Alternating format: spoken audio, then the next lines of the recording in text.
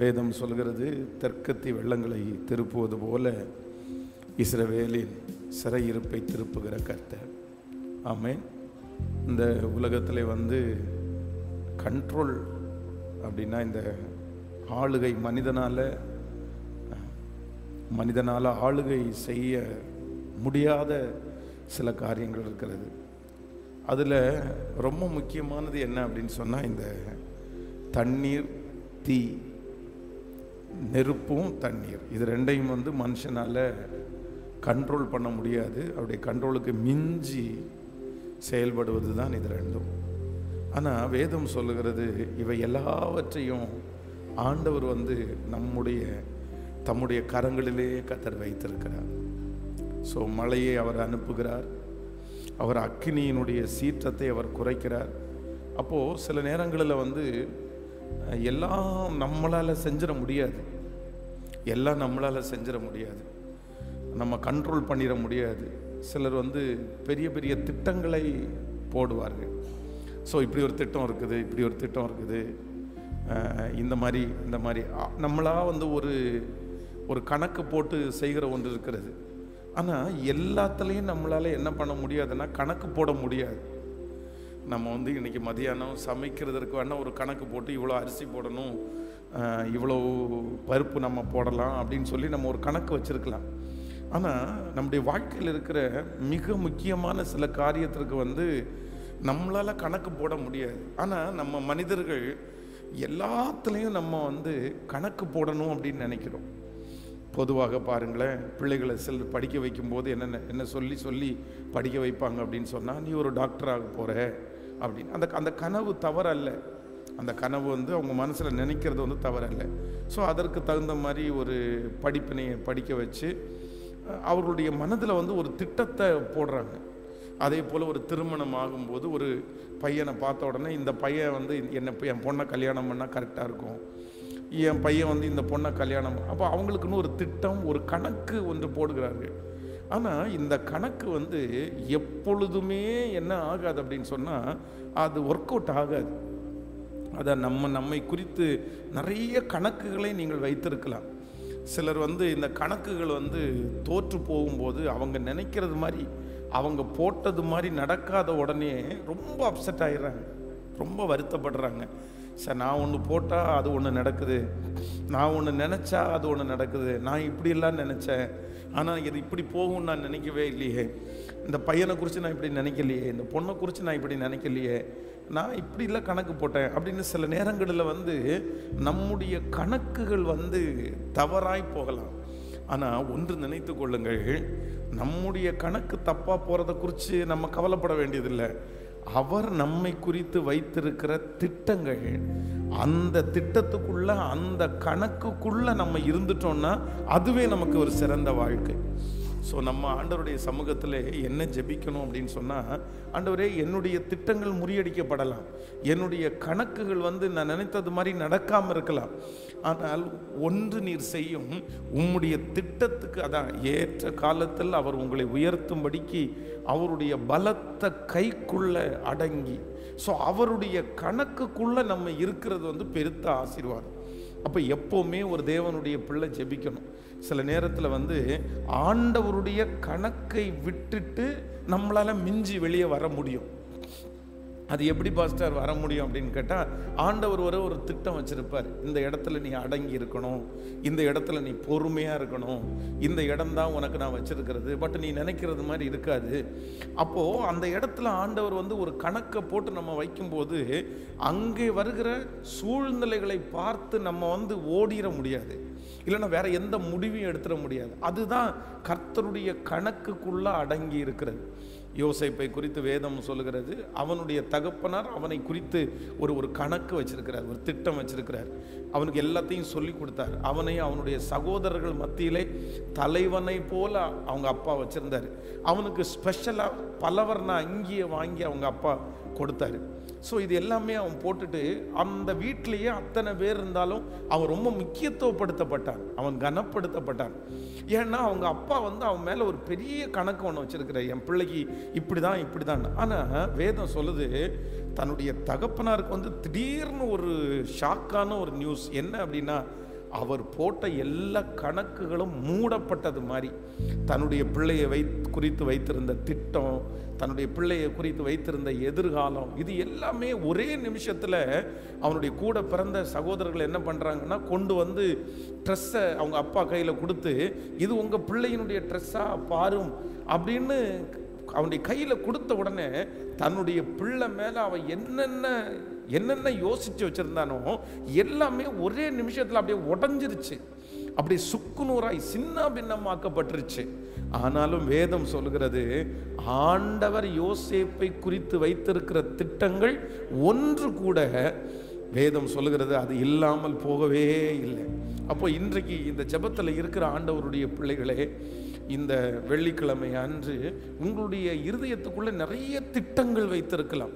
உங்கள் பிள்ளைகளை குறித்து ஒரு திட்டம் உங்களுக்கு இருக்கலாம். உங்களுடைய எதிர்காலத்தை குறித்த ஒரு திட்டங்கள் உங்களுக்கு இருக்கலாம். போட்ட கணக்குகள் எல்லாம் வந்து எதிராய் உங்களுக்கு எதிராய் திரும்பலாம். அவ்வளோதான் இனி அந்த கணக்கு நிறைவேறாது அப்படின்ற ஒரு சூழ்நிலைக்குள்ளாக நீங்கள் வந்திருக்கலாம். என் பிள்ளையை குறித்து நான் இப்படியெல்லாம் கனவு கண்டேன் நான் இப்படியெல்லாம் யோசித்தேன் ஆனால் கண்டிப்பாக இதெல்லாம் வந்து நடக்கிறது மாதிரி எனக்கு தெரியல அப்படின்னெல்லாம் உங்களுடைய மனசுக்குள்ளே நீங்கள் நினைக்கலாம். ஆனால் வேதம் சொல்லுகிறது இன்னைக்கு இந்த ஃபஸ்ட் இந்த உபவாச ஜெபத்தில் நம்ம எல்லாரும் என்ன ஆண்டவரிடத்தில் சொல்ல போகிறோம்னா ஆண்டவரே என்னுடைய கனவுகள் நடக்காட்டி பரவாயில்ல. என்னுடைய திட்டங்கள் நடக்காட்டி பரவாயில்ல. ஆனால் என்னை குறித்து என் குடும்பத்தை குறித்து என் பிள்ளையை குறித்து உங்கள் திட்டம் நிறைவேறட்டும் அப்படின்னு அவருடைய கைக்குள்ளே நம்ம கொடுத்துட்டோம் அப்படின்னு சொன்னால் கண்டிப்பாக நான் நம்புகிறேன். அவருடைய திட்டம் நம்மை குறித்தும் நம்முடைய பிள்ளைகளை குறித்தும் குறைவாக இருக்காது.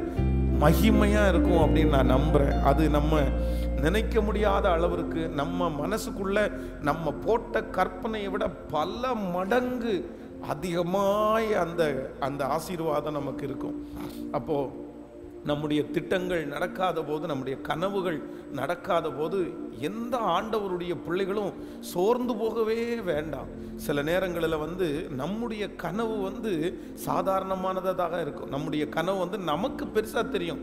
ஆனால் ஆண்டவருடைய பார்வைக்கு அந்த கனவு வந்து ரொம்ப சின்ன கனவு. நான் பாருங்களேன் நான் சில நேரங்களில் ரொம்ப சில நேரங்களில் நான் நினப்பேன். நான் ஒரு பெரிய கனவோடு வாழ்ந்தேன். என்ன கனவு அப்படின்னு சொன்னால் எங்கள் ஊரில் வந்து ரொம்ப ஃபேமஸ் ஆனது என்ன அப்படின்னா இந்த புல்லட் பைக் ஸோ இந்த என்ஃபீல்டு ராயல் என்ஃபீல்டு பைக் இந்த பைக் வந்து ரொம்ப ஃபேமஸ் அப்படின்னா பெரிய பெரிய கோடீஸ்வரர்கள் பணக்காரர்கள் பெரிய பயில்வான்கள் அவங்க வந்து இந்த புல்லட் பைக்கை வந்து ரொம்ப ஸ்லோவாக ஒரு முப்பது கிலோமீட்டர் ஸ்பீடில் ஓட்டிட்டு வருவாங்க. அதுவாக சவுண்டு குட்டு குட்டு குட்டு குடுன்னு கேட்கும். அப்போ வந்து நம்ம கண்டுபிடிச்சிருவாங்க அங்கேருந்து நான் செங்கல் சோலையில் வேலை பார்த்ததுனால அந்த ஓனர் அதை வச்சுருந்தார். உடனே இங்கேருந்து கண் கண்ட்ராக்ட் வர்றாரா ஓனர் வர்றாரா அப்படின்னு கத்துவாங்க. ஏன்னா அந்த அந்த பைக்கினுடைய சவுண்டை வச்சு உடனே எனக்கு ஒரு கனவு வருது. நம்ம பார்த்த உடனே ஒரு கனவு வருது. ச்சே இந்த மாதிரி ஒரு நாள் நம்மவும் ஒரு புல்லட் வாங்கி அதில் குட்டு குட்டு குட்டு குடுன்னு சவுண்டு கேட்டுட்டு நம்மளும் அந்த மாதிரி வரணும் அப்படின்னு ஒரு பெரிய கனவு. ஸோ அந்த கனவுக்காக உடனே பிரயாசம் எடுக்கிறது. அப்படின்னா நம்ம நல்லா சம்பாதிக்கணும். அப்படின்னா நம்ம நிறைய வேலை செய்யணும். அப்படின்ற ஒரு எண்ணம் வந்து சின்ன வயசுலேயே வருது. இது ஒரு பெரிய கனவு ஒரு பெரிய திட்டம். எனக்குள்ளே இருந்த ஒரு பெரிய திட்டம். ஸோ அது மனிதர்களை பார்த்து இந்த மாதிரி இந்த மனுஷன் இருக்கிறானே நம்ம அந்த மாதிரி வரணும் அப்படின்னு நினைப்போம். ஆனால் ஒரு காலகட்டம் வரும்போது பார்த்தீங்கன்னா உயிர் பிழைச்சா போதும் அப்படின்ற ஒரு சூழ்நிலைக்கு தள்ளப்பட்டேன். இந்த கனவை குறித்து கனவை குறித்து எண்ணமே இல்லை. கனவெல்லாம் பறந்து போயிடுச்சு வண்டி வாங்கணுன்ற என்ன இன்னைக்கு இப்போ இருக்கிற சுச்சுவேஷன் என்ன அப்படின்னா பிழைச்சா போதும். சாகாம இருந்தா போதும். வண்டி ஓட்டுறதெல்லாம் அப்புறம். உயிர் உயிர் கிடைக்குமா? உயிர் மிச்சம் வருமா? நம்ம பிழைப்போமா? செத்துருவோமா? இல்லை இந்த வியாதி நம்மளை கொன்றுமா அப்படின்ற ஒரு சூழ்நிலைக்கு தள்ளப்பட்டாச்சு. அப்போ எல்லா கனவுகளும் அப்படியே மூடப்பட்டு இனி கனவே காண முடியாதுன்ற ஒரு சூழ்நிலை. ஆனால் இன்று இந்த பலிபீடத்தில் நிற்கும்போது நான் நம்புகிறேன் சே ஆண்டவர் எவ்வளவு நல்லவர். அந்த கனவு இல்லடா நீ நினைச்சதில்லை. உன்னை குறித்து நான் ஒரு பெரிய கனவு ஒரு பெரிய திட்டத்தை ஒரு பெரிய கணக்கை நான் வைத்திருக்கிறேன் என்று ஆண்டவர் எனக்கு வந்து இன்றைக்கு உங்கள் முன்னாடி நிறுத்திருப்பிறார் ஆனால் நான் நம்புகிறேன் உங்கள் இருதயம் கொஞ்சம் கூட கலங்க வேண்டாம். உங்களுடைய கனவுகள் வந்து நான் என்ன பெருசாவா நினச்சேன். நான் இப்படி தானே நான் நினச்சேன். கொஞ்சம் நான் வந்து மற்ற பேரண்ட்ஸ் மாதிரி ஒன்றும் நினைக்கல. என்னுடைய பிள்ளைக்கு வந்து பெரிய கோடீஸ்வர மாப்பிள்ளை வேணும் அப்படின்னு நினைக்கல. அப்படி உங்களுடைய கனவு வந்து உங்களுக்கு தகுந்தது போல கூட நீங்கள் இருக்கலாம். நான் இப்படி தான் நினச்சேன் பாஸ் நான் பெருசாக ஒன்றும் ஆசைப்படலை. அதுவே நடக்காத போது நான் என்ன பண்ண முடியும் அப்படின்னு உங்கள் மனசு சொல்லுமானால் சில நேரங்களில் ஆண்டவர் உங்களை கூட்டிகிட்டு போகிற பாதை அப்படிதான். நீங்கள் நினச்சிருக்கிறது கூட நடக்காத ஒரு பாதையில் கூட்டிகிட்டு போகிறத நினச்சி நீங்கள் கொஞ்சம் கூட வருத்தமே படாதீங்க. கண்டிப்பாக நிச்சயமாய் ஒரு நாள் வரும். நிச்சயமாய் ஒரு முடிவு உண்டு. வேதம் சொல்லுகிறது நம்முடைய கண்ணீருக்கு ஒரு முடிவு உண்டு. நம்முடைய ஜெபத்திற்கு ஒரு முடிவு உண்டு. நிச்சயமாகவே முடிவு உண்டு. உன் நம்பிக்கை வீண் போகவே போகாது. ஹalleluya. கைகளை உயர்த்தி ஒரு ஹாலையிலோயா சொல்லலாம். அப்போது நம்ம எல்லாருடைய நம்முடைய எல்லாருடைய கணக்குகளுக்கும் உயிர் கொடுக்கிற ஒரு கத்தை நம்மோடு கூட இருக்கிறார். நம் நம்ம வந்து நம்மை குறித்து நம்ம வைத்திருக்கிற கணக்கை விட சில நேரத்தில் நம்ம ரொம்ப வருத்தப்படுறது என்ன தெரியுமா? நம்முடைய எதிரிங்க நம்மளை குறித்து ஒரு கணக்கு வச்சுருப்பாங்க பாருங்களேன். அதை நினச்சி தான் நம்ம நிறைய பேர் வருத்தப்படுவோம். ஒரு ஒரு திட்டம் வச்சுருப்பாங்க. அப்படியா? பாரு நீ இப்படியெல்லாம் நல்ல ஜாலியாக இருக்கிறியா? நீ வந்து ஒரு உன் பையனுக்கு கல்யாணம் பண்ணு உன் பொண்ணுக்கு கல்யாணம் பண்ணு அதுக்கப்புறம் பார்த்துக்கலாம் பாரு இந்த வருஷம் அந்த வருஷம். அப்போ அவங்க வந்து ஒரு கணக்கு வச்சுருக்குறாங்க ஒரு திட்டம் வச்சுருக்குறாங்க. இவன் விழுந்துருவான் சிறவன் நிற்பான் இப்படி ஒவ்வொருத்தருமே ஒவ்வொரு கணக்கு வச்சுருப்பாங்க. ஆனால் ஆண்டவருடைய பிள்ளைகளே அதை பார்த்த ஆண்டவருடைய பிள்ளைகள் எவ்வளவேனும் சோர்ந்து போகக்கூடாது. சங்கீதக்காரனாகிய தாவீதை குறித்து வேதம் சொல்லுகிறது. அவன் வந்து கோலியாத்தனுடைய மிரட்டலை பார்த்து என்ன சொல்கிறான் அப்படின்னு சொன்னால் அவன் வந்து சொல்கிறான் இந்த பெலிஸ்தியனை நான் வந்து யுத்தம் பண்ணி ஜெயிச்சிருவேன் அப்படின்றான். ஆனால் அவனுடைய சகோதரர்கள் என்ன பண்ணுறாங்க அப்படின்னு சொன்னால் அவனை கூட்டி கணச்சு கணக்கு போட்டிருக்கிறாங்க. டே அந்த கொஞ்சம் ஆடுகளை யார் வசத்தில் விட்டாய்?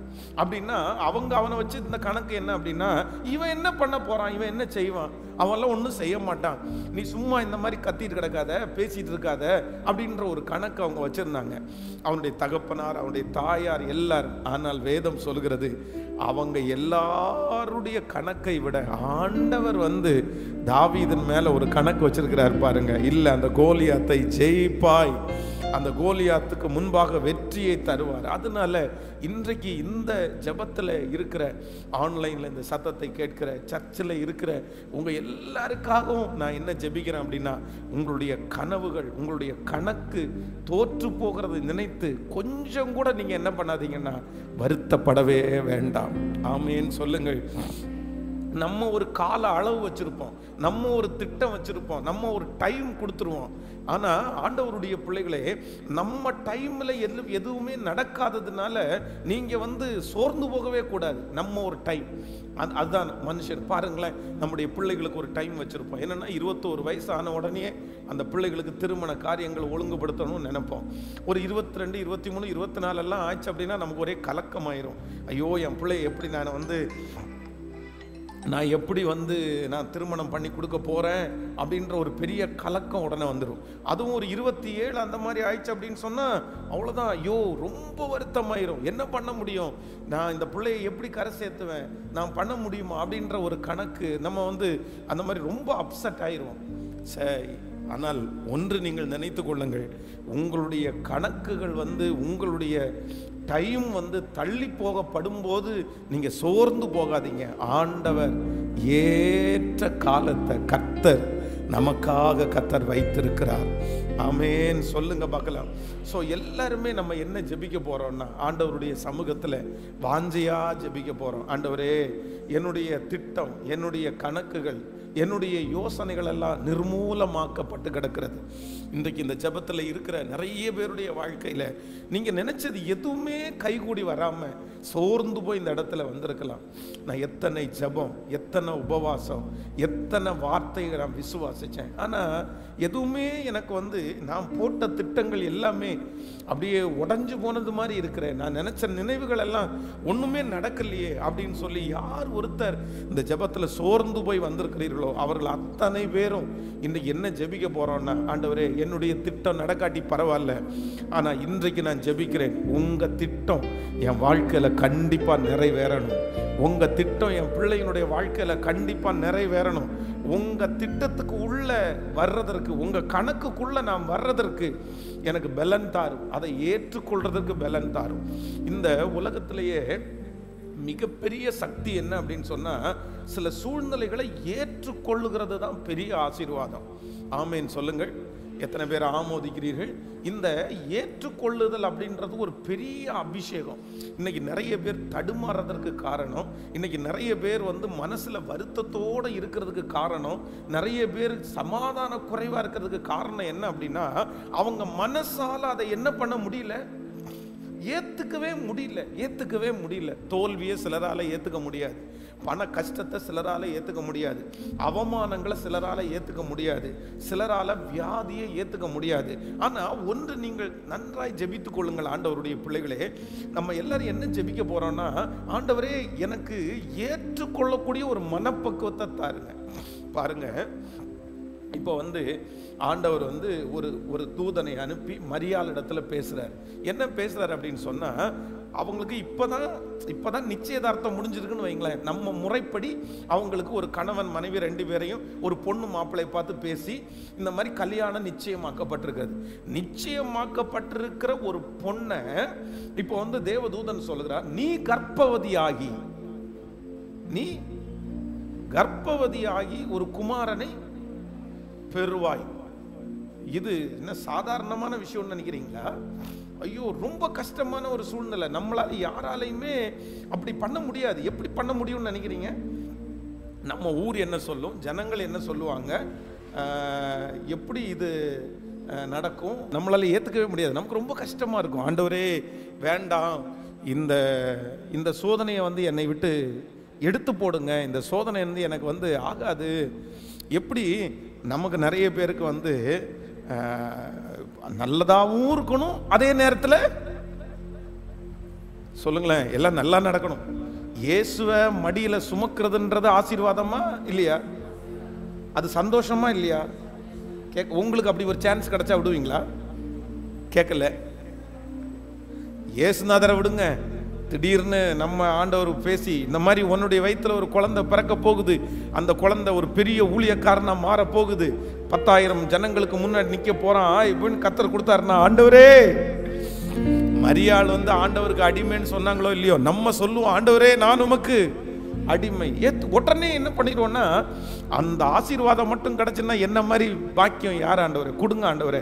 ஆனால் ஆண்டவர் என்ன சொல்கிறார் அப்படின்னா எப்போ சொல்கிறாருன்னா கல்யாணம் ஆகி ஆண்டவரே ஒன்றும் பண்ணுங்க ஆண்டவரே. ஒரு ஆறு மாதம் தாண்டி வாங்க.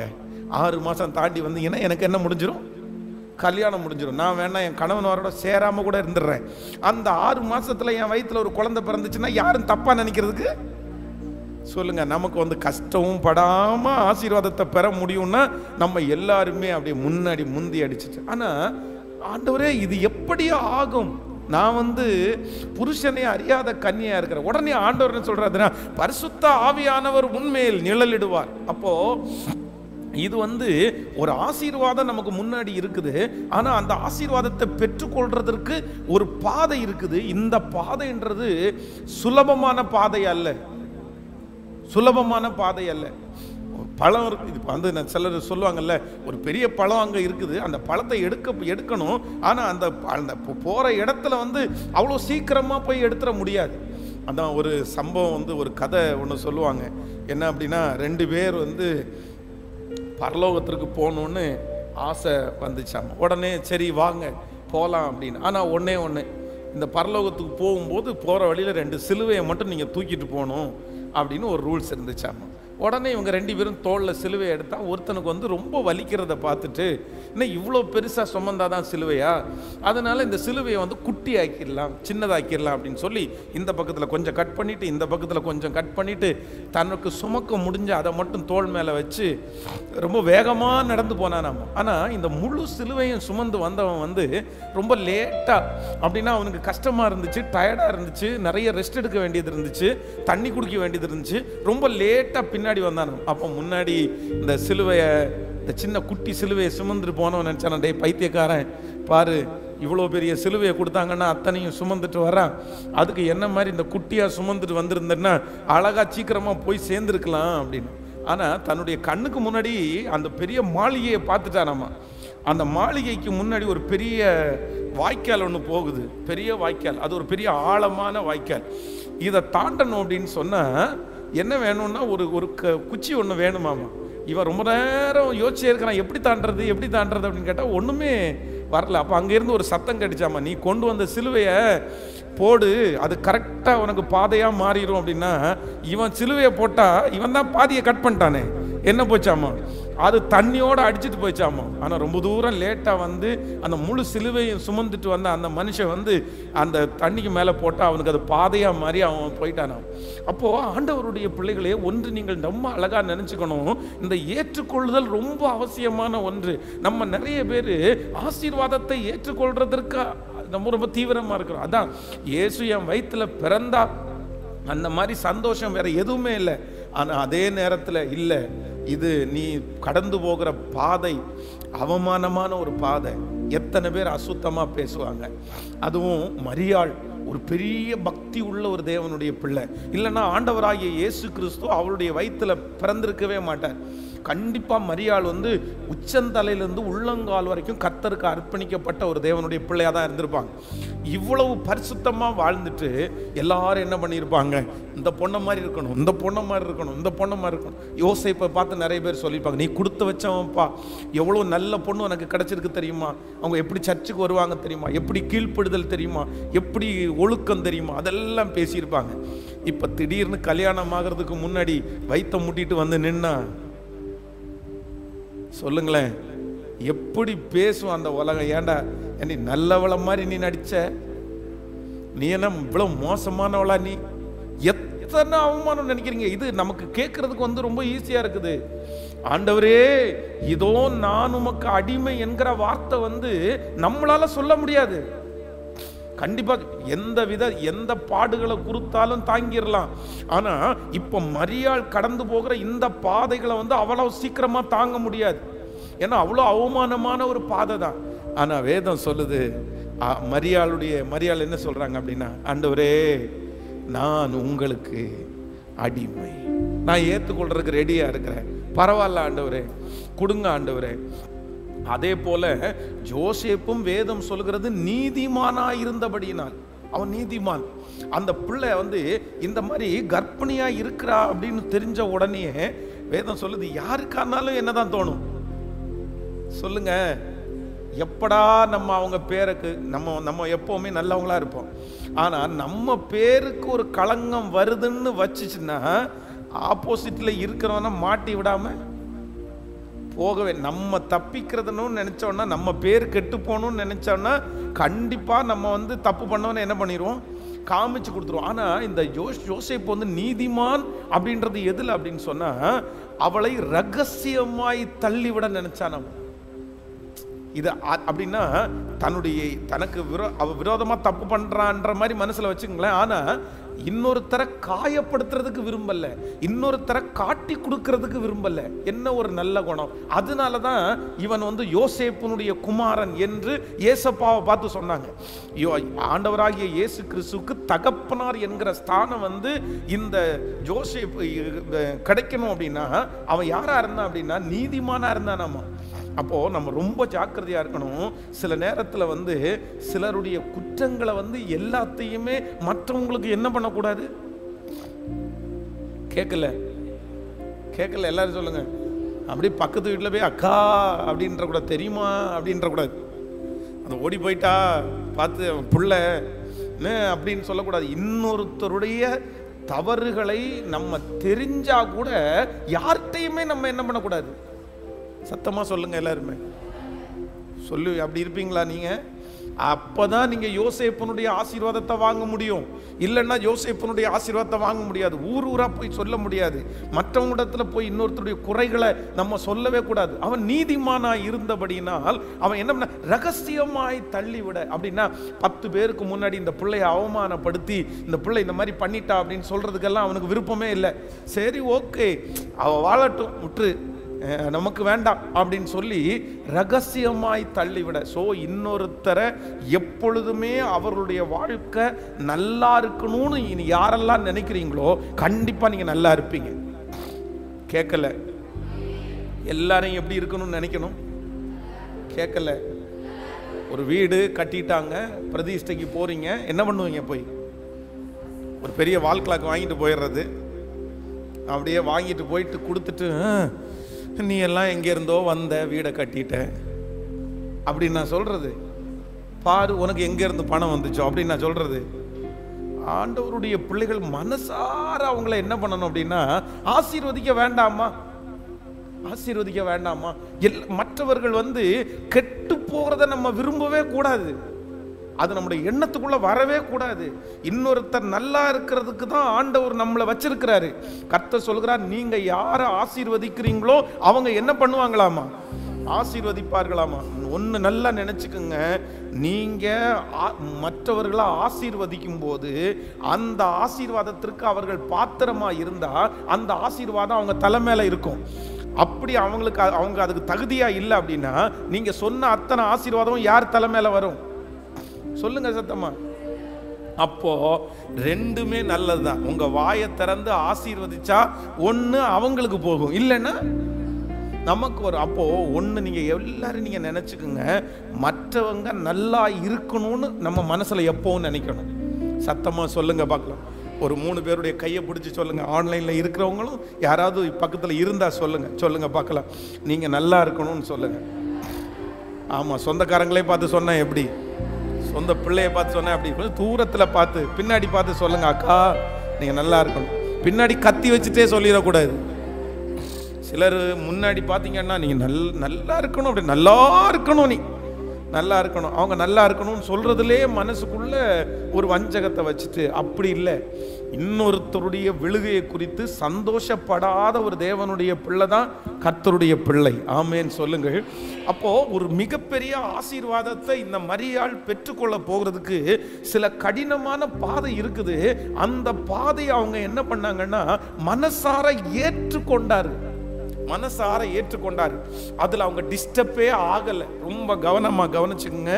நீங்கள் கர்த்தர் உங்களை நடத்தி கொண்டு போகிற அந்த பாதையை மனசார ஏற்றுக்கொள்ளும் போது கொஞ்சம் கூட மன அளவில் நீங்கள் சோர்ந்து போகவே கூடாது.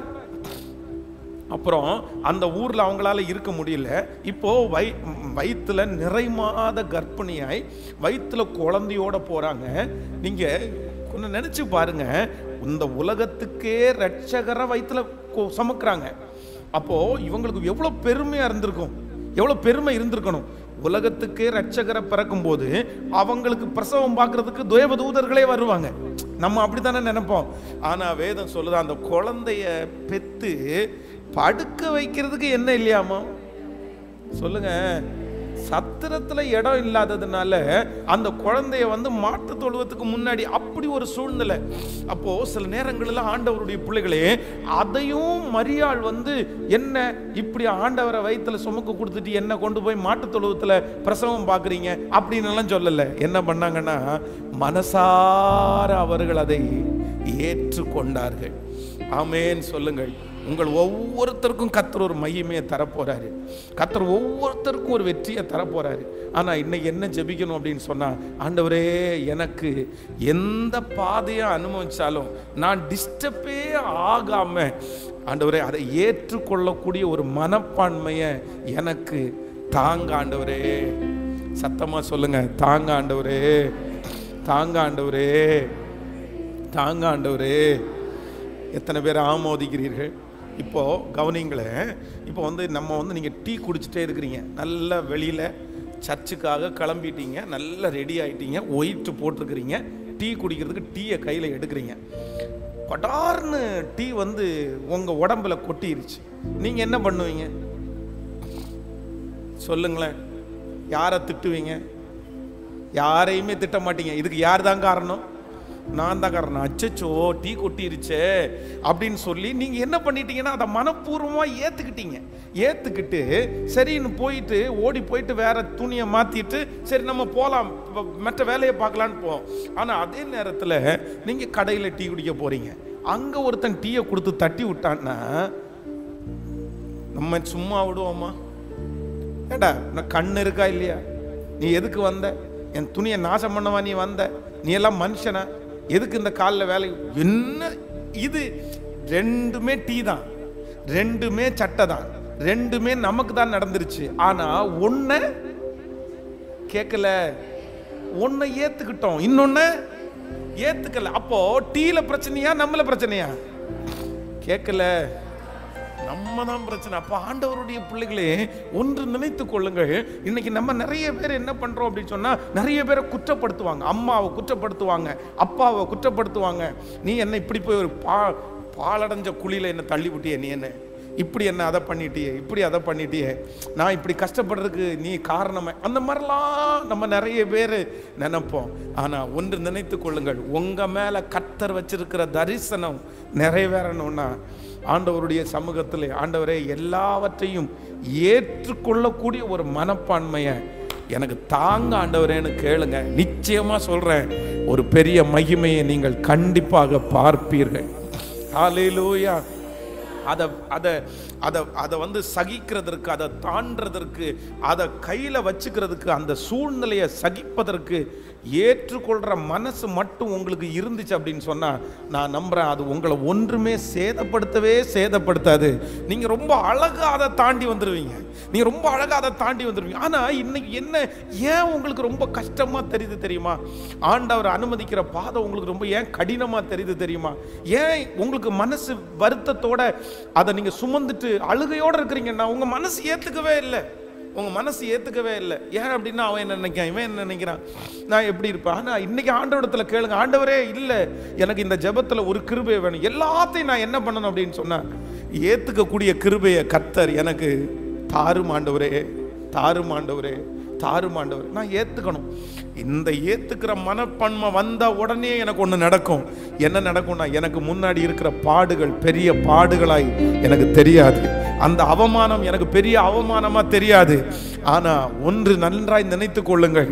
நமக்கு ஒரு தீமையை நமக்கு ஒரு கஷ்டத்தை ஆண்டவரை அனுமதிக்கிறார் அப்படின்னா அதற்கு பின்னாடி ஒரு பெரிய ஆசீர்வாதத்தை கத்தர் வச்சிருக்கிறார்ன்றத நீங்கள் மறந்துடவே கூடாது. இக்காலத்து பாடுகள் இனி நமக்கு வெளிப்பட போகும் மகிமைக்கு ஒப்பிடத்தக்கது. அல்ல ஒப்பிடத்தக்கது அல்ல ஒப்பிடத்தக்கது அல்ல. உங்கள் பிள்ளைகளுக்கு ஒன்றை கற்றுக் கொடுங்க. உங்கள் பிள்ளைகளுக்கு என்ன நீங்கள் கற்றுக் கொடுக்கணும்னா சாமி ஒன்று நீ சொல்லு என்ன பண்ண அப்படின்னா உன் சூழ்நிலையை எல்லாமே நீ ரிஜெக்ட் பண்ணுறதுக்கு நீ கற்றுக்காத நீ என்ன பண்ணிடு அப்படின்னு சொன்னால் ஏற்றுக்கோ ஏத்துக்கோ ஏத்துக்கோ. ஆண்டவராகிய இயேசு கிறிஸ்து இன்றைக்கு நமக்கு முன்பாக நம்ம இவ்வளோ பெரிய ரட்சிப்பை கொடுத்ததற்கு காரணம் என்ன? அவர் தேவகுமாரனா இருந்தும் நம்முடைய பாடுகள் மொத்தத்தையும் அவர் என்ன பண்ணினாராமா? மனசார அவர் என்ன பண்ணினார்னா ஏற்றுக்கிட்டார் முழு மனசோட ஏற்றுக்கிட்டார். அவர் ஏற்றுக்கிட்டதுனால தான் மூன்றாம் நாள் உயிரோடு எழுந்து இன்றைக்கு நமக்கு முன்பாக மறித்தவராய் அல்ல. ஜீவனுள்ள கர்த்தராய் நமக்கு முன்பாய் கர்த்தர் இருக்கிறார். அலையிலோயா ஸோ என் பிள்ளைகளுக்கு ஒன்றை நான் சொல்லி தருவேன். என்ன சொல்லி தருவேன் அப்படின்னு சொன்னால் ஏற்றுக்கிற ஒரு மனப்பான்மை. பாருங்க ஒரு ஒரு பிள்ளைய வந்து திருமணம் பண்ணி கொடுக்குறாங்க. ஒரு க- ஒரு அம்மா அப்பா. அப்போது திருமணம் பண்ணி கொடுக்கும்போது அவங்க என்னன்னா மாப்பிள்ளை வீட்டில் இருந்து என்ன சொல்கிறாங்க அப்படின்னு சொன்னால் மாப்பிள்ளைக்கு வந்து ஒரு கப்பல் இருக்குன்னு சொல்கிறாங்க எங்கே அப்படின்னு சொன்னால் இந்த துபாய் துபாயில் எல்லாம் பார்த்தீங்க அப்படின்னு சொன்னால் இந்த டூரிஸ்ட் கப்பலெல்லாம் இருக்கும். அது வந்து பெரிய நல்ல லாபத்துக்குரியது. அந்த போட்டே வித்தியாசமாக இருக்கும். அதில் டூரிஸ்ட் வந்து அதை வந்து அங்கேயே வாங்கி அதை பிஸ்னஸ் பண்ணுறவங்க இருக்கிறாங்க. அப்போ அந்த பொண்ணை கல்யாணம் பண்ணி கொடுக்கும்போது என்ன சொல்கிறாங்க அப்படின்னு சொன்னால் இந்த மாதிரி ஒரு கப்பல் வச்சுருக்கிறார் அப்படின்னு சொன்ன உடனே இவங்களுக்கு கப்பல் வச்சுருக்கிற மருமகன் அப்படின்னு சொன்ன உடனே எப்படி பெருமையாக இருக்கும்ல? உடனே போகிற இடத்துல எல்லாம் ஆமாம் ஆமாம் அவர் துபாயில் கப்பல் வச்சிருக்கிறாரு. அவர் துபாயில் கப்பல் வச்சிருக்கிறாரு. நமக்கு இந்த இந்த வெளிநாட்டு மோகம் நிறைய பேருக்கு அதிகமாக இருக்கும். வெளிநாடு கேட்ட உடனே சொல்ல தெரியுமா? அவர் துபாயில் இருக்கார் அவர் ஃபாரின்ல இருக்கார் அவர் அங்கே இருக்கார். அவர் என்ன செய்கிறாருன்னு யாருக்கு தெரியும்? அவர் எவ்வளோ கஷ்டப்படுறாரு நாங்கள் யாருக்கு தெரியும்? அவர் நம்ம பெருமையாக வேண்டாம் நம்ம வெளிநாட்டில் இருக்கிறதுன்னு பேசிக்கலாம். ஆனால் உண்மையிலே வெளிநாட்டில் பல பேர் படுற பாடு என்ன தெரியுமா? அவ்வளோ கஷ்டம். இந்த வெளிநாட்டில் இருந்து சம்பாரித்து அம் பிள்ளைகளை படிக்க வைக்கிற குடும்பத்தை பார்க்குற ஒவ்வொரு கணவனாக இருக்கும். நீங்கள் ரொம்ப சாட்சியாக நீங்கள் ரொம்ப ஜெபம் பண்ணணும் உங்களுக்கு ஐயோ படாத பாடு. சோறு இல்லை தண்ணி இல்லை. எவ்வளோ கஷ்டம் தெரியுமா அங்கே? போய் பார்க்கும்போது தான் தெரியும். ஆனால் அவங்க எல்லாரும் அவங்களுக்காக ஜெபம் பண்ணுங்க. அப்படிப்பட்ட யாராவது இந்த சத்தத்தை கேட்குறீங்கன்னா என் கணவனார் வெளியில் சம்பாதிக்கிறார் என் பிள்ளை வெளியில் சம்பாதிக்கிறார் அப்படின்னு நீங்கள் சொல்லுவீங்கன்னா கண்டிப்பாக அவங்களுக்காக ஜெபம் பண்ணுங்க. அவங்கள்ட்ட நல்லா பேசுங்க. அவங்க மனசு விட்டு பேசுங்க. அவங்க ஃபோனை ரிஜெக்ட் பண்ணாதீங்க. அவங்க பேசும்போது அவங்க ஏதோ வருத்தத்தில் சொல்கிறாங்கன்றதுக்காக நீங்கள் அவங்கள வந்து நீங்களும் ஒன்றை சொல்லாதீங்க. நீங்கள் அவங்களுடைய சூழ்நிலையை புரிஞ்சுக்குங்க. ஏன்னா நம்ம இங்கே நிறைய பேர் ஃபேமிலியோடு இருக்கிறோம். நம்ம சுற்றி முற்றி பார்த்தா நமக்கு சொந்தக்காரங்க. சுற்றி முற்றி பார்த்தா எல்லாருக்குமே தமிழ் தெரியும். ஆனால் அங்கே அப்படி கிடையாது. அவங்க ஒரு சில குறிப்பிட்டவங்கள்ட்ட மட்டும்தான் பேச முடியும். அது மாதிரி நிறைய சுச்சுவேஷன் அதனால இந்த சத்தத்தை யார் உங்கள் கணவனாரோ உங்கள் பிள்ளைகளோ ஃபாரினில் இருக்கிறாங்க அப்படின்னா நீங்கள் கண்டிப்பாக அவர்களுக்கு அவர்களுக்கு ரொம்ப அவங்க அவங்க சொல்கிறதுக்கெல்லாம் நீங்கள் கோவப்பட்டு இது பண்ணாதீங்க. அவங்கள நல்லா பார்த்துக்குங்க. அப்போது இந்த பொண்ணு பையன் இப்படி சொன்ன உடனே இவங்க ரொம்ப ஃபேமஸ் ஆயிட்டாங்க. பார்த்தீங்க அப்படின்னு சொன்னால் கரெக்டாக இந்த கொரோனா வந்துருச்சு. அந்த கப்பல் வந்து பார்த்தீங்கன்னா கிட்டத்தட்ட ஒரு வருஷம் கிடப்பில் கடந்து போயிடுச்சு. அவன் நஷ்டமாயிட்டார். ஒன்றுமே பண்ண முடியல. இப்போ அதை விற்க வேண்டிய சூழ்நிலைக்கு தள்ளப்பட்டார் வித்துட்டாரு. கல்யாணம் முடியுது எதை வித்துட்டாரு? கேட்கல. கப்பலை வித்தாச்சு. இப்போ இப்போ ம- பொண்ணு வீட்டுக்காரங்க எதை வச்சு தான் பொண்ணை கொடுத்தாங்க? அந்த கப்பல் இப்போ இல்லை இப்போ குடும்பத்தில் ஒரே சண்டை. ஏண்டா நீ வந்து கப்பல் இருக்குன்னு சொல்லி தானே கல்யாணம் பண்ண? இப்போ கப்பல் இல்லையே. என்ன பண்ணுறது இல்லை இப்படி நஷ்டமாயிடுச்சு. அதுக்கு நாங்கள் என்ன பண்ண முடியும்? அவ ஒரே அந்த அந்த அந்த சூழ்நிலை அந்த பிள்ளையால ஏற்றுக்கவே முடியல. நான் எனக்கு வந்து இந்த மாதிரி கணவனார் எனக்கு வேண்டாம். எனக்கு பணம் இல்லாத கணவனார் எனக்கு எதுக்கு? நான் இப்படி வாழவே இல்லையே. என்னென்னமோ சொல்லி ஒரே வருத்தம் ஒரே பிரச்சனை. அப்போ இந்த குடும்ப வாழ்க்கை அப்படியே பிரிஞ்சிருச்சு. அப்படியே பிரிஞ்சிருச்சு. அப்போ நான் தான் ஒரு நாள் எங்கிட்ட வரும்போது தான் சொன்னேன் இல்லை இல்லை சாமி இப்போ வந்து நீ வந்து கப்பல் இல்லை அப்படின்னு அவரை பிளைம் பண்ணுறீங்க இதே இது அவர் திருப்பி இந்த மாதிரி உன்னை என்னைக்கு கல்யாணம் பண்ணனோ அன்னை நான் கப்பலை வித்துட்டேன்னா? புரியுதில்ல? சொல்றது புரிஞ்சா நான் சொல்றது உங்களுக்கு. அவர் அப்படியே ஆப்போசிட்டா திருப்பி நீ என்னைக்கு என் வீட்டில் வந்தியோ அன்னைக்கு எனக்கு ஒன்றும் இல்லாமல் போச்சு அப்படின்னு திருப்பினா ரெண்டு பேரும் என்ன போட்டுட்டே இருக்கலாம். சண்டை போட்டுட்டே தான் இருக்க முடியும். இல்லைப்பா நீ இதை ஏற்றுக்கோ இந்த சூழ்நிலையை ஏற்றுக்கோ உங்களுக்கு கணவனார் பணம் இருந்தாலும் இல்லைனாலும் கடவுள் கண்டிப்பாக ஆசீர்வதிப்பார். கத்தருடைய ஆசீர்வாதமே ஐஸ்வர்யத்தை தரும். அதனோடு அவர் வேதனையை கூட்டார். இல்லை நீ ஜோம் பண்ணு நீங்கள் முழங்கால் படியிடுங்க. இழந்து போன அந்த கப்பலை கத்தர் ரெண்டா திரும்ப தர கத்தர் வல்லவராக இருக்கிறாரு. நீ ஏன் மனசு சோர்ந்து போகிற? இந்த நேரத்தில் அவரோட நீ இருக்கணும். இந்த நேரத்தில் நீ அவரை தட்டி கொடுக்கணும். இந்த நேரத்தில் நீ தான் அவருக்கு ஸ்ட்ரென்தன் பண்ணணும். பரவாயில்ல பணம் பணம் மட்டும்தான் முக்கியம்னு நினைக்காத. வேற முக்கியமானது நிறைய இருக்குது. அப்படின்னு கொஞ்ச நேரம் பேசி அவருக்காக ஜெபம் பண்ணி இப்போ பார்த்தீங்க அப்படின்னு சொன்னால் ச- ஆண்டவர் எவ்வளோ நல்லவர். அவங்க இழந்து போன அந்த கப்பலை திரும்பவும் அவங்க குடும்பமாக வாங்கிட்டாங்க. இப்போ எப்படி இருக்கும் பாருங்கள் அப்போ ஆண்டவருடைய பிள்ளைகளே இந்த ஏத்துக்கிற மனப்பான்மை அப்படின்றது வந்து கொஞ்ச காலம் மட்டும்தான் கொஞ்ச காலம் மட்டும்தான்.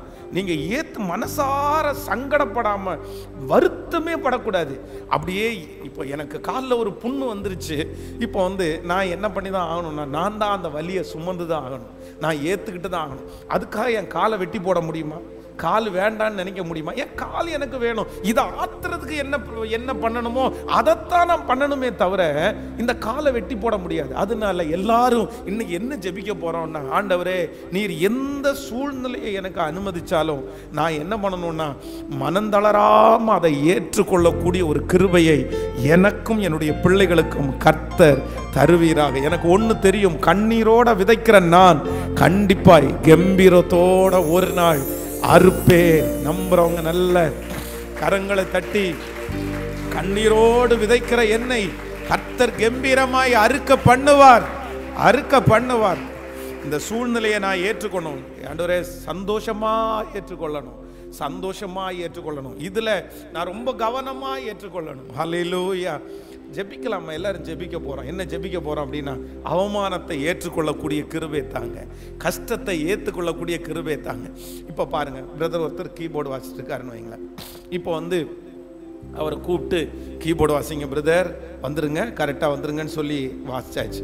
அப்போது நாளைக்கு வந்து இவராக வந்து என்கிட்ட கேட்குறாரு பாஸ்டர் நான் ஃப்ரீயாக இருக்கிறேன். வரட்டுமா? வாசிக்கட்டுமா? அப்படின்னு கேட்குறேன் உடனே நான் என்ன சொல்கிறேன்னா நீ வேணாம் பிரதர் வேற ஒருத்தரை நான் கூப்பிட்டுட்டேன். நீங்கள் எனக்கு என்னமோ ஒன்றும் சரிப்பட்டு வர்றது மாதிரி தெரியல. வேண்டாம். அப்படின்னு சொல்லிட்டேன்னு வைங்களேன் நீங்களாக இருந்தால் என்ன நினைப்பீங்க? எப்படி நீங்கள் எப்படி இதை ஹேண்டில் பண்ணுவீங்க? சொல்லுங்க. ஆ ஸ்தோத்திரம் பாஸ்டர் ஹாலே லூயா கர்த்தர் எனக்கு அன்றைக்கு அனுமதிச்சார் இன்றைக்கு எனக்கு அனுமதிக்கல. அப்படின்னு சந்தோஷம். அப்படின்னு அங்கே உட்கார்ந்தாலும் ஆராதிப்பேன் இங்கே உட்கார்ந்தாலும் ஆராதிப்பேன். பரவாயில்ல அப்படின்னு நான் நினைப்பீங்க? கேட்கல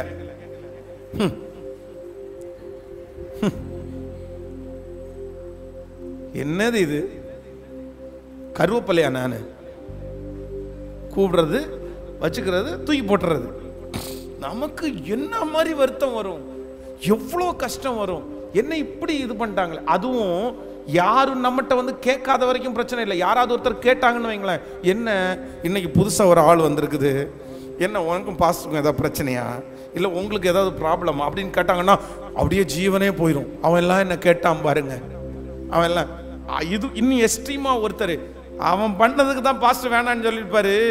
அப்படின்னு சொல்லிட்டாங்கன்னு பார்த்தீங்களேன் அப்போ என்ன கள்ளன் ஆக்கிட்டீங்கன்னா அடுத்த வாரத்துலேருந்து சர்ச்சுக்கே வர மாட்டேன் நம்மளால் அதை என்ன பண்ண முடியாது? நன்மைனா ஏற்றுக்க முடியும் தீமைனா நம்மளால் ஏற்றுக்கவே முடியாது. ஆனால் ஒரு உண்மையான தேவனுடைய பிள்ளைக்கு சிலுவையும் ஏற்றுக்கணும் சிங்காசனமும் ஏற்றுக்கணும் அதுதான் ஆண்டவருடைய பிள்ளை. சிங்காசனத்தை மட்டும் ஏற்றுக்கிறது ஆண்டவருடைய பிள்ளை அல்ல சிலுவையை ஏற்றுக்கிறது தான் ஆண்டவருடைய பிள்ளை. ஆனால் ஒன்று சிலுவையை மட்டும் கத்த தரமாட்டாரு. சிலுவையை நீங்க சந்தோஷத்தோட ஏற்றுக்கொள்வீர்களே. ஆனால் கண்டிப்பாக உங்களுக்கு ஒரு சிங்காசனம் சீக்கிரமாய் உங்க பிள்ளைகளுக்கு ஒரு சிங்காசனத்தை கத்த தருவார். உங்க குடும்பத்திற்கு ஒரு சிங்காசனத்தை தருவார். இன்னைக்கு நீங்க சிலுவையை ஏத்துக்கிட்டு தானே கத்தரை துதிக்கிறீங்க. சிலுவையை ஏத்துக்கிட்டு தானே ஆண்டவரை ஆமேன் என்று சொல்றீங்க. கண்டிப்பா உங்களுக்கு ஒரு சிங்காசனம் இல்லாம போயிருமா? ஆண்டவரே எனக்கும் என் குடும்பத்திற்கும் இன்றைக்கு இந்த ஃபர்ஸ்ட் டே யாருக்காக ஆண்டவர் பேசுறாருன்னு தெரில சிஸ்டர் உங்களுக்கு சின்ன சின்ன விஷயத்த கூட ஏத்துக்க முடியாம ஒரு திட்டு கூட ஏத்துக்க முடியல. ஒருத்தர் ஒருத்தர் பார்த்தா கூட முறைச்சு பார்த்தா கூட என்னால ஏத்துக்க முடியல. என் பிள்ளைக்கு இது நடந்ததை என்னால ஏத்துக்க முடியல அப்படின்னு உங்க மனசு குழம்பி போயிருக்கலாம். ஆனா ஆண்டவர் நீ உன் கையை பிடிச்சி சொல்றாரு. நீ பயப்படாத. நீ இந்த சூழ்நிலையை ஏற்றுக்கொள். மனசார ஏற்றுக்கொள். மன ரம்யமாக ஏற்றுக்கொள். இந்த சூழ்நிலையில ஆண்டவரை ஏற்றுக்கொண்டு துதிச்சுட்டே இருங்க. கண்டிப்பாய் கத்தர் வாக்கு கொடுக்கிறார். உங்களுக்கு ஒரு சிங்காசனத்தை நான் உனக்கு தருவேன் என்று வாக்கு கொடுக்கிறார். யோபுவை குறித்து வேதத்தில் வாசிக்கிறோம். பாருங்கள் அவங்களுக்கு வந்து ஒரு ஒரு பயங்கரமான ஒரு சுச்சுவேஷன் எல்லாமே ஒரே நாளில் போகுது. சில நேரத்தில் பாடுகள் வரும்போது உங்களுக்கு இப்படி தான் வரும். அந்த அப்படியே அடுக்கடுக்காக வருது பாருங்களேன். அப்படி ஒருத்தன் வந்து சொல்கிறான் அவன் சொல்லி முடிக்கிறனா அடுத்த வந்தவன் சொல்கிறான் அடுத்த வந்து ஒருத்தன் சொல்கிறான் அப்படி எல்லாத்தையும் இழந்துட்டார். அப்படியே ஒரு குறிப்பிட்ட ஒரு டேஸ்க்குள்ளே எல்லாத்தையுமே இழந்துட்டாருன்னு வைங்களேன். மொத்தம் போயிருச்சு. சொல்லி அதை விட என்னுடைய என்னுடைய மூச்சு காத்து வந்து என்னுடைய மனைவிக்கு என்னவா தெரியுது? விகற்பமாக தெரியுதுங்க. எப்படி இருக்கும் பாருங்களேன். கஷ்டமாக இருக்காது.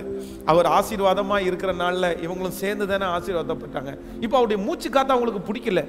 இன்னொன்று சொல்கிறாரு என்னுடைய வேலைக்காரனுக்கு நான் கூப்பிட்டா அவனுக்கு காது? காது கேட்க மாட்டேங்குது. அவங்க பதிலே சொல்ல மாட்டேங்கிறான். அந்த மாதிரி யாருமே மதிக்க முடியாத ஒரு சூழ்நிலைக்கு அவர் தள்ளப்பட்டார். அப்பதான் யோபோனுடைய மனைவி யோபோ பார்த்து சொல்றாங்க நீர் இன்னும் உம்முடைய உத்தமத்தில் உறுதியாய் நிற்கிறீரோ? தேவனை தூசித்து ஜீவனை விடும் உடனே அங்கிருந்து ஒரு பதில் வருது நீ பைத்தியக்காரி பேசுகிறது போல் பேசுகிறாய். தேவன் கையிலே நன்மையை பெற்ற நாம் தீமையும் பெற வேண்டாமோ? கர்த்தர் கொடுத்தார் கர்த்தர் எடுத்தார். கர்த்தருடைய நாமத்திற்கு ஸ்தோத்திரம். கர்த்தருடைய நாமத்திற்கு ஸ்தோத்திரம். அப்போ வெறும் நன்மையை மட்டும் ஏத்துக்கிறது மாதிரி நீ இருக்கலாம்ப்பா. ஆனா நான் அப்படி கிடையாது. நான் எதையும் ஏத்துக்குவேன் அப்படின்னு சொன்னா என் வாழ்க்கையில தீமையே கத்தர அனுமதிச்சாலும் அவர்தான் எனக்கு அவர் தேவன். அவர் தான் எனக்கு அவர் தேவன். ஏற்றுக்கொண்ட உடனே ஆண்டவருடைய இருதயம் அப்படியே குளிருது பாருங்களேன். வேதம் சொல்லுகிறது யோபுனுடைய முன்னிலைமையை பார்க்கலும் கத்தர் அவனுடைய பின்னிலைமையை ரெண்ட தனையாய் கத்தர் ஆசீர்வதித்தார். இந்த சத்தத்தை கேட்கிற யாரோ ஒருத்தரிடத்துல ஆண்டவர் தெளிவா பேசுறாரு. இந்த சூழ்நிலையை நான் தான் உனக்கு அனுமதிச்சிருக்கிறேன். இந்த பாதையை நான் தான் உனக்கு அனுமதிச்சிருக்கிறேன். ஒன்று மட்டும் நீ பண்ணு. கத்திரிடத்தில் கேளு. இதை ஏற்றுக்கொள்றதுக்குள்ள ஒரு மனப்பக்குவத்தை தாங்க ஆண்டவரேன்னு மட்டும் கேளுங்க. நீங்க சந்தோஷத்தோட ஏற்றுக்கொள். மகிழ்ச்சியோட நீங்க ஏற்றுக்குங்க. கத்த சொல்லுகிறார் இன்னும் ஒரு சீக்கிரமாய் ஒரு காலம் உங்களுக்கு வரும். அந்த காலத்தில் கர்த்தர் உங்கள் தலையை உயர்த்த போகிறார். ஆமேன். கர்த்தர் உங்கள் தலையை உயர்த்த போகிறார்.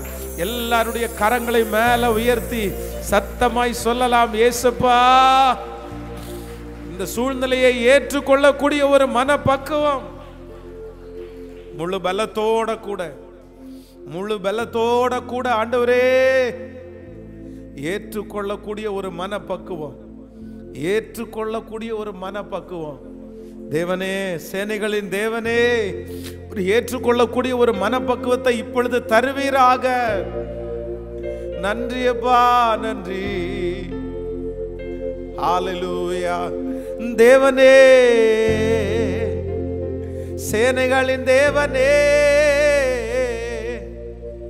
சேனைகளின் தேவனாகிய கத்தாவே சொல்ல எல்லாரும் கைகளை உயர்த்தி தேவனே சேனைகளின் தேவனே.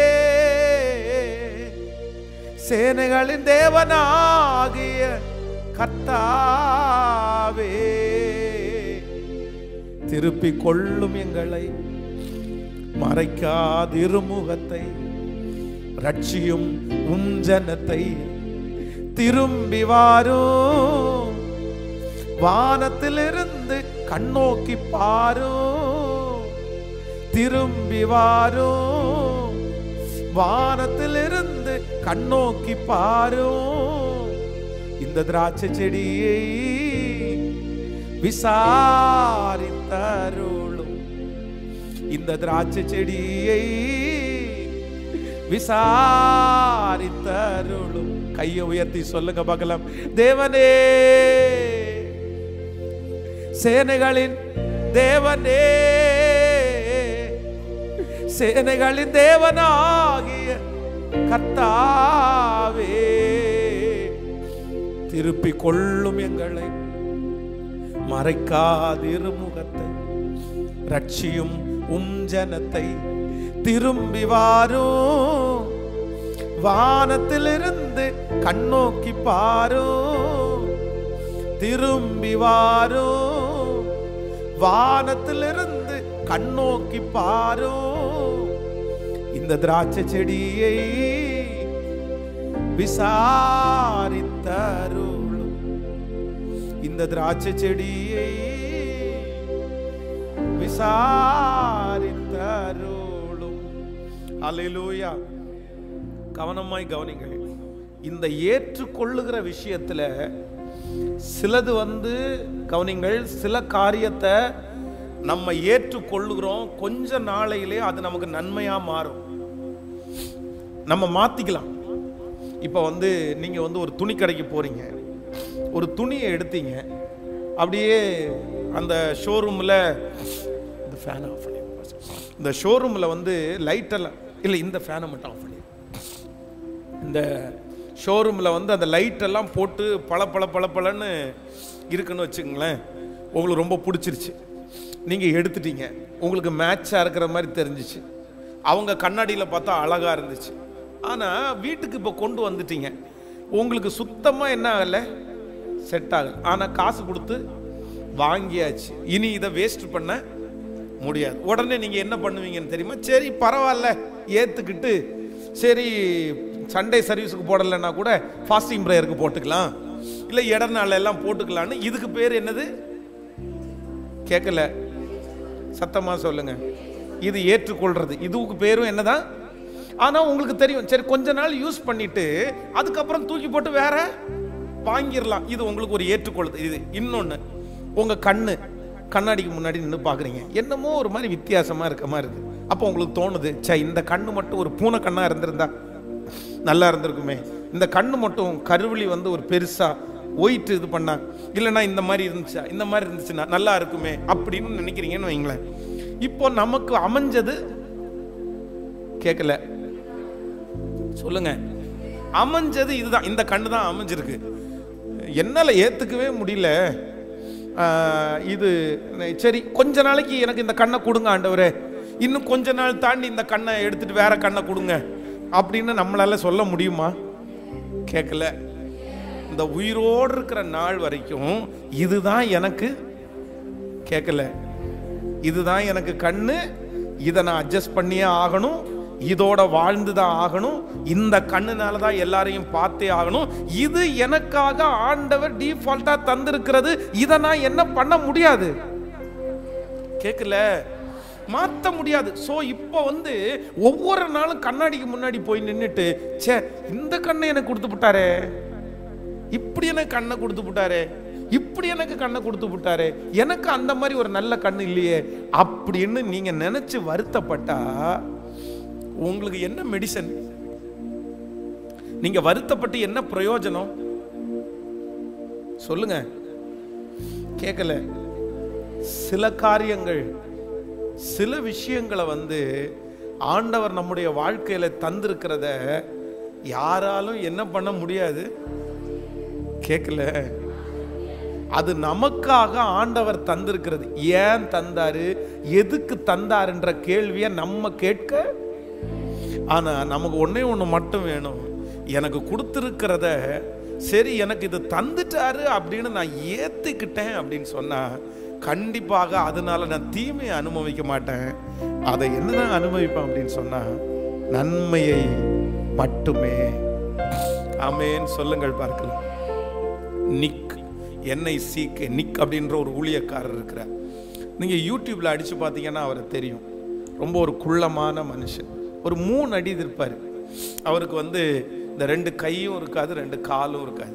காலு சும்மா நம்ம வந்து இடுப்புக்கு கீழே ஒரு விரல் மாறு மட்டும் வெளியே வரும். அவ்வளோதான் அப்போது அவர் ஃபாரின் வெளிநாட்டில் உள்ள ஒரு மனுஷன். இன்னைக்கு ஒரு பெரிய ஊழியக்காரர். நம்ம ஊரில் வந்து குழந்தை வயிற்றில் இருக்கும்போதே இப்போ பார்த்தீங்க அப்படின்னு சொன்னால் அந்த குழந்தையினுடைய எல்லா மனநிலைமையும் டாக்டர்ஸ் தெரிஞ்சுட்டு நமக்கு சொல்கிறாங்க குழந்தைக்கு இந்த மாதிரி கட்டி இருக்குது. குழந்தைக்கு இந்த மாதிரி ஹார்ட் பீட் சரியாக இல்லை. நிறைய பேர் குழந்தை வந்து அந்த வயிற்றுக்குள்ளே இருக்கும்போதே பார்த்தீங்க அப்படின்னு சொன்னால் அந்த குறைபாடோடு இருக்கிற குழந்தைங்களை வந்து எடுத்துடலாம் அப்படின்னு எல்லாம் நிறைய அப்படி ஒரு ப்ராசஸ் போயிட்டுருக்குது. ஃபாரினில் வந்து இதை ரொம்ப அவங்களுக்கு அவங்களுடைய மிஷின்ஸ் எல்லாம் ரொம்ப அட்வான்டேஜாக இருக்கிறனால ரொம்ப ஈஸியாக கண்டுபிடிச்சிருவாங்க.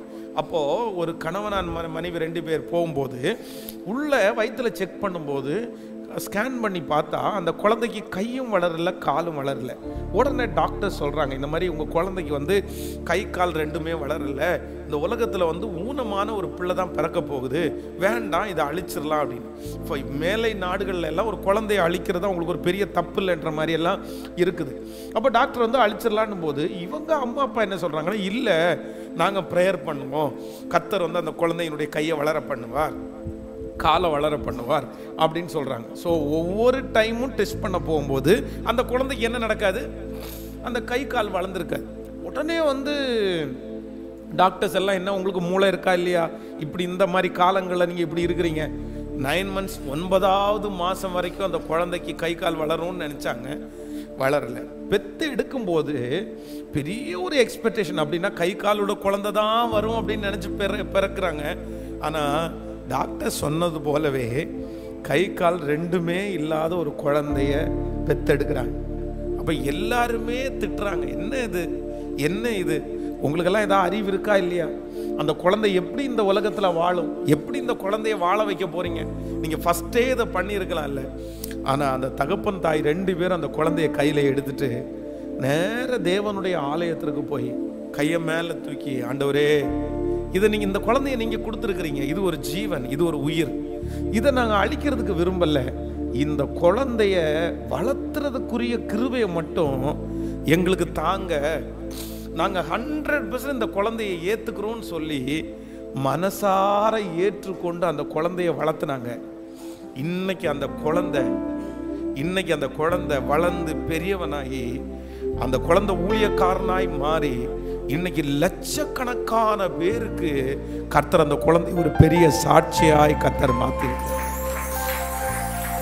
நிறைய பேருக்கு நிறைய அனாதை இல்லங்களை அவர் வச்சிருக்கிறாரு. நிறைய காலேஜஸை வச்சிருக்கிறாரு. இன்னைக்கு அந்த குழந்தையை கொண்டு ஆண்டவர் செய்கிறது ரொம்ப பெருசு. எனக்கு தெரியும் இந்த சத்தத்தை கேட்கிற யாரோ ஒருத்தர் ஏற்றுக்கொள்ள ஒரு முடியாத ஒரு சூழ்நிலையில் உங்கள் இருதயம் திணறி கொண்டிருக்கலாம். திணறி கொண்டிருக்கலாம். பாஸ்டர் இன்னைக்கு முழுக்க முழுக்க பேசுறது எனக்காக தான் பாஸ்டர். என் வாழ்க்கையை என்னால் ஏற்றுக்க முடியல. இந்த சூழ்நிலை என்னால் ஏற்றுக்க முடியல. என்னுடைய எதிர்காலத்தை என்னால் ஏற்றுக்க முடியல. எனக்கு என்னமோ இப்போ கடந்து போகிற இந்த பாதையை என்னால் கொஞ்சம் கூட ஏற்றுக்கவே முடியல. இது என்னை விட்டு நீங்க கூடுமானால் நீங்கட்டும். என்னை இது எடுத்து போடட்டும். எனக்கு வேண்டாம் இது.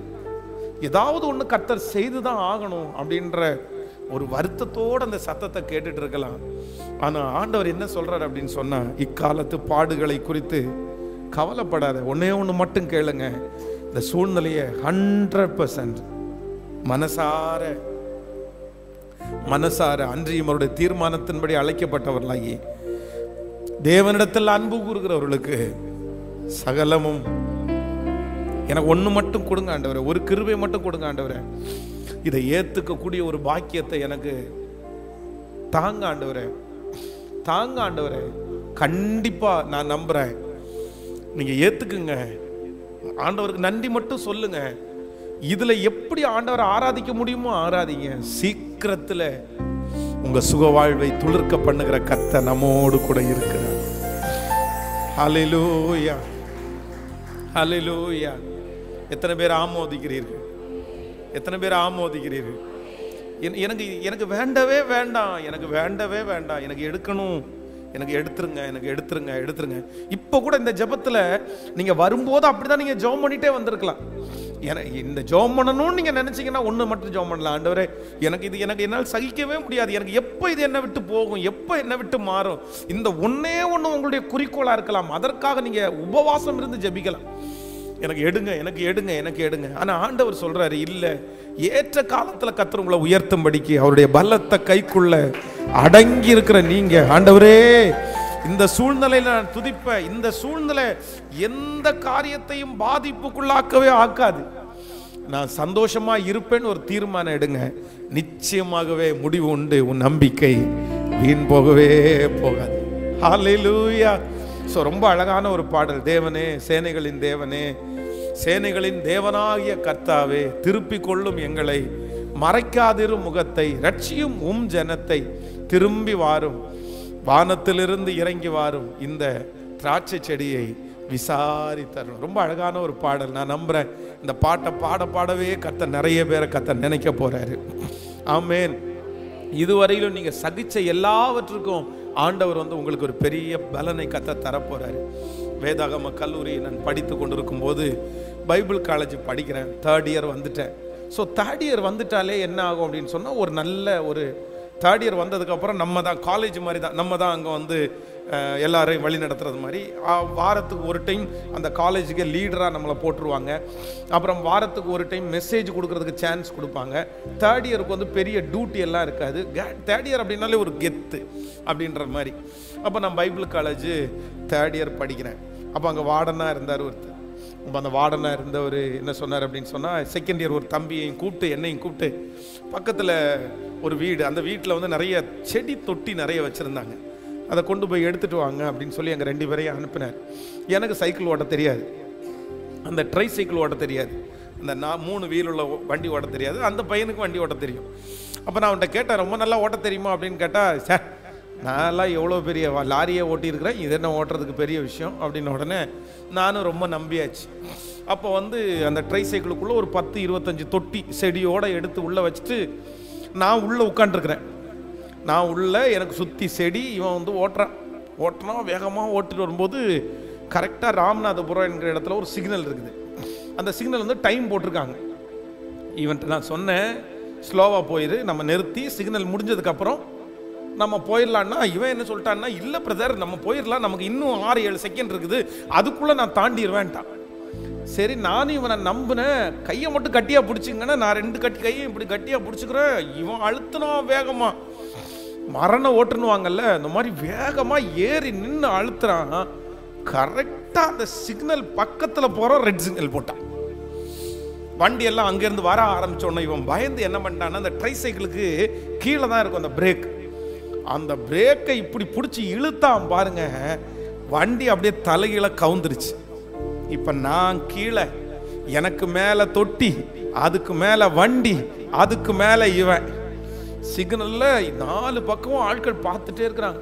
உடனே நாலஞ்சு பேர் வந்தாங்க வந்து தூக்கி விட்டு உடஞ்ச தொட்டியெல்லாம் எடுத்து ஓரமாக வச்சு உடையாத தொட்டியெல்லாம் எடுத்து வச்சு ஏன்டா இப்படி பண்ணிட்டேன்னா? உடம்பெல்லாம் நிறைய சாறு காயெல்லாம் இருந்துச்சு.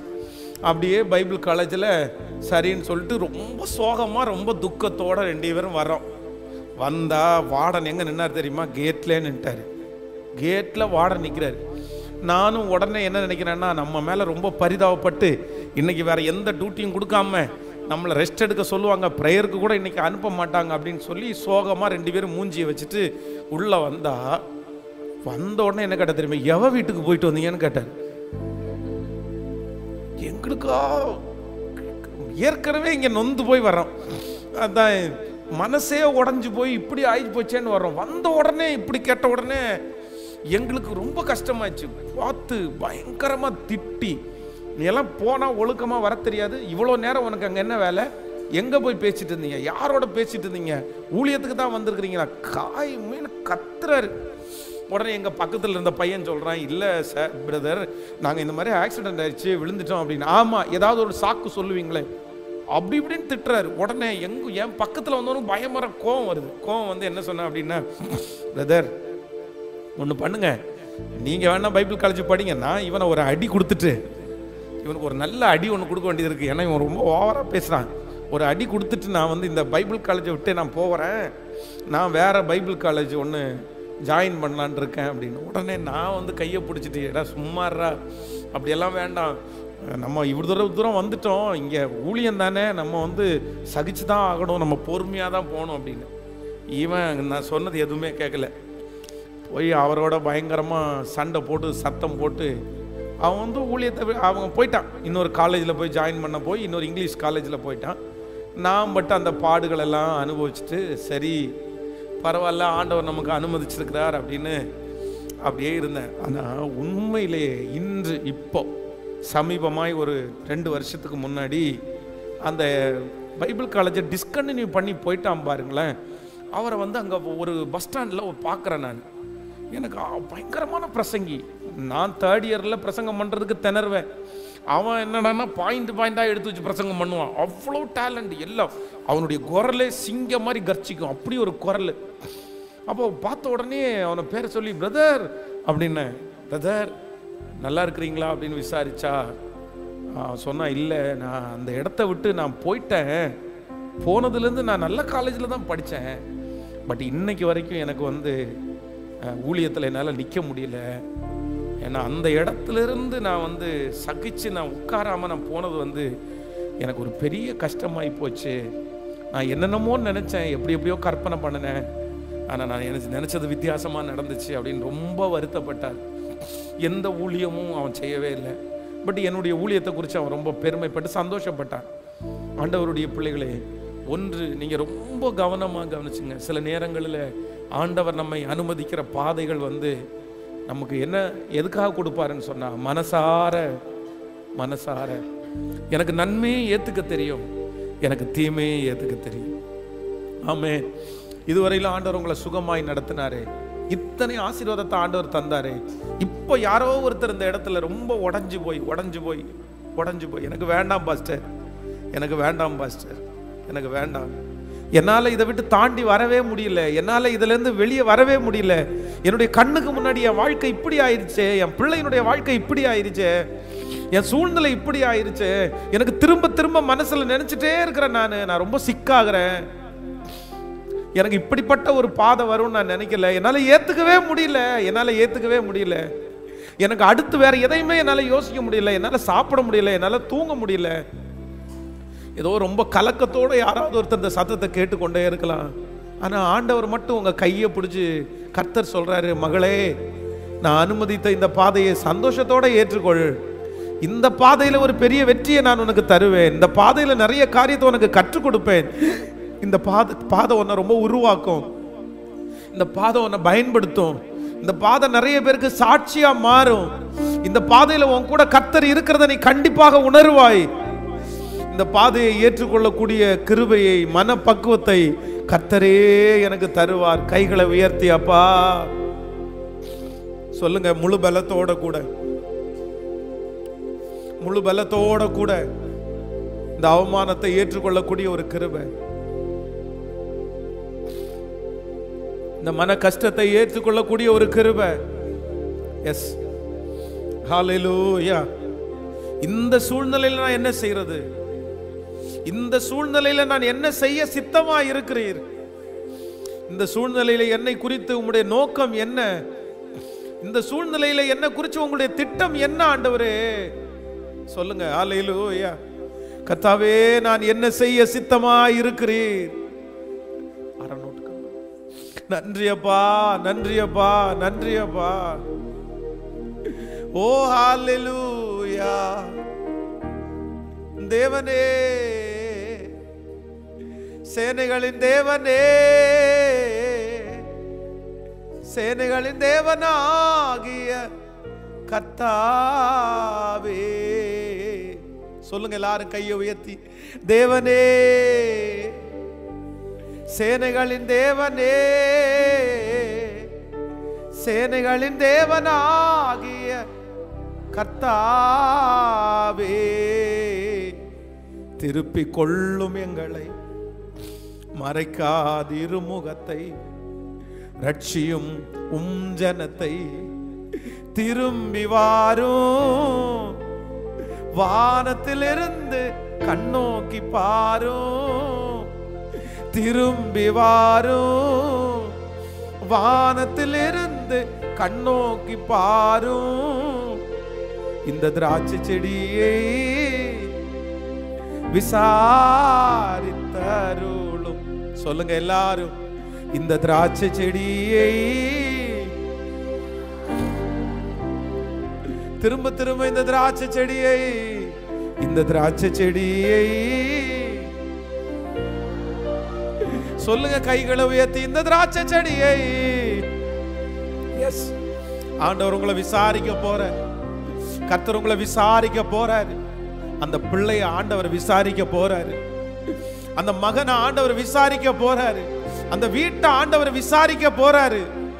இல்ல உங்க கண்ணீர் வீணாகாது.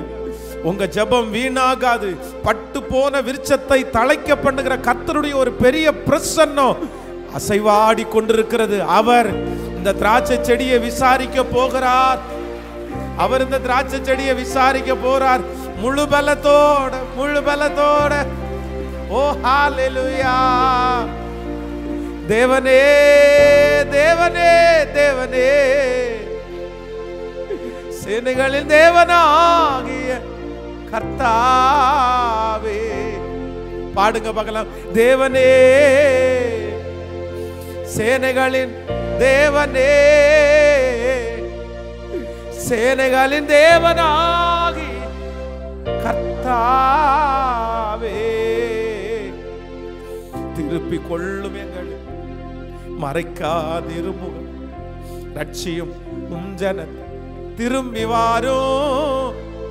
வானத்திலிருந்து கண்ணோக்கி பாரும் திரும்பி வாரும் வானத்திலிருந்து கண்ணோக்கி பாரும் இப்போ தலை மேல கைய வச்சு இந்த திராட்சை செடியை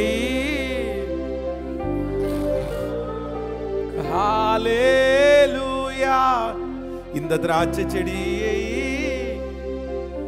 விசாரித்தரும் இந்த திராட்சை செடியை விசாரித்தருளும் அமேன் இயேசுக்கு உங்க வாழ்க்கையில பெரிய துக்கமா இருந்திருக்கலாம். சித்தனாவும் உங்க வாழ்க்கையில பெரிய துக்கமா இருந்திருக்கலாம். ஆனா ஒன்றே ஒன்று ஏசைக்கையும் நான் ஏற்றுக்கிட்டேன் சித்தனாவையும் நான் ஏற்றுக்கிட்டேன் அதுக்காக என்னுடைய முயற்சியை நான் ஒரு நாளும் விடவே இல்லை. கண்டிப்பாக எனக்காக ஒரு ரகபோத்தை கர்த்தர் எனக்காக ஆயத்தம் பண்ணி வைத்திருக்கிறார். எனக்காக ஆயத்தம் பண்ணி வைத்திருக்கிறார்.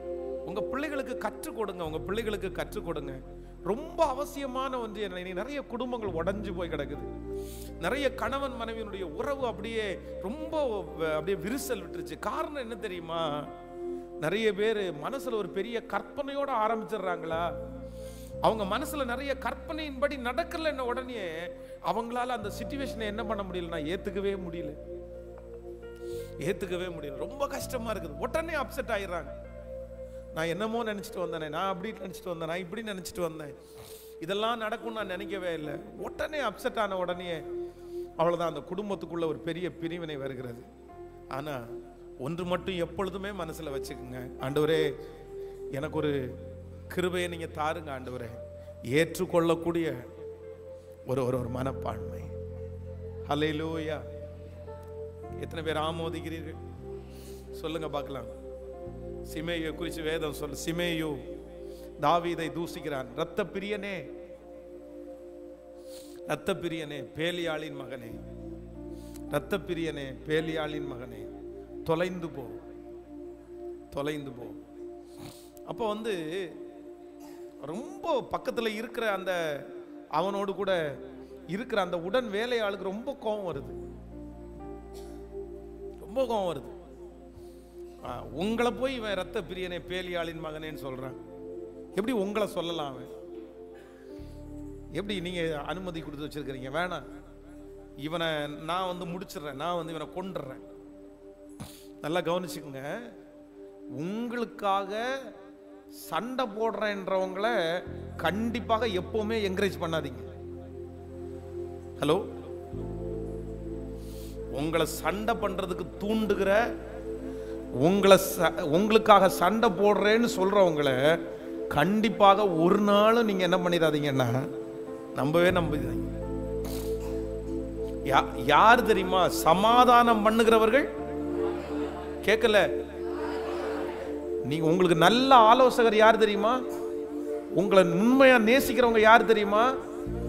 உங்களை உண்மையா நேசிக்கிறவங்க ஒரு பிரச்சனை வரும்போது சரிப்பா பார்த்து போப்பா ஏற்றத்தாழ்வுகள் இருக்கதான்ப்பா செய்யும். நீ ஏன்ப்பா இப்படி பண்ற? நீ ஆண்டவருடைய பிள்ளை அப்படின்னு சொல்றாங்க பாருங்க. அவங்க உங்களுக்கு நன்மை நினைக்கிறாங்க. ஆனா அங்க வந்துட்டு என்ன அவன் ஒன்ன எப்படி இப்படி பேசிட்டு இருக்கிறான்? நீ இப்படியே அமைதியாக போயிட்டு இருந்தேன்னா எத்தனை நாள் நீ நினைக்கிற? எவ்வளோ நாள் அவன் கீழே போயிட்டு இருக்கிறது? நீயும் ரெண்டு வார்த்தை சொல்லு. நீ ரெண்டு வார்த்தை பேசு. இப்படி யாராவது உங்களை அது பெத்த அம்மாவா இருந்தாலும் அப்பாவா இருந்தாலும் சரி இப்படி சொல்றவங்க கண்டிப்பா உங்களுக்கு நன்மைக்காக சொல்லலை உங்க எதிரின்றதை நீங்க மறந்துடாதீங்க. ஆனா நமக்கு நிறைய நேரத்துல யாரை தான் பிடிக்கும் அப்படின்னு சொன்னால் சொல்லுங்களேன். யாரை தான் பிடிக்கும்? நம்மளை பார்த்து நம்மளை பார்த்துட்டு நீங்கள் என்ன சார் அவங்ககிட்ட தாழ்ந்து போறது? கடவுள் உங்களை எப்படி வச்சிருக்காரு தெரியுமா சார்? எவ்வளோ அப்படியே பெருமையாக பூசி அப்படி சொல்கிறவங்கள தான் பிடிக்கும். இல்லை இல்லை இல்லை இல்லை இல்லை. சிமையை தூசிக்கும் போது தாவீதனுடைய பக்கத்தில் இருக்கிறவன் சொல்கிறான் அந்த செத்த நாய் அவனை திட்டுறான் அந்த செத்த நாய் உங்களை பேசுறதுக்கு அவன் யாரு?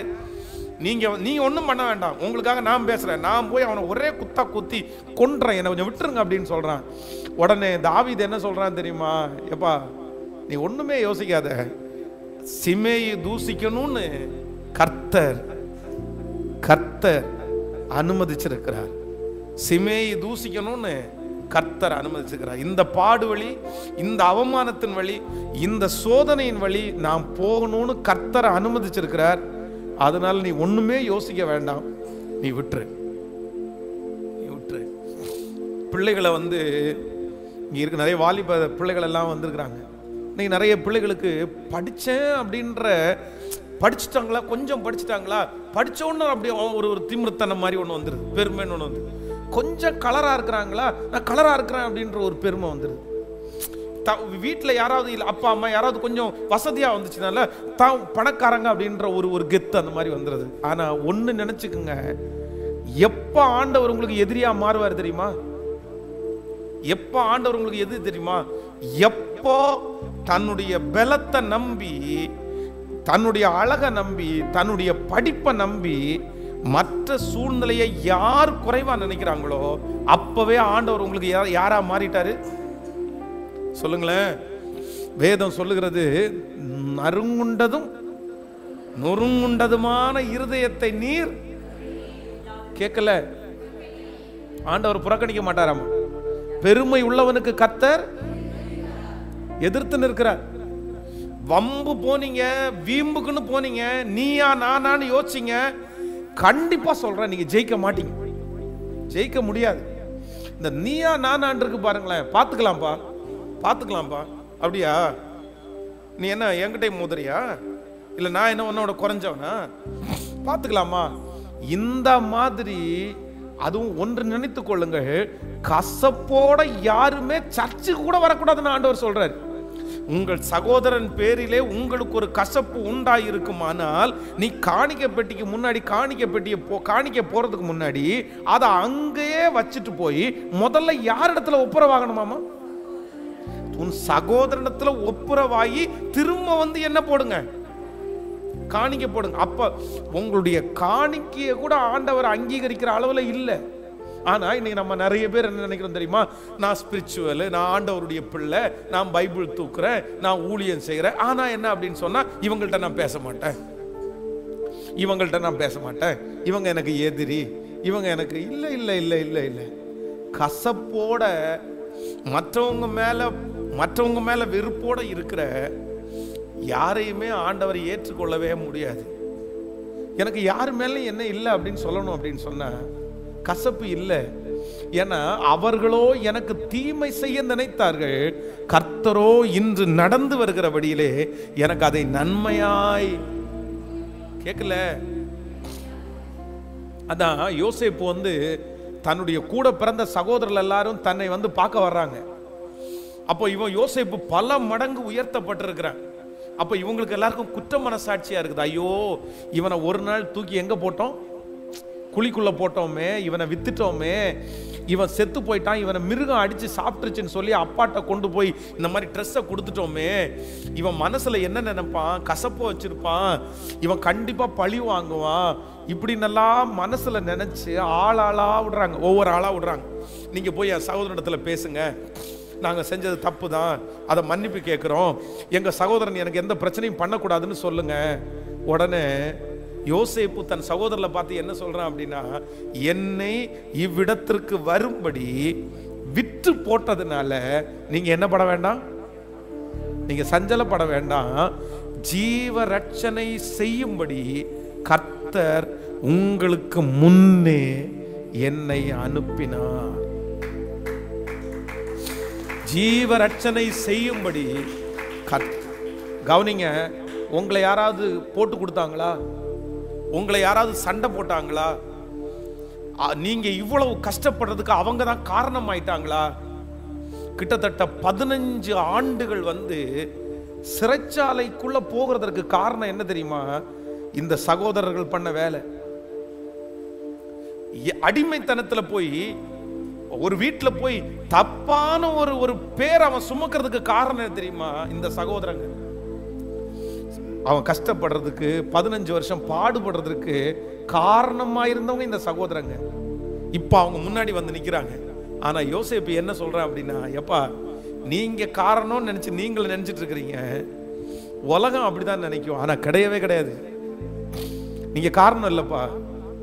என்ன ஆண்டவர் உருவாக்குறதற்கு என்ன ஆண்டவர் இந்த இடத்துல தலைவனாக மாற்றுறதற்கு உங்களை என்ன பண்ணியிருக்கிறாருன்னா ஒரு கருவியா பயன்படுத்தி இருக்கிறாரு யாரை பார்த்து?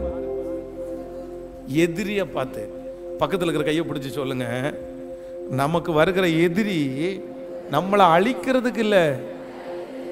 நம்மளை உருவாக்குறதற்கு. இன்னைக்கு நிறைய பேர் இந்த சர்ச்சு உள்ள வந்து உட்காந்துருக்கீங்களே ஏன் உட்காந்தீங்க சொல்லுங்க. ஒருத்தர் வச்சு உங்களை உருவாக்குனார்ல. அதனால தான் நம்ம இன்னி ஐயோ ஆண்டவரேன்னு சொல்லி வந்தோம். இல்லைன்னு இந்த பக்கம் வந்திருக்க மாட்டோம்ல?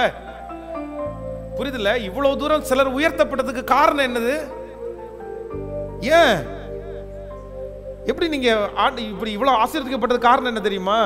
ஏண்டா என்ன அப்படியே அவமானமா நினைச்ச? என்ன கேவலமா நினைச்ச? உன் முன்னாடி கர்த்தர் என்ன உயர்த்தி வச்சிருக்கிறார். அப்போ அவனுக்கு அவங்க அவங்கள கர்த்தர் நம்முடைய வாழ்க்கையிலே தீமைக்காக அனுமதிச்சாரா நன்மைக்காக அனுமதிச்சாரா? கேட்கல. அவங்க நம்மளை அப்படி பண்ணதுனால நம்ம ஜெபம் பண்ணோம். அவங்க நம்மளை பண்ணதுனால ஆண்டவரை நம்ம நேசிச்சோம். அவங்க நம்ம பண்ணனால இந்த அளவுக்கு ஆசீர்வாதமா இருக்கிறோம். அப்போ என் ஆசீர்வாதத்திற்கு ஃபர்ஸ்ட் கத்தர் காரணம் இன்னொன்னு எதிரி காரணம். அப்ப எதிரி மேல கோபமா இருக்கிறது? கேட்கல. ஆண்டவரே மன்னிச்சார். ஆனா நம்ம நிறைய பேர் மன்னிக்கலை. எப்பா நான் நல்லா இருக்கிறதுக்கு காரணமே நீ மட்டும் அன்னைக்கு ஒரு சோதனையை கொடுக்கல அப்படின்னு சொன்னால் நான் இன்னைக்கு அப்படியே இருந்திருப்பேன்ப்பா. நீ போடுற போடல நான் இவ்வளோ தூரம் வளர்ந்துட்டேன். நீ நல்லா இருப்பா. அப்படின்னு சொல்கிறத பார்த்துட்டு இன்னைக்கும் எதிரியை பகைச்சிட்டு இருக்கலாமா? அதனால கத்தருக்கு முன்னாடி வந்து நிற்கிற ஆண்டவருடைய பிள்ளைகளே உங்கள் ஜபங்களை ஆண்டவர் ஏற்றுக்கணுன்னா உங்களுக்கு என்ன தேவை அப்படின்னா எனக்கு யாருமே எதிரி கேட்கல. நீங்க என்ன திட்டலப்பா? நான் இவ்வளவு தூரம் பாருறதுக்கு நீ காரணம்னு நான் சொல்லல. என்ன படிப்பிக்கிறதுக்காக என்ன கத்துக்க பண்றதுக்காக ஆண்டவர் ஒன்று ஒரு கருவியாய். சத்தமா சொல்லுங்க. யார் மேலும் எனக்கு என்ன இல்லை? சத்தமா? வரலையே நிறைய பேருக்கு வாயில வரவே இல்லையே. கசப்போட இருக்கிறீங்களோ? ஒன்றும் பண்ண முடியாது. நான் எத்தனை தான் முக்கி முக்கி உங்களுக்காக ஜெபம் பண்ணாலும் அந்த ஜெபம் போய் சேராது. சேராது. அதான் சிமை சொல்றான். சவுல் வந்து அவனை கொல்லுவதற்காக அவ்வளோ தூரம் துரத்துறான். பின்னாடியே போறான். இதுக்கு தாவீது என்ன தப்பு பண்ணான்னு நினைக்கிறீங்க? சவுலுக்கு விரதமாய் தாவீது என்ன தப்பு பண்ணான் ஒரு தப்பும் பண்ணல. என்ன பண்றான்னா கோலியாத்தை கொல்றதற்கு எல்லாருமே பின்னாடி போகும்போது இவன் போய் முன்னாடி நின்று கோலியாத்தை கொன்னுட்டான். கொன்ன உடனே பக்கத்து வாயை வச்சு சும்மா இருக்க மாட்டாங்களே. நம்ம சும்மா இருந்தாலும் சிலர் சும்மா இருக்க மாட்டாங்க. அதான் நம்மளை குறித்து பெருமையாக பேசுகிறவங்க மத்தியில் ரொம்ப ஜாக்கிரதையாக இருக்கணும். காசு கொடுத்து பேசுகிறான்ற கூடாது.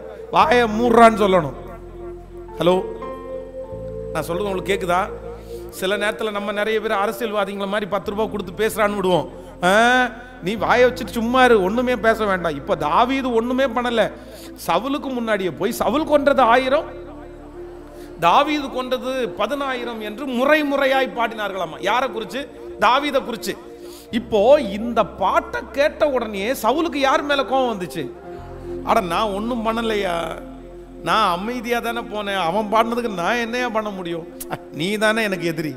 ஒன்னே என்னை வச்சு தானே பாடினாங்க. இந்த ஒரு பாட்டுக்காக சவுல் வந்து தாவி இதை துரத்தி துரத்தி துரத்தி துரத்தி எங்கே போனாலும் எதிரி. ஆள் வச்சு செட் பண்ணி அவங்க வந்தானா? அவங்க வந்தால் சொல்லுங்க நான் காசு கொடுக்குறேன் அவங்களுக்கு. தன்னுடைய ஜனங்களை கொடுத்து அவ்வளோ சிங்க கபியில் போய் படுத்து. இதை விட ரொம்ப கஷ்டம் என்ன அப்படின்னா போயும் போயும் ஒரு எதிரியினுடைய நாட்டில் அந்த நாட்டில் தாவீது அப்படின்றது ஒரு பெரிய புகழுக்குரியவன். ஆனால் நொர தள்ளி பைத்தியக்காரனை போல நடிச்சான் யாரால? சவுலுக்கு என்ன செஞ்சான் இவன்? சத்தமா சொல்லுங்க. ஒரு தீமையுமே செய்யல. அங்கே அங்கே இருக்கிற ஒருத்தன் பார்த்துட்டு சொல்கிறாயே ஏ இவனை தூய் வெளியே கொண்டு போடுங்கயா இவன் கண்டிப்பாக யார் கிடையாது? தாவீது கிடையாது. தாவீது அப்படின்றது யாரு? சிங்கம் பராக்கிரமசாலி.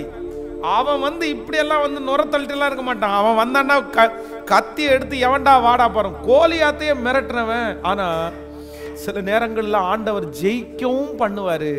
சில நேரங்களில் ஆண்டவர் நம்மளை சொல்லுங்க கோலியாத்துக்கு முன்னாடி வாடா பார்த்துக்கலான்னு சொன்னான் தாவிது. ஆனால் இந்த ராஜாவுக்கு முன்னாடி வாடா பார்த்துக்கலான்னு கேட்கல சில நேரத்தில் நம்ம சவால் விடுறதுக்கும் ஆண்டவர் சொல்லுவார் சில நேரத்தில் எதுவுமே பேசாத இப்போ உனக்கு பலன் இல்லை நீ அமைதியாக இருன்னு சொல்லுவார். எப்பவுமே நம்மளை வந்து சவால் விடுறவங்களாம் ஆண்டவர் என்ன பண்ண மாட்டார்? ஆனால் நம்ம நிறைய பேருக்கு எதான் பிடிக்கும். கேட்கல கேட்கல சத்தமா. சவால் தான் முடியும் எப்பவுமே கோலியாத்துக்கு முன்னாடி நிற்கும் போது வாடா பார்த்துக்கலாம் வாடா பார்த்துக்கலாம் எனக்குள்ளே இருக்கிறவர் பெரியவர். உலகத்தில் இருக்கிறவனை விட எனக்குள்ளே இருக்கிறவர் பெரியவர். அப்படின்னு தான் சொல்ல தோணும். ஆனால் சில நேரத்தில் ஆண்டவர் என்ன பண்ணுவார்? நீ ஒன்றும் பண்ண வேண்டாம். அமைதியாக உட்காரு. உன்னுடைய வாளெல்லாம் என்ன பண்ணிரு? நீ பெரிய ஜெபிக்கிறவன் தான். நீ பெரிய உபாசம் இருக்கிறவன் தான். நீ பெரிய விசுவாச வீரன் தான். எதையுமே இப்போ காமிச்சிக்க வேண்டாம். நீ என்ன பண்ணிரு? சில நேரத்தில் எதுவுமே ஒர்க் அவுட் ஆகாமல் நம்மளை என்ன பண்ணுவாருன்னா அமைதியாக அப்படியே உட்கார வச்சிருவார். ஆனால் அந்த சூழ்நிலையிலையும் தாவீது சவுலை பார்த்து சொல்கிறான் என் தகப்பனே என் தகப்பனே. எனக்கு உங்கள் மேலே ஒரு வருத்தமோ ஒரு கசப்போ எதுவுமே பரவாயில்ல. என்னை உருவாக்குறதற்கு கர்த்தர் உங்களை அனுமதித்திருக்கிறார். ஸோ இங்கேருந்து போகும்போது எப்படி போகணும் அப்படின்னு சொன்னால் எனக்கு யார் மேலேயும் கசப்பு கேட்கல. சத்தமே வரலையே. ஈசாக்க பகைச்சவங்க வெறுத்தவங்க ஒதுக்கினவங்க எல்லாரும் வந்து நிச்சயமாய் கர்த்தர் உம்மோடு கூட இருக்கிறார் என்று கண்டோம் அப்படின்னு வந்துட்டாங்க. யாரு? ஏசைக்கில் இருந்து துரத்தினவங்க. சித்னாவிலிருந்து துரத்தினவங்க. இப்போ எங்கே வந்திருக்கிறாங்க? எதை பார்த்த உடனே? வீட்டை கட்டி பிரதிஷ்டை பண்ண உடனே இவன் பெரிய ஆளா மாறின உடனே வந்து கத்தர் உம்மோடு கூட இருக்கிறார் என்று கண்டோம். போப்பா நீ என்னை பகைச்சிட்ட நீ என்ன இது பண்ணிட்ட அப்படின்னு சொல்லலை. வேதம் சொல்லுகிறது ஈசாக்கு அவர்களுக்கு ஈசாக்கு அவர்களுக்கு விருந்து பண்ணினார். யாருக்கு? யாருக்கு? தன்னை துரத்தின எதிரிகளுக்கு அவன் என்ன பண்ணானாமா? நம்ம பச்சை தண்ணி கூட குடிக்க மாட்டோம் கொடுக்க மாட்டோம்ல? அவன் எப்படா ஒன்றும் இல்லாமல் போவான்னு தானே சிலர் நினைப்பாங்க. ஆனால் ஈசாக்கு எப்போ விருந்து கொடுத்தானோ அடுத்த வசனம் சொல்கிறது இன்னொரு துறவை கண்டோம் தண்ணீரையும் கண்டோம். ஆமேன்னு சொல்லுங்க. உங்க சத்துருக்களை மன்னிக்க மன்னிக்க மன்னிக்க உங்க மேல ஆசீர்வாதம் பெறுகிறத நீங்க பார்ப்பீங்க. உங்க சத்துருக்களை நீங்க பகைக்கிறத விட விட கர்த்தர் உங்க தலை மேல பெரிய வெற்றியை வைப்பார். ஹalleluya. எத்தனை பேர் ஆமோதிக்கிறீங்க? எனக்கு எனக்கு ஒரே ஒரு கிருபையை மட்டும் கொடுங்க ஆண்டவரை. எனக்கும் என் பிள்ளைகளுக்கும் எந்த சூழ்நிலை நீ அனுமதிச்சாலும் நான் கோவப்படக்கூடாது நான் மாறக்கூடாது நான் வருத்தப்படக்கூடாது. என்னுடைய அனுதின வாழ்க்கையை அது வந்து கெடுத்துடக்கூடாது நான் என்ன பண்ணிக்கணும் அப்படின்னு சொன்னால் அதை ஏற்றுக்கக்கூடிய ஒரு மனப்பக்குவத்தை எனக்கு தருகிறவர் நல்லவர். ஹalleluya. நூற்றுக்கு நூறு உம்மையே நான் நம்புவேன். அற்புதம் செய்திடுங்க அதிசயம் நடத்திடு. நூற்றுக்கு நூறு உம்மையே நான் நம்புவேன். அதிசயம் நடத்திடு. மனிதர்கள் முன்பாக தலை குனிந்து போகாமல் உதவி செஞ்சிடுங்க உயர்த்தி வச்சிடுங்க. முன்பாக தலை குனிந்து போகாமல். உம்மைத்தானம் உம்மைத்தான் அப்பா. ஓ உம்மைத்தான் அற்புதங்கள் எனக்கு செய்யுங்கப்பா. அமேன் ரொம்ப அழகான ஒரு பாடல். ஹண்ட்ரட் பர்சன்ட் யாரை நம்புறேன்?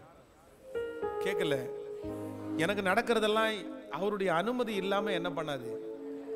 என்ன ஒருத்தன் திட்டுனான்னா கூட யாருடைய அனுமதி இருக்குது? கேட்கல எனக்கு நடப்பது எல்லாம் யாருடைய அனுமதியோட நடக்குது? இந்த எண்ணம் மட்டும் உங்கள் மனசுக்குள்ளே இருந்துச்சுன்னு அப்படின்னு சொன்னால் நான் நம்புறேன். நீங்கள் கண்டிப்பாக எந்த மனுஷன் மேலையும் பகை வச்சிருக்க மாட்டீங்க. எந்த மனுஷனையும் எதிரியா? சொல்லுங்களேன். கண்டிப்பா எதிரியா பார்க்க மாட்டீங்க. ஆமேன். அவமானம் வெட்கம் அப்படின்றது வந்து நான் ஏற்றுக்கொண்டா மட்டும்தான் எனக்கு அவமானம். நான் ஏற்றுக்கொண்டா மட்டும்தான் எனக்கு வெட்கம். நான் ஏற்றுக்கொள்ளாத பட்சத்தில் யாரும் என்னை அவமானப்படுத்தவும் முடியாது. யாரும் என்னை வெட்கப்படுத்தவும் சொல்லுங்களேன் கண்டிப்பாக வெட்கப்படுத்தவும் முடியாது. கண்டிப்பாக வெட்கப்படுத்தவும் முடியாது. ஆமேன்னு சொல்லுங்க. ரொம்ப அழகான ஒரு பாடல். சேர்ந்து நம்ம எல்லாம் பாட போகிறோம் ஆண்டவரே நூற்றுக்கு நூறு யாரை நம்புகிறேன் அப்படின்னு சொன்னா உங்களையே நான் நம்புகிறேன் எனக்கு சத்துருக்களுக்கு முன்பாக ஒரு பந்தியை ஆயத்தப்படுத்துகிறவர் நீர். ஏற்றுக்கொள்ளக்கூடிய ஒரு பெரிய மனப்பக்குவத்தை கொடுக்கிறவர் நீர். ஆமேன்னு சொல்லுங்க பார்க்கலாம். எல்லாரும் கரங்களை தட்டி ஹalleluya. நன்றி நன்றி. பின்னாடி இருக்கிற கரங்களை நம்பிக்கையே உமக்கு ஸ்தோத்திரம். என் புகலிடமே உமக்கு ஸ்தோத்திரம். சொல்லு என் நம்பிக்கையே உமக்கு ஸ்தோத்திரம். என் புகலிடமே உமக்கு ஸ்தோத்தி இப்ப சொல்லு உமைத்தா நான் நம்பி இருக்கேன். அற்புதங்கள் எனக்கு செய்யப்பா.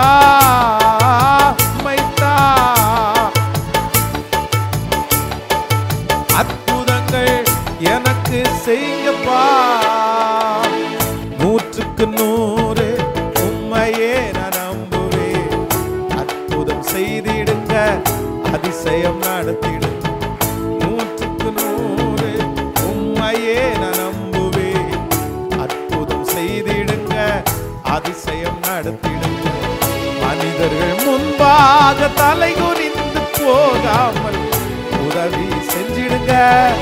உயர்த்தி வச்சிடுங்க மனிதர்கள் முன்பாக தலைகுனிந்து போகாமல் உதவி செஞ்சிடுங்க. உயர்த்தி வச்சிடுங்க. உண்மைத்தான் ஏசப்பா.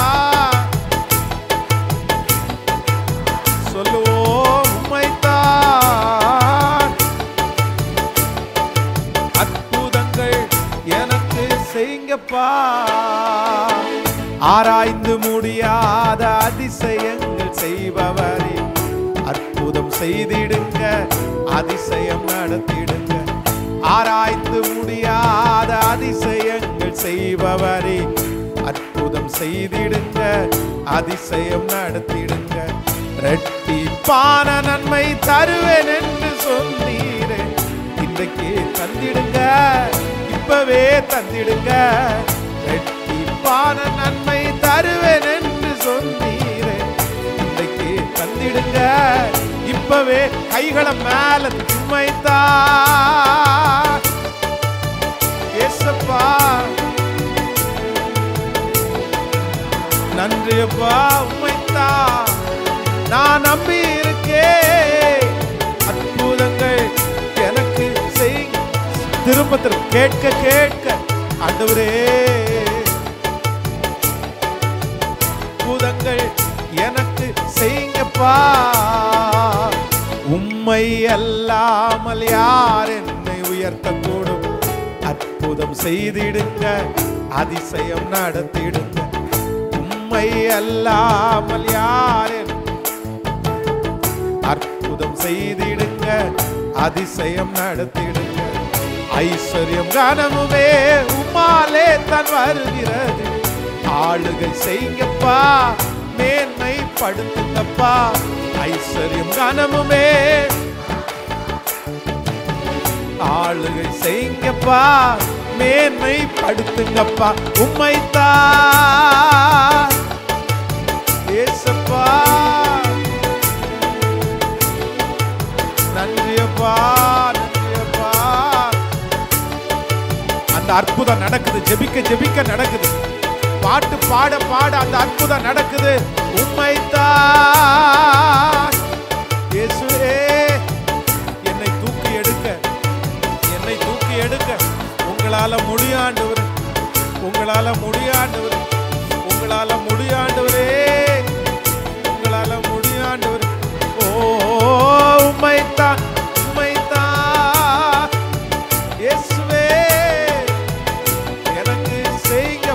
சொல்லிக்கொண்டே கையை மேலே தட்டி அவருடைய அபிஷேகத்தினுடைய நதி அவருடைய பெரிய மழை இப்பொழுது பாடிக்கொண்டு இருக்கும் போதே ஒவ்வொருவர் மேலையும் எஸ் நான் உன்னை அதிசயங்களை காண பண்ணுவேன்.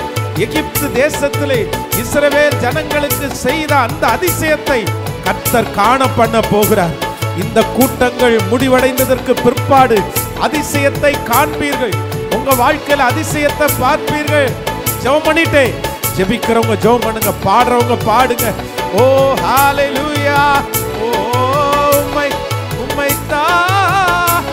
நான் நம்பி இருக்கேன் நம்பி இருக்கேன் ரித்தலரம் ரோதலரம் ரேக்கதல சேகரல ரோதலர லிக்கரதலர ஷே நீ நல்லவே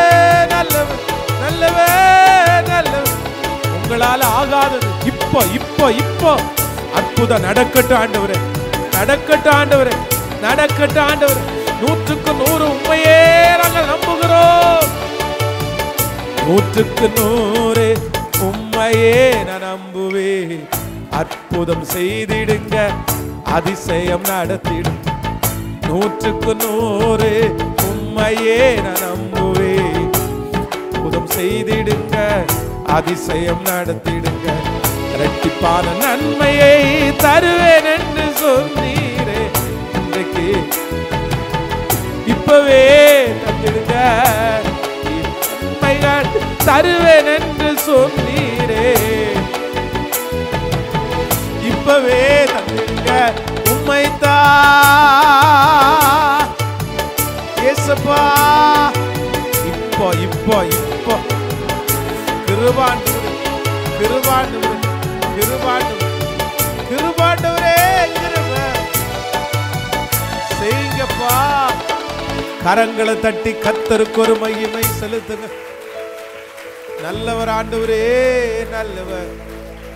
வலது கைய மேல உயர்த்தி ஏசப்பாட்ட சொல்லுங்க. உண்மைத்தா நான் நம்பி இருக்கேன் அற்புதங்கள் உங்களை தவிர வேற யார் ஆண்டவரை எனக்கு செய்ய முடியும்? உங்களை தவிர வேற யார் ஆண்டவரை என்னை தூக்கி நிறுத்த முடியும்? விழமாட்டானான்னு காத்து கிடக்கிற இந்த உலகம் ஆண்டவரே. எப்போ அவமானப்படுவாங்கன்னு காத்து கிடக்கிற இந்த உலகம் ஆண்டவரே. இவன் ஒன்றும் இல்லாமல் போகிறத என் கண்கள் பார்க்கணும்னு எத்தனையோ பேர் எங்களை குறித்து எங்கள் பிள்ளைகளை குறித்து நினச்சிட்டு இருக்கும்போது இப்போ எங்கள் கையை உயர்த்தி ஒன்றே ஒன்று மட்டும் சொல்லுகிறோம். எங்கள் இருதயம் உங்களையே நம்புது. ஸ்தோத்திரம். ஸ்தோத்திரம். தேவனே நொறுங்குண்டதும் நறுங்குண்டதுமான இருதயத்தை நீர் புறக்கணி நீர் புறக்கணி சத்துருக்கு முன்பாக எங்களுக்கு ஒரு பந்தியை ஆயத்தப்படுத்துகிறவர். எங்கள் தலைகளை எண்ணெயினால் அபிஷேகம் பண்ணுகிறவர். எங்கள் பாத்திரத்தை நிரம்பி வழிய பண்ணுகிறவர். இப்பொழுது இந்த வெள்ளிக்கிழமை உம்முடைய மையமை ஒவ்வொருவர் மேலும் ஜீசஸ் எனக்காக வழக்காடுகிறவர் கர்த்தர். எனக்காக வழக்காடுகிறவர் கர்த்தர். எனக்காக யுத்தம் பண்ணுகிறவர் கர்த்தர். நன்றி அப்பா நன்றி. நன்றி ஆண்டவரே நன்றி. நன்றி அப்பா நன்றி. ஹலிலூயா கைகளை உயர்த்தி ஒரு ஹலிலூயா சொல்ல ஆமா எப்பவுமே ஆண்டவர் செய்ய வேண்டிய வேலையை நம்ம கையில் நம்ம ஒரு நாள் என்ன பண்ணிடக்கூடாதுன்னா எடுத்துடவே கூடாது. சிலதை யார் தான் செய்யணும் அப்படின்னு சொன்னால் கர்த்தர் தான் செய்யணும். அவருடைய கையில் விட்டுறது தான் நமக்கு வந்து ஒரு பெரிய ஆசீர்வாதம். ஆண்டவரை நீங்கள் செய்யுங்க நீங்கள் செய்யுங்க. வழக்காடுகிறது நம்ம எடுத்துக்க முடியாது. யுத்தம் பண்ணுகிற வேலை நம்ம எடுத்துக்க முடியாது. சண்டை போடுகிற வேலை நம்ம எடுத்துக்க முடியாது. ஆண்டவர் என்ன வாக்கு கொடுக்குறாரு அப்படின்னா நான் உனக்காக யுத்தம் பண்ணுவேன். நான் உனக்காக வழக்காடுவேன். நீங்கள் தரித்து நின்று கர்த்தர் உங்களுக்கு செய்யும் ரட்சிப்பை பாருங்கள். அல்லேலூயா ஆனா சில நேரங்களில் சத்துரு வந்து வச்சுக்கிற பெரிய வலை என்ன அப்படின்னு சொன்னா உங்க மாம்சத்தை நிறைய நேரத்தில் முயற்சி எடுக்க சொல்லுவான் நம்ம மாம்சம் நமக்கு வந்து எழும்பி நிற்கும் ஆனா ஒரு தப்பு மட்டும் எப்பவும் பண்ணாதீங்க. உங்க மாம்சத்தோட எப்பவுமே யுத்தமே பண்ணாதீங்க. மாம்சத்தோட உங்க சிந்தை சொல்ற மாதிரி யுத்தம் பண்ணாதீங்க. உங்க கண்ணு சொல்றது மாதிரி யுத்தம் பண்ணாதீங்க. உங்களை சுற்றி இருக்கிறவங்க சொல்ற மாதிரி யுத்தம் பண்ணாதீங்க. அது நம்முடைய வேலை அல்ல. சில வேலை யாருடையதான் சொல்லுங்க எல்லாருமே சத்தமா. நம்ம சொல்லுவோம். ஒருத்தர் வக்கீலை பார்த்து கொண்டு போய் சொல்லுவோம் சார் இது நீ எங்களுக்கு சொந்தக்காரராக இருக்கிறீங்க. இது உங்க வேலையா நினைச்சு பண்ணுங்க. இது உங்கள் வேலையை நினச்சி பண்ணுங்க. அவங்க வேலை கிடையாது அது.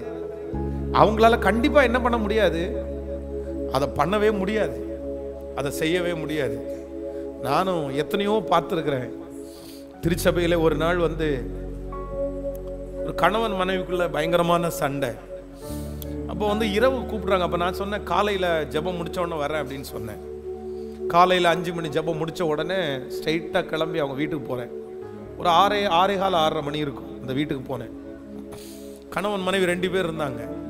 நானும் உட்காந்து கிட்டத்தட்ட ஒரு பன்னெண்டு மணி வரைக்கும் ரெண்டு பேர்ட்டையும் பேசினேன். டுவெல் ஓ கிளாக் வரைக்கும் சாப்பிடவே இல்லை எதுவுமே. அவங்க போடுற சண்டையில் நமக்கு ஒரு த- தண்ணி கூட குடிக்க முடியலன்னு வச்சுங்களேன். நானும் பேசுனேன். என்னென்னமோ சொன்னேன். அந்த சிஸ்டர்கிட்ட சொன்னேன் கொஞ்சம் பொறுமையாக இருங்க சிஸ்டர் கண்டிப்பாக ஆண்டவர் மாற்றுவார் அவ பன்னெண்டு மணிக்கு சரி நீங்கள் என்னதான் முடிவு எடுக்கிறீங்கன்னு கேட்டால் அந்த சிஸ்டர் என்ன சொன்னாங்க அப்படின்னு சொன்னால் பாஸ்டர் எதுக்கும் நான் போய் ஒரு மூணு மாதம் அம்மா வீட்டுக்கு போயிட்டு வந்துடுறேன். அப்படின்ட்டாங்க. இதுதான் உங்கள் முடிவா? ஆமாம் இதான் என் முடிவு. சரி பன்னெண்டு மணி வரைக்கும் பேசி எந்த பதிலும் எனக்கு கிடைக்கல. சரி நான் சொல்லிட்டேன். சரி உங்கள் என்ன விருப்பமோ அதை சொல்லுங்கன்னு சொல்லிட்டு ஜோம் பண்ணிட்டு வந்துட்டேன்.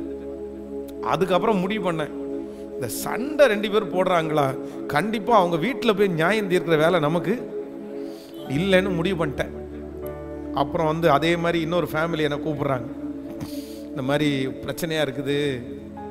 பிரியலான் இருக்கிறோம் அப்படின்ற மாதிரி. நான் சொன்னேன் ரெண்டு பேரும் கிளம்பி வாங்க அப்படின்ட்டேன் சர்ச்சுக்கு. ரெண்டு பேரும் கிளம்பி சர்ச்சுக்கு வந்தாங்க. நான் சேரில் டேபிளில் உட்காந்துருக்கிறேன் வந்தாங்க ரெண்டு பேரும். நான் சொன்னேன் எனக்கு கொஞ்சம் சின்ன வேலை இருக்குது. நீங்கள் ரெண்டு பேரும் பலிபீடத்துக்கு பக்கத்தில் போய் முழங்கால் படிட்டு கொஞ்ச நேரம் ஜோம் பண்ணிட்டு வாங்க அப்படின்னு சொன்னேன். சரி ரெண்டு பேரும் பலிபடத்துக்கு பக்கத்தில் போய் குசு குசா ஜோம் பண்ணிட்டு இருந்தாங்க. பக்கத்தில் போய் சத்தமாக சொன்னேன் நீங்கள் இப்படி ஜோம் பண்ண பத்தாது. ஆண்டவர் கேட்குற மாதிரி ரெண்டு பேரும் சத்தமாக ஒருத்தர் ஜெபம் ஒருத்தருக்கு கேட்குற மாதிரி பண்ணுங்க. அந்த சிஸ்டர் ஓன்னு அழ ஆரம்பிச்சிட்டாங்க.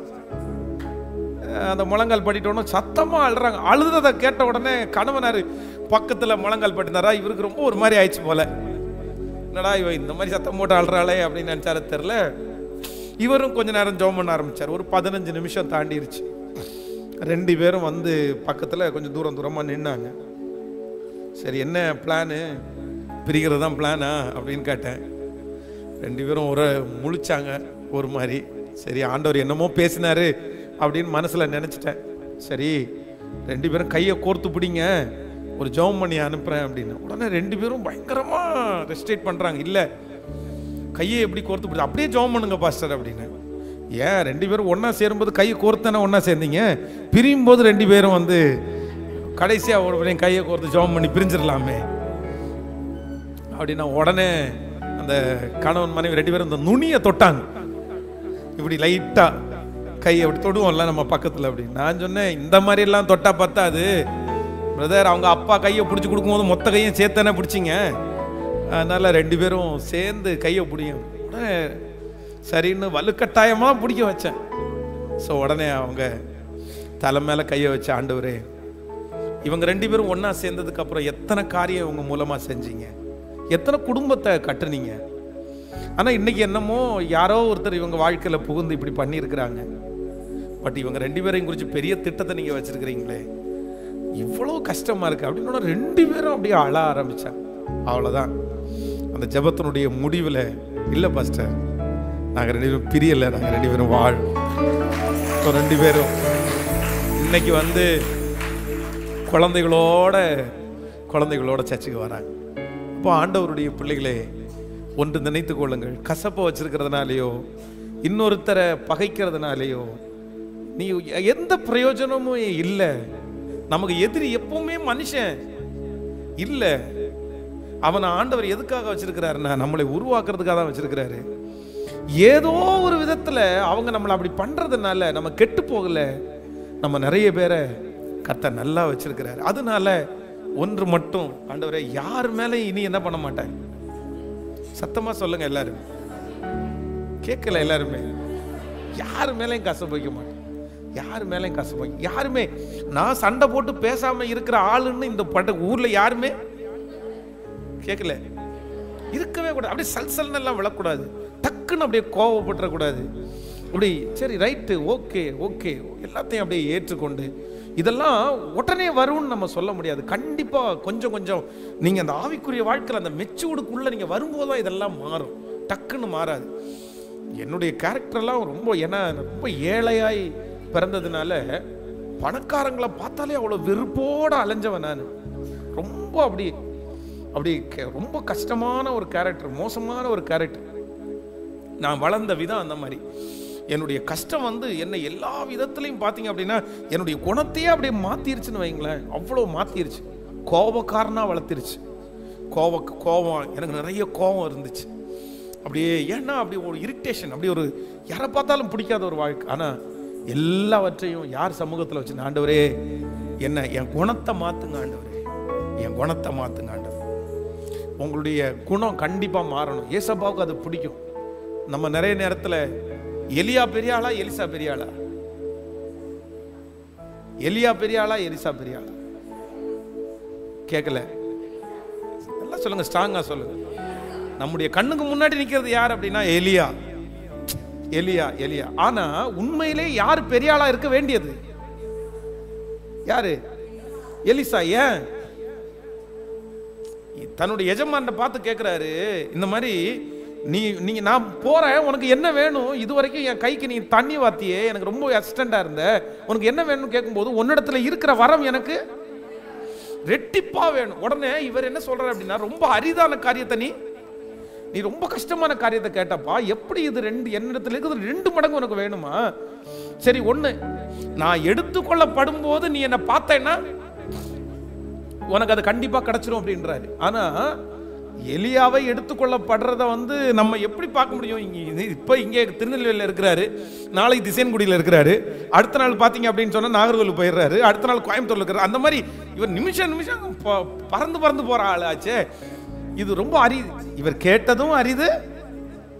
இவர் கொடுத்த டாஸ்க்கும் ரொம்ப அரிது. ஆனால் இந்த எலி எலிசா வந்து இல்லை கண்டிப்பாக நான் ரெண்டு மடங்கு ஆசீர்வாதத்தை வாங்கணும்னு சொல்லி டுவெண்ட்டி ஃபோர் ஹவர்ஸ் வாட்ச் பண்ணியிருக்கிறாரு. இருபத்தி நாலு மணி நேரம் வாட்ச் பண்ணி எலியா வானத்தில் எடுத்துக்கொள்ள படும்போது பார்த்துட்டாரு. பார்த்த உடனே சொல்றாரு இஸ்ரேவேலின் குதிரையும் ரத வீரமானவரே அப்படின்னு கத்துன உடனே பார்த்துட்டியாடா? அப்படின்ட்டு அங்கேருந்து சால்வு என்ன வருது? கீழே வருது. கீழே வந்த உடனே ஒர்க் ஆகுதான்னு சொல்லிட்டு நிற்கிறது ஆறு. எங்க இருந்து பார்த்துருக்காரு பாருங்களேன். ஆத்துல நின்று தன்னுடைய கையில அது கிடைச்ச அந்த சால்வையை ஓங்கி அடிச்சா ரெண்டா பிளக்குது. ஐயோ கிடைச்சிருச்சு நமக்கு. ரெண்டு மடங்கு அபிஷேகம் கிடைச்சிருச்சு. ஆனா எலிசா வந்து ரெண்டு மடங்கு ஆசீர்வாதத்தை பெற்றாலும் அவருடைய ஊழியத்தில் அவர் பெருசா எலியா மாதிரி பெருசா சாதிக்கவே இல்லை. காரணம் என்ன அப்படின்னா ரொம்ப முசுடு. அப்படின்னா குணமே சரியில்லை. எப்போ பார்த்தாலும் கோபம் வரும். சின்ன இந்த மூக்கு மேலே கோபம் இருக்கும்னு சொல்லுவாங்கல்ல. குழந்தைங்க எல்லாம் அங்கேருந்து பாடிட்டு வருது. மொட்டை தலையா? ஏறிப்போம் இவர் வழுக்கையா இருப்பாருன்னு நினைக்கிறேன். எலியா வழுக்குன்னா அதுக்கப்புறம் தான் நமக்கே தெரிஞ்சிருச்சு. அவருக்கு தலையில் முடியல தலையில் முடியலனாலே நம்ம ஆட்கள் என்ன தான் சொல்லுவாங்க? கேட்கல வழுக்க மொட்டை என்னென்னமோ பேர் வச்சுருப்பாங்க. நிறைய. அப்போ வந்து அந்த குழந்தைங்களுக்கு என்ன தெரியும்? அவங்களுக்கு வந்து கிண்டல் பண்ண மட்டும்தான் தெரியும். ஸ்கூலில் இருக்கிற பிள்ளைங்க கிண்டல் பண்ணுறதெல்லாம் வாத்தியார் கேட்டாங்கன்னா பிள்ளைகளை கொல்ல தான் செய்யணும். அப்படி தானே நம்ம என்னென்ன எங்கள் வா- வாத்தியார் ஒருத்தர் இருந்தார் இங்கிலீஷ் வாத்தியார் அவர் ரொம்ப கடினமாக பாடம் நடத்துவார். கையில் பார்த்தீங்கன்னா எப்பவும் ஒரு கர்ச்சிப் இருக்கும். அவர் கை வேர்க்கும்னு நினைக்கிறேன். கையில் வச்சு இப்படி பண்ணிகிட்டே இருப்பார். அப்போ நாங்கள் ஒரு பேர் வச்சிட்டோம். புலி உருட்டி வாத்தியார் அப்படின்னு வச்சிட்டோம். அவர் வந்தாலே புலி உருட்டி வராரு புலி உருட்டி வராரு அப்படின்னு. அவர் செத்துற மாட்டாரான்னு ஜெபம் பண்ண காலமெல்லாம் இருக்குது. ப்ரையர் ஆண்டவரே இன்னைக்கு எங்கள் ஹெட் மாஸ்டர் இறந்துட்டாருனா ரெண்டு நாள் ஸ்கூலுக்கு லீவு கிடைக்கும். ஒரு அற்புதம் செய்யுங்க அப்படின்னு. அப்போ நமக்கு ஒன்றுமே தெரியாது. சின்ன குழந்தைங்க அது என்னத்துக்கு ஜெபம் பண்ணுறோம் எப்படி ஜெபம் பண்ணுறோம் அது தப்புன்னே தெரியாது. நம்ம அப்படி பண்ணிட்டோம். ஆனால் ஒரு காலம் வந்ததுக்கு அப்புறம் தான் நம்ம அப்படி டீச்சர் ஆகும்போது தான் இல்லை டீச்சருக்கு எவ்வளோ கஷ்டம் இருக்குதும் டீச்சர் ஏன் நம்மளை திட்டுறாங்க? அப்படின்றது உணர்வு இப்பதான் வந்துச்சு. குழந்தைங்க ஏதோ விளையாட்டுத்தனமா சரி அவனை பாட்டு கத்திட்டு போகிறாங்க அந்த மாதிரி கிண்டல் பண்ணுறாங்க இனி என்ன பண்ண முடியும்னு சொல்லாமல் திரும்பி பார்த்து அத்தனை குழந்தைங்களையும் சபிக்கிறார். கோவம் வந்துச்சு. குழந்தைங்க மேலே இறக்கம் வரல. உடனே சிங்கங்கள் வந்து இவர் சொன்ன மாதிரியே சிங்கங்கள் வந்து குழந்தைய கொன்றுச்சு. ஆனால் இவ்வளோ மோசமான கேரக்டராக இருந்தால் கண்டிப்பாக ஊழியத்தில் என்ன பண்ண முடியாதுன்னா பெரிய வெற்றியை சிலர் வந்து ரொம்ப வர முடிச்சோம் ஆனால் பக்கத்தில் யாரையும் வர விட மாட்டாங்க. ஆ எப்போ பார்த்தாலும் சல்லு சல்லுன்னு விழுவாங்க. எப்போ பார்த்தாலும் கோபமாகவே இருப்பாங்க. குணத்தை மாற்றிக்கவே மாட்டாங்க. ஆனால் ஆண்டவருடைய பிள்ளைகளே ஆண்டவருடைய பிள்ளையாக மாறினதுக்கு அப்புறம் கண்டிப்பாக நமக்கு எல்லாருக்கும் என்ன குணம் வேணும் அப்படின்னு சொன்னாங்க. நல்ல குணம். நல்ல குணம். எல்லாரையும் அரவணைக்கணும். எல்லாரையும் ஏற்றுக்கணும் எல்லாரையும் சந்தோஷப்படுத்தணும். எல்லாரையும் ஆசீர்வதிக்கணும். எல்லாரும் வேணும்னு நினைக்கணும். யாரையுமே சீக்கிரமாக வெறுத்துறக்கூடாது. சரி ஓகே. எல்லாரையும் மன்னிக்கணும். சரி நன்மைக்கு தான் அப்படின்னு நினைக்கணும். இப்படி உங்களையே நீங்கள் என்ன பண்ணணும் அப்படின்னு சொன்னால் கஷ்டமாக வச்சுக்காம நீங்கள் எப்படி ஓடணும் அப்படின்னா லெகுவாய் ஓட பலன் தருகிறவர் கத்த லூயா சத்தமாக எல்லாரும் சொல்லுங்கள் நான் எப்படி இருக்கணும் அப்படின்னு? நான் ரொம்ப லெகுவாக இருக்கணும். நான் உங்களுக்கு லெகுவாக இருக்கணும். இன்னைக்கு உங்களுக்கு சாப்பாடு எத்தனை பேர் இப்போ வீட்டுக்கு போய் போனால் கூட என்னால் சாப்பிட்ற அளவு கத்தர் என்ன வச்சிருக்கிறான்ற கை தூங்க பார்க்கலாம். எனக்கு எனக்கு பஞ்சம் இல்லைன்றவன் கை தூங்க. சோறு இருக்கு. எனக்கு துணி மாத்துறதுக்கு துணி இருக்கிறவன் கை தூங்க பார்க்கலாம். அடுத்த நேரம் ஒரு துணி மாத்துறதுக்கு இருக்குது அப்படின்னு. சரி ராத்திரி படுத்து தூங்குறதுக்கு ஒரு சின்ன குடிசையாக ஒன்று இருக்குன்றோம் கத்து சரி இது மூணு இருந்ததுக்கு அப்புறம் என்னதுக்கு கவலைப்படுறீங்க? வேற என்ன வேணும் உங்களுக்கு? வேற என்ன வேணும்? வேற என்ன வேணும் சொல்லுங்க. வேற என்ன வேணும்? வேற வேணும்னு கேட்கறது எதுவுமே உங்களுக்காக இல்லை. யாருக்கு தெரியுமா? பக்கத்து வீடுகிற சொந்தக்காரனுக்கு. ஆண்டவர் அவன் முன்னாடி. ஆண்டவர் இவன் முன்னாடி. கத்தர் நீங்க நீங்களும் நானும் சந்தோஷமா இருக்கக்கூடிய எல்லாத்தையும் நமக்கு என்ன பண்ணிட்டாரு? கேட்கல அடுத்தவன் என்ன நினைச்சா நமக்கு என்ன? அவன் கார் இல்லையா அப்படின்னு நினைச்ச உடனே நம்ம போய் காரை வாங்கினா அவன் அந்த காருக்கும் நாலு குறை சொல்லத்தான் போறான். புரியல இல்லையா? நீங்க போய் காரு கார் இல்லைன்னு உங்களை கிண்டல் பண்றாங்க. நீங்க போய் கடன் வச்சு ஒரு கார் வாங்கிட்டு வந்தீங்க. என்ன சொல்ல போறேன் தெரியுமா? போய் போய் ஓட்டக்காரை வாங்கியிருக்கான் பாரு. புரியுதுல்ல?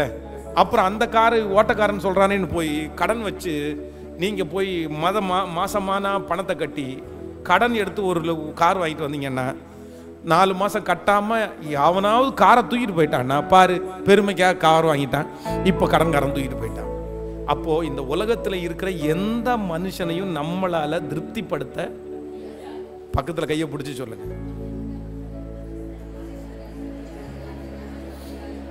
கல்யாணத்துக்கு கடனை வாங்கி பிரம்மாண்டம் பிரம்மாண்டமாக சோறு போட்டால் இவனுக்கு ஆடம்பர செலவுன்னுவாங்க. சரி கடனே வாங்க வேண்டாம் இருக்கிற காசில் சோற போடலான்னா கஞ்ச பிசுனாரின்னுவாங்க. இப்படியும் பேசுவாங்க. கேட்கல தெரியாம கிழிஞ்ச சட்டை போட்டு வந்தா இவ்வளவு பாஞ்சு இவ்வளவு பணம் இருக்குது ஆனாலும் இவன் கஞ்சத்தனை இவனை விட்டு போகலன்னுவாங்க.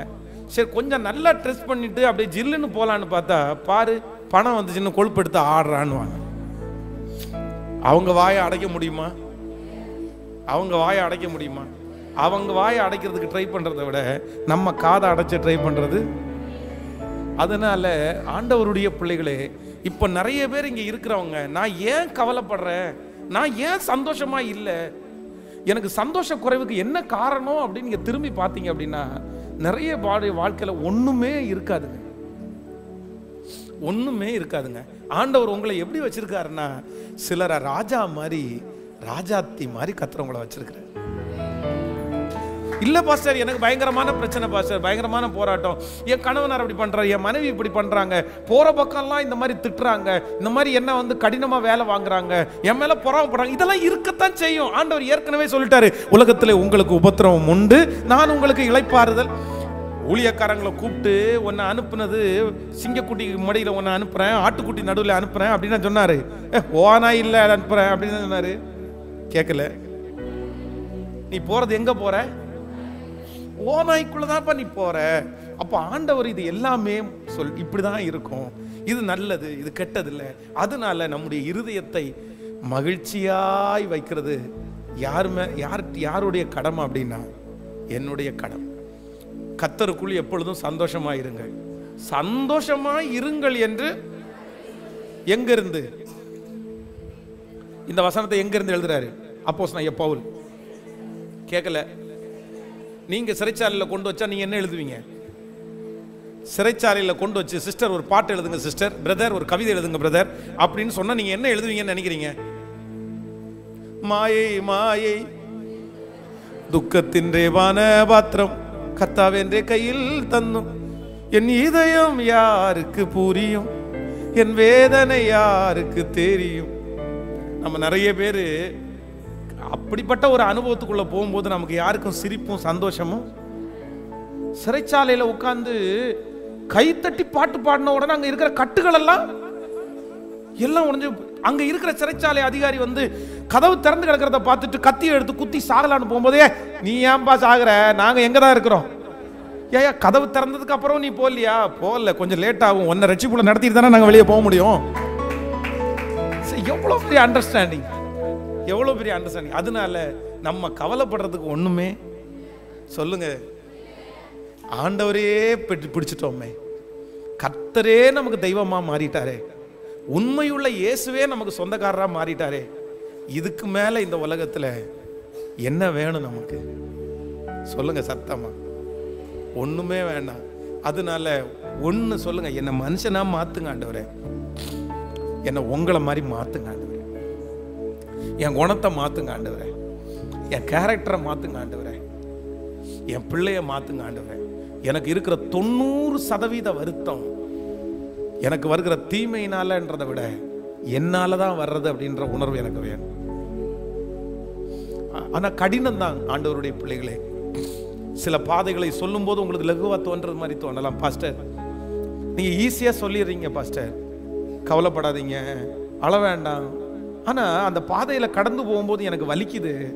என்னால் முடியல. நான் எப்படி நான் எப்படி எப்படி இதை தாண்ட போகிறேன் ஆனால் நான் நம்புறேன். உன்னதமானவருடைய பலன் உங்கள் மேல வரும். கத்தர் உங்களுக்கு பலன் தருவார். அவருடைய பலன் உங்களுக்குள்ள வந்துச்சு அப்படின்னு சொன்னால் அது எவ்வளோ பெரிய பள்ளத்தாக்கா இருந்தாலும் எவ்வளோ பெரிய கடினமா இருந்தாலும் நீங்க ரொம்ப சந்தோஷமாய் தாண்டக்கூடிய பலனை. அமே இந்த பரிசுத்தவான்களுக்கெல்லாம் இவ்வளோ சந்தோஷம் எங்கேருந்து வந்துருச்சு? இவ்வளோ பிரச்சனையில் அவங்களால எப்படி சந்தோஷமாக இருக்க முடிஞ்சிருச்சு? இவ்வளோ சூழ்நிலையில் அவங்க ஏன் பயப்படலை? ஏன் கவலைப்படலை? நான் நம்புகிறேன் அவங்க கூட ஒருத்தர் இருந்ததை அவங்க உணர்ந்தாங்க. இன்னைக்கு நம்மளும் ஒன்று சொல்ல போகிறோம் ஆண்டவர் எங்கள் கூட நீங்கள் இருக்கிறத நாங்கள் இன்னையிலேருந்து என்ன பண்ண போகிறோன்னா உணர்கிற ஒரு அபிஷேகத்தை தான். கண்டிப்பாக அவங்க பிள்ளைகளை நல்லா இருக்க வைப்பார் ஆண்டவர். உங்களுக்கு வருகிற அத்தனை கஷ்டங்களும் உங்கள் வாழ்க்கையினுடைய வெற்றியாக கத்தர் உங்களுக்கு மாற்றி தருவார். உங்க இருதயம் கலங்கவே வேண்டாம். நீங்க கத்தர் சமூகத்துல உண்மையா இருந்தீங்க அப்படின்னு சொன்னா உங்களுக்கு நடக்கிறது எல்லாமே நன்மைக்கு ஏதுவாய் தான் நடக்கும்.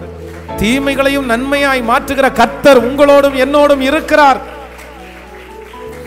ஹalleluya ஆமென். சொல்லுங்க ஸோ இப் இப்போ நம்ம பாட போறோம். நான் யாரை நம்புறேன் அப்படின்னு சொன்னா ஹண்ட்ரட் பர்சன்ட் உண்மையே நான் நம்புறேன். நான் யாரை நம்பல? மனுஷனை நான் நம்பலை. சொந்தக்காரனை நான் நம்பல. சொந்தக்காரங்க உங்களுக்கு செய்யாததை குறித்து நீங்கள் கொஞ்சம் கூட கவலைப்படாதீங்க. உங்களுக்கு முன்னாடி செய்யக்கூடிய அவ்வளோ ஆசீர்வாதம் இருந்தும் உங்களுக்கு செய்யலையா? வருத்தமே படாதீங்க. நல்லது. நல்லது. எங்கள் அப்பா சொத்துக்காரரா இல்லாதது நல்லது. கேட்கல நல்லதே. நல்லதா இல்லையா? நிறைய பேருக்கு ஒரே வருத்தம். நான் என் பிள்ளைகளுக்கு ஒன்றுமே வைக்கலையே. என் பிள்ளைகளுக்கு அப்படி கல்யாணம் பண்ணி கொடுக்க முடியலையே. இப்படி கொடுக்க முடியலையே. நல்லது. நீங்கள் கொடுத்துருந்தீங்கன்னா உங்கள் பிள்ளைங்க உங்கள் வாயே பார்த்துட்டு இருப்பாங்க. இப்போ கத்தர் கொடுத்த உடனே கத்தர் மேலே அன்பு வருது. ஆமே. ஆனால் கத்தர் கொடுக்கலன்னா யார் மேலே அன்பு வந்துடும் கேட்கல பணம் ரொம்ப வசதியான இருக்கிற பிள்ளைகளை ஆண்டவர் பக்கத்தில் கொண்டு வர்றதுக்கு ரொம்ப கஷ்டமாக இருக்குது.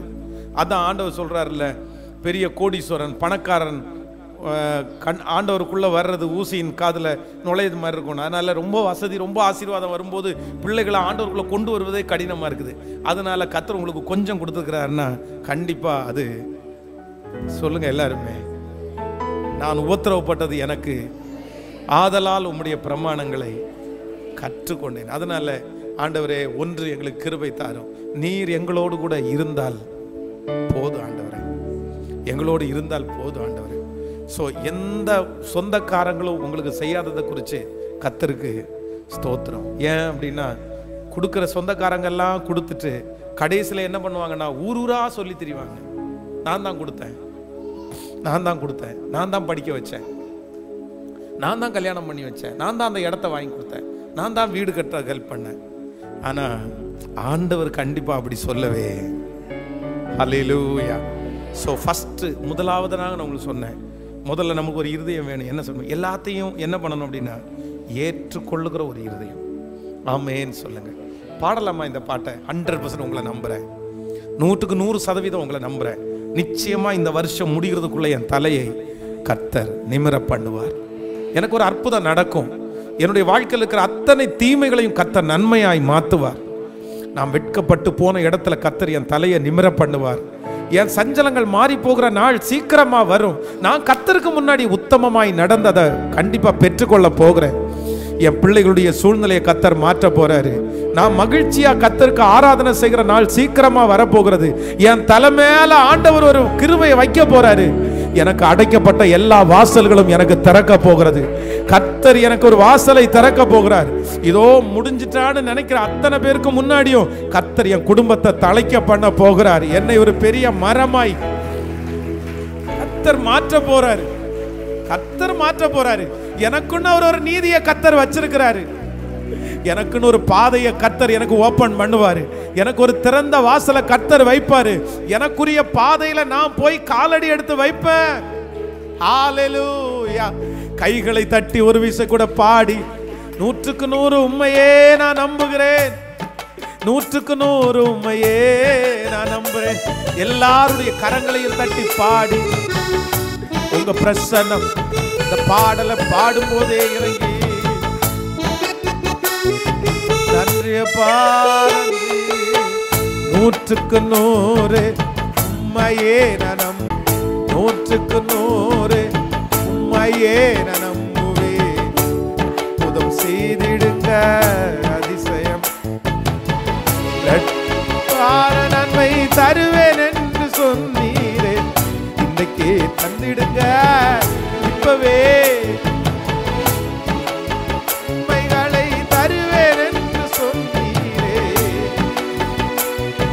எல்லாருடைய கரங்களை மேல தட்டி உண்மை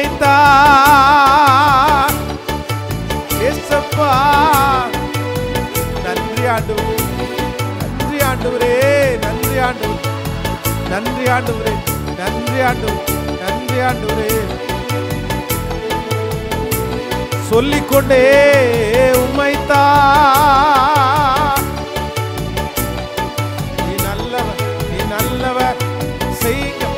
இப்ப சொல்லுங்க. உண்மை அல்லாமல் யார் என்னை உயர் அற்புதம் செய்திடுங்க.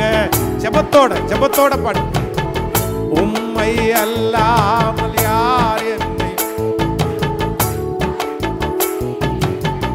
அதிசயம் நடத்திடுங்க.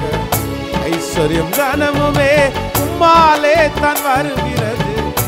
ஆளுமை செய்யுங்கப்பா மேன்மை படுத்துக்கப்பா ஐஸ்வர்யம் கனமுமே உம்மாலே தான் வருகிறது. ஆளுமை செய்யுங்கப்பா. மேன்மை கைகளை மேல தட்டி உம்மைத்தா. இயேசுவே இயேசப்பா இயேசப்பா இயேசப்பா இயேசப்பா. உம்மைத்தா நன்றி ஆண்டவரே நன்றி ஆண்டவர். ஜபம் ஜபம் பண்ணுங்க.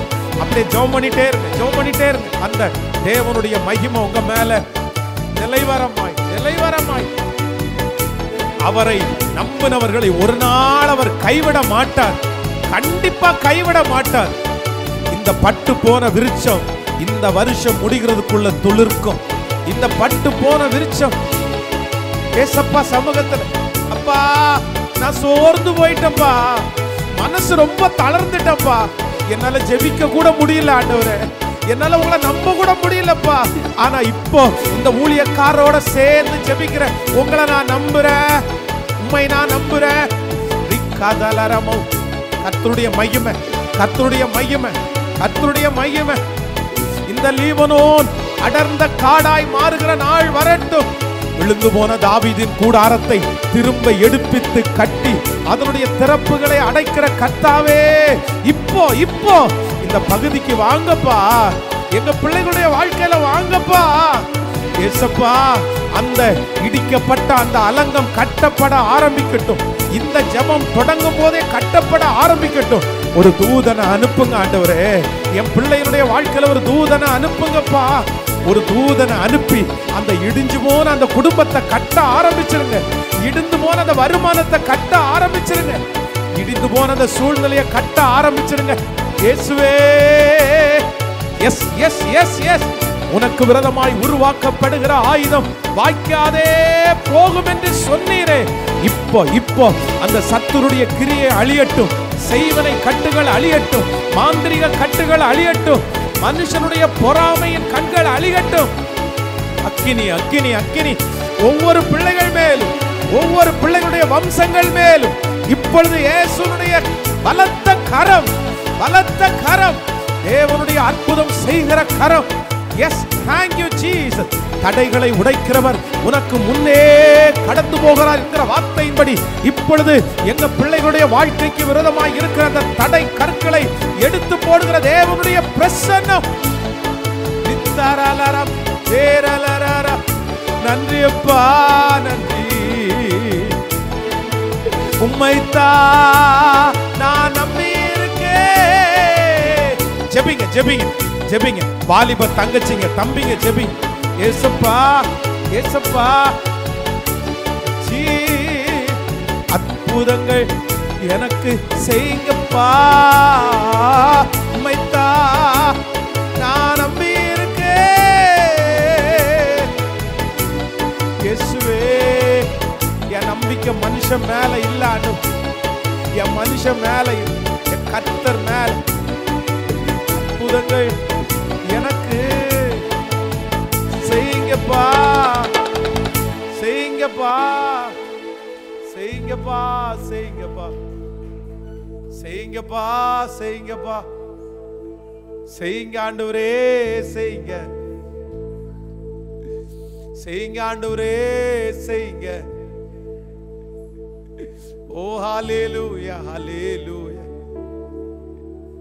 ஹாலேலூயா பெருக பண்ணுகிற கத்த மறைவாய் வளர்த்துகிற கத்த ஞானத்தை கொடுக்கிற கத்த நம்மத்திலே அவர் அசைவாடி கொண்டே இருக்கிறார். ஒவ்வொருத்தரும் கையை மேல உயர்த்தி சொல்லுங்க அப்பாவை பார்த்து.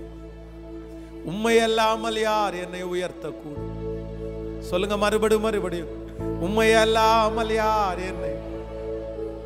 உண்மை அல்லாமல் எப்போ விழுவான்னு பார்க்கறதுக்கு தானேப்பா நிறைய பேர் காத்து கிடக்குறாங்க. எப்ப தீமை நடக்கும்னு காத்து கிடக்குறாங்களே ஆண்டவரே. இவன் குடும்பத்தை குறிச்சு இவன் பிள்ளைய குறிச்சு பேச மாட்டான்னா காத்து கிடக்குறாங்க ஆண்டவர். எங்க பாதம் சறுக்காதான்னு எதிர்பார்த்து காத்து கிடக்குறாங்க ஆண்டவரே. ஆனா எங்க காலடிகளை உறுதிப்படுத்துறதுக்கு உங்களை தவிர வேற யாரால முடியும். எங்க பிள்ளைங்க இன்னும் வளரவே இல்லை. ஆனா என் பிள்ளைங்க எப்போ என் பிள்ளைங்களுக்கு கெட்டு போவாங்கன்னு நினைச்சிட்டு இருக்கேன். காரணமே இல்லாம பகைக்கிறவங்க எத்தனை பேர்? ஆனா எங்க காலடிகளை உறுதிப்படுத்த வாங்க ஆண்டவரே. எங்க பாதம் சறுக்குதுன்னு சொல்லும் போது உங்க கரங்கள் எங்களை தாங்குதுன்னு நாங்க வாசிக்கிறோமே ஆண்டவரே. கையை உயர்த்தி இயேசுவேன்னு முழு பலத்தோட சொல்லுங்க சொல்லுங்க. சொல்லுங்க சொல்லுங்க. உங்களை அல்லாமல் இந்த வார்த்தையை திரும்ப உண்மை அல்லாமல் உண்மை அல்லாமல் யார் என்னை? உண்மையல்லா நிறைய பேருடைய கண்ணீரை கத்த தொடக்கிறாரு. நிறைய பேருடைய கண்ணீரை கத்த தொடக்கிறாரு. பயப்படாதே பயப்படாதே பயப்படாதே பயப்படாதே. நீ விசுவாசம் உள்ளவளாய் இரு. நீ விசுவாசம் உள்ளவனாய் இரு. நிச்சயமா இந்த சூழ்நிலை மாறும். அவர்கள் நினைத்தது அல்ல. நான் உன்னை குறித்து வைத்திருக்கிற நோக்கங்கள் நிறைவேறும் என்று கர்த்தர் ஆணித்தரமா வாக்கு கொடுக்கிறார். இல்ல இல்ல.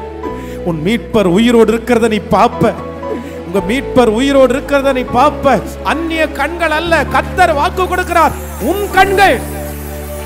உங்க கண்ணு காணும். உங்க கண்ணு காணும். அவர்கள் பகைக்க பகைக்க சத்துருக்களுக்கு முன்பாக வளர்ச்சியை கொடுக்கிற இயேசு. Hallelujah. Hallelujah. Hallelujah. Hallelujah. நான் யார் என்று நீர் அறிவி வாழ்நாளெல்லாம் என்னை நடத்துவி நான் யார் என்று நீர் அறிவி வாழ்நாளெல்லாம் என்னை நடத்துவீர். சொல்லும் சேர்ந்து நடத்துவீர். என்னை நடத்துவீர். நடத்துவீர். என்னை நடத்துவீர். நான் யார் என்று நீர் வாழ்நாளெல்லாம் என்னை நடத்துவீர். நான் யார் என்று நீர் அறிவி வாழ்நாளெல்லாம் என்னை நடத்துவி நடத்துவி என்னை நடத்துவி நடத்துவி என்னை நடத்துவி ஹalleluya. அமேன் நம்மளை ஆண்டவர் வந்து நமக்கு கற்றுக் கொடுத்து நம்மளை ஒரு நல்ல ஒரு விலையேறப்பட்ட பாத்திரமாய் நம்மை உருவாக்குறதற்கு ஆண்டவர் நினைக்கிறார். ஸோ நமக்கு விழுகிற ஒவ்வொரு அடி நமக்கு விழுகிற ஒவ்வொரு அவமானங்கள் இது எல்லாம் நம்மளை உடைக்கிறதற்காக அல்ல. நம்மளை வந்து ரொம்ப ஸ்ட்ராங்கான ஒரு மனுஷனாய் உருவாக்குறதற்காக. ஸோ ஆண்டவருடைய பிள்ளைகளுக்கு எப்பொழுதுமே எப்பொழுதுமே உங்கள் மனசில் ஆழத்தில் ஒன்றை மறந்துடாதீங்க. மனுஷனுக்கு முன்னாடி நீங்கள் போய் எப்போவுமே நிற்கவே கூடாது. எப்போவுமே நிற்கவே கூடாது. எப்போ இன்னைக்கு ஒரு தீர்மானத்தோட போங்க இந்த இடத்த விட்டு. யாருக்காக ஆண்டவர் பேசுறாருன்னு தெரியல. ஒரு தீர்மானத்தோட போங்க. ஆண்டவரே இனி என்ன வந்தாலும் யாரு முன்னாடி தான் நான் நிற்பேன்னு சொல்லுங்க. உங்க முன்னாடி தான் நிற்பேன் அப்படின்னு சொல்லுங்க. திருச்சபையில் நாங்கள் இப்போ நடத்தி கொண்டிருக்கிற திருச்சபையில் இந்த திருச்சபை வாசல் ரோட்டுக்கு மேலே இருக்குது அதில் கிட்டத்தட்ட முக்கால் இடத்த அந்த ஏரியாவில் இருக்கிற ஒரு ரவுடி கும்பல் ஒரு ஆறு ஏழு பசங்க சேர்ந்து அந்த சச்சினுடைய வாசலை வந்து ஆக்குபை பண்ணி ஒரு ஷெட்டு இந்த மாதிரி ஒரு ஓலை ஷெட்டை ஒன்றை போட்டு உள்ளுக்குள்ள கஞ்சா சிகரெட்டு இந்த மாதிரி எல்லாத்தையும் வச்சு விற்று உள்ளுக்குள்ளே தண்ணி அடித்து அந்த ஏரியாவில் வந்து இந்த இந்த அந்த விபச்சாரத்துக்காக ஒரு சிலர் அப்படியே இருப்பாங்க. அந்த மாதிரி அது மாதிரி ரோ- கூட நின்றுட்டு அவங்க அவங்க வந்து போகிற இடமா? சர்ச்சு வாசல்ல. யாருமே கேட்கவே முடியல அவங்கள. சில டைம் வந்து காவல்துறையிலேருந்து ஆட்கள் வருவாங்க. இவங்க என்ன பண்ணுறாங்கன்னு தெரில காசு கொடுத்தாங்களா இல்லை என்ன நடக்குதுன்னு தெரில அவங்களும் ஒன்றும் அமைதியாக அப்படியே போயிடுவாங்க நம்ம போய் யார்ட்டையும் சொல்லவும் முடியாது. ஏன்னா அப்படி சொல்லி வந்து பிரச்சனை பண்ணி துரத்திட்டோம்னா அது வேற பெரிய சண்டை பண்ணி நம்மளை அது பெரிய டார்ச்சரே பண்ணிடுவாங்க. அதனால யார்ட்டையும் சொல்லவும் முடியாது. வருத்தம்னா வருத்தம். லேடிஸ் யாருமே வர முடியாது. பெண்கள் வர்றதுக்கு கொஞ்சம் கஷ்டப்படுவாங்க. ஏன்னா இவனை முன்னாடி உட்காந்து பத்து பசங்க உட்காந்து வாசலில் உட்காந்து தண்ணி அடிச்சுட்டு கெட்ட வார்த்தை பேசிட்டு இப்படி இருந்தால் எப்படி இருக்கும்? ஓ எனக்கு ரொம்ப வருத்தமாயிடுச்சு. சரி நான் முடிவெடுத்தேன். ஆண்டவரே. நான் யார்கிட்டையுமே போக மாட்டேன் யார்கிட்டையுமே போட மாட்டேன் நீங்கள் தான் செய்யணும். அவங்க வந்து ஸ்ட்ராங்காக குத்தகை போட்டு உட்கார்ந்தது மாதிரி கேட்டால் என்ன அப்படின்னு சொன்னால் நான் வந்து பிளாட்ஃபார்மில் தானே உட்காந்துருக்கிறேன் நான் உன் இடத்த ஒன்று உட்காந்துருக்கலையே எங்களுக்கு வாடகை கொடுத்துருக்குற ஹவுஸ் ஓனர் பயப்படுறாரு. வேணாம் பாஸ்டர் விட்டுருங்க. உங்களுக்கு முடியலைன்னா வேறு இடத்துக்கு கூட போங்க. இவங்களை துரத்த முடியாது. நம்ம சண்டை போட வேணாம் அப்படின்ற ஒரு வயசானவர் எங்கள் சர்ச்சில் இருந்தார். அவரை கூப்பிட்டு டெய்லி காலையில் அஞ்சு மணிக்கெல்லாம் சர்ச்சுக்கு வந்துடுவாங்க நாங்கள் அப்போ டெய்லி காலைல ஃபைவ் ஓ கிளாக் சர்ச் நடக்கும். அப்போது அந்த ஐயாவை கூப்பிட்டு சொன்னேன் ஐயா ஒரு ஒரு த்ரீ மந்த்ஸ் ஒரு மூணு மாதம் உங்களுக்கு ஒரு டியூட்டி என்ன அப்படின்னு சொன்னால் நான் ஜெபம் பண்ணுறேன் நானும் ப்ரேயர் பண்ணுறேன் நீங்களும் ரெண்டு பேரும் சேர்ந்து. காலையில் அஞ்சு மணி ஜெபம் முடித்த உடனே இந்த ஷெட்டு பக்கத்தில் போய் ஆண்டவரே இந்த மலையை பார்த்து பெயர்ந்து சமுத்திரத்தின் ஆழத்தில் தள்ளுண்டு போ. அப்படின்னு சொன்னால் இது போகும். அதனால இது பெரிய பர்வதமாக இருக்குது. இது எங்களை விட்டு மாறி போகணும். அப்படின்னு ஜோம் பண்ணுங்க அப்படின்னு சொல்லிட்டு அவரும் நானும் அவர் வந்து ஒரு நாள் தண்ணி எடுத்துக்குவார் பாட்டிலில். அப்படியே ஜோம் பண்ணி அந்த அவங்க காலைல அஞ்சு மணிக்கு அந்த பசங்க இருக்க மாட்டாங்களா அப்படியே சுற்றி தெளிச்சிட்டு ஜோம் பண்ணிட்டு போயிடுவார் த்ரீ மந்த்ஸ் மூணு மாதம் சண்டை இல்லை பிரச்சனை பண்ணலை எதுவும் பண்ணலை. அந்த மூன்று மாதத்துக்குள்ள திடீர்னு அவங்களுக்குள்ளே அந்த ஃப்ரெண்ட்ஸுக்குள்ளே ஒரு சண்டை பயங்கரமான சண்டை நடக்குது. ஒருத்தன் கையில் கத்தி வச்சிருக்கிறான் அந்த கத்தினால இன்னொருத்தரை குத்த போகும்போது அவன் கையில் கரெக்டாக காயமாகுது. பக்கத்து கடைக்காரரு கம்ப்ளைண்ட் சொல்லிட்டார். இந்த மாதிரி உள்ளுக்குள்ளே சண்டை நடக்குது.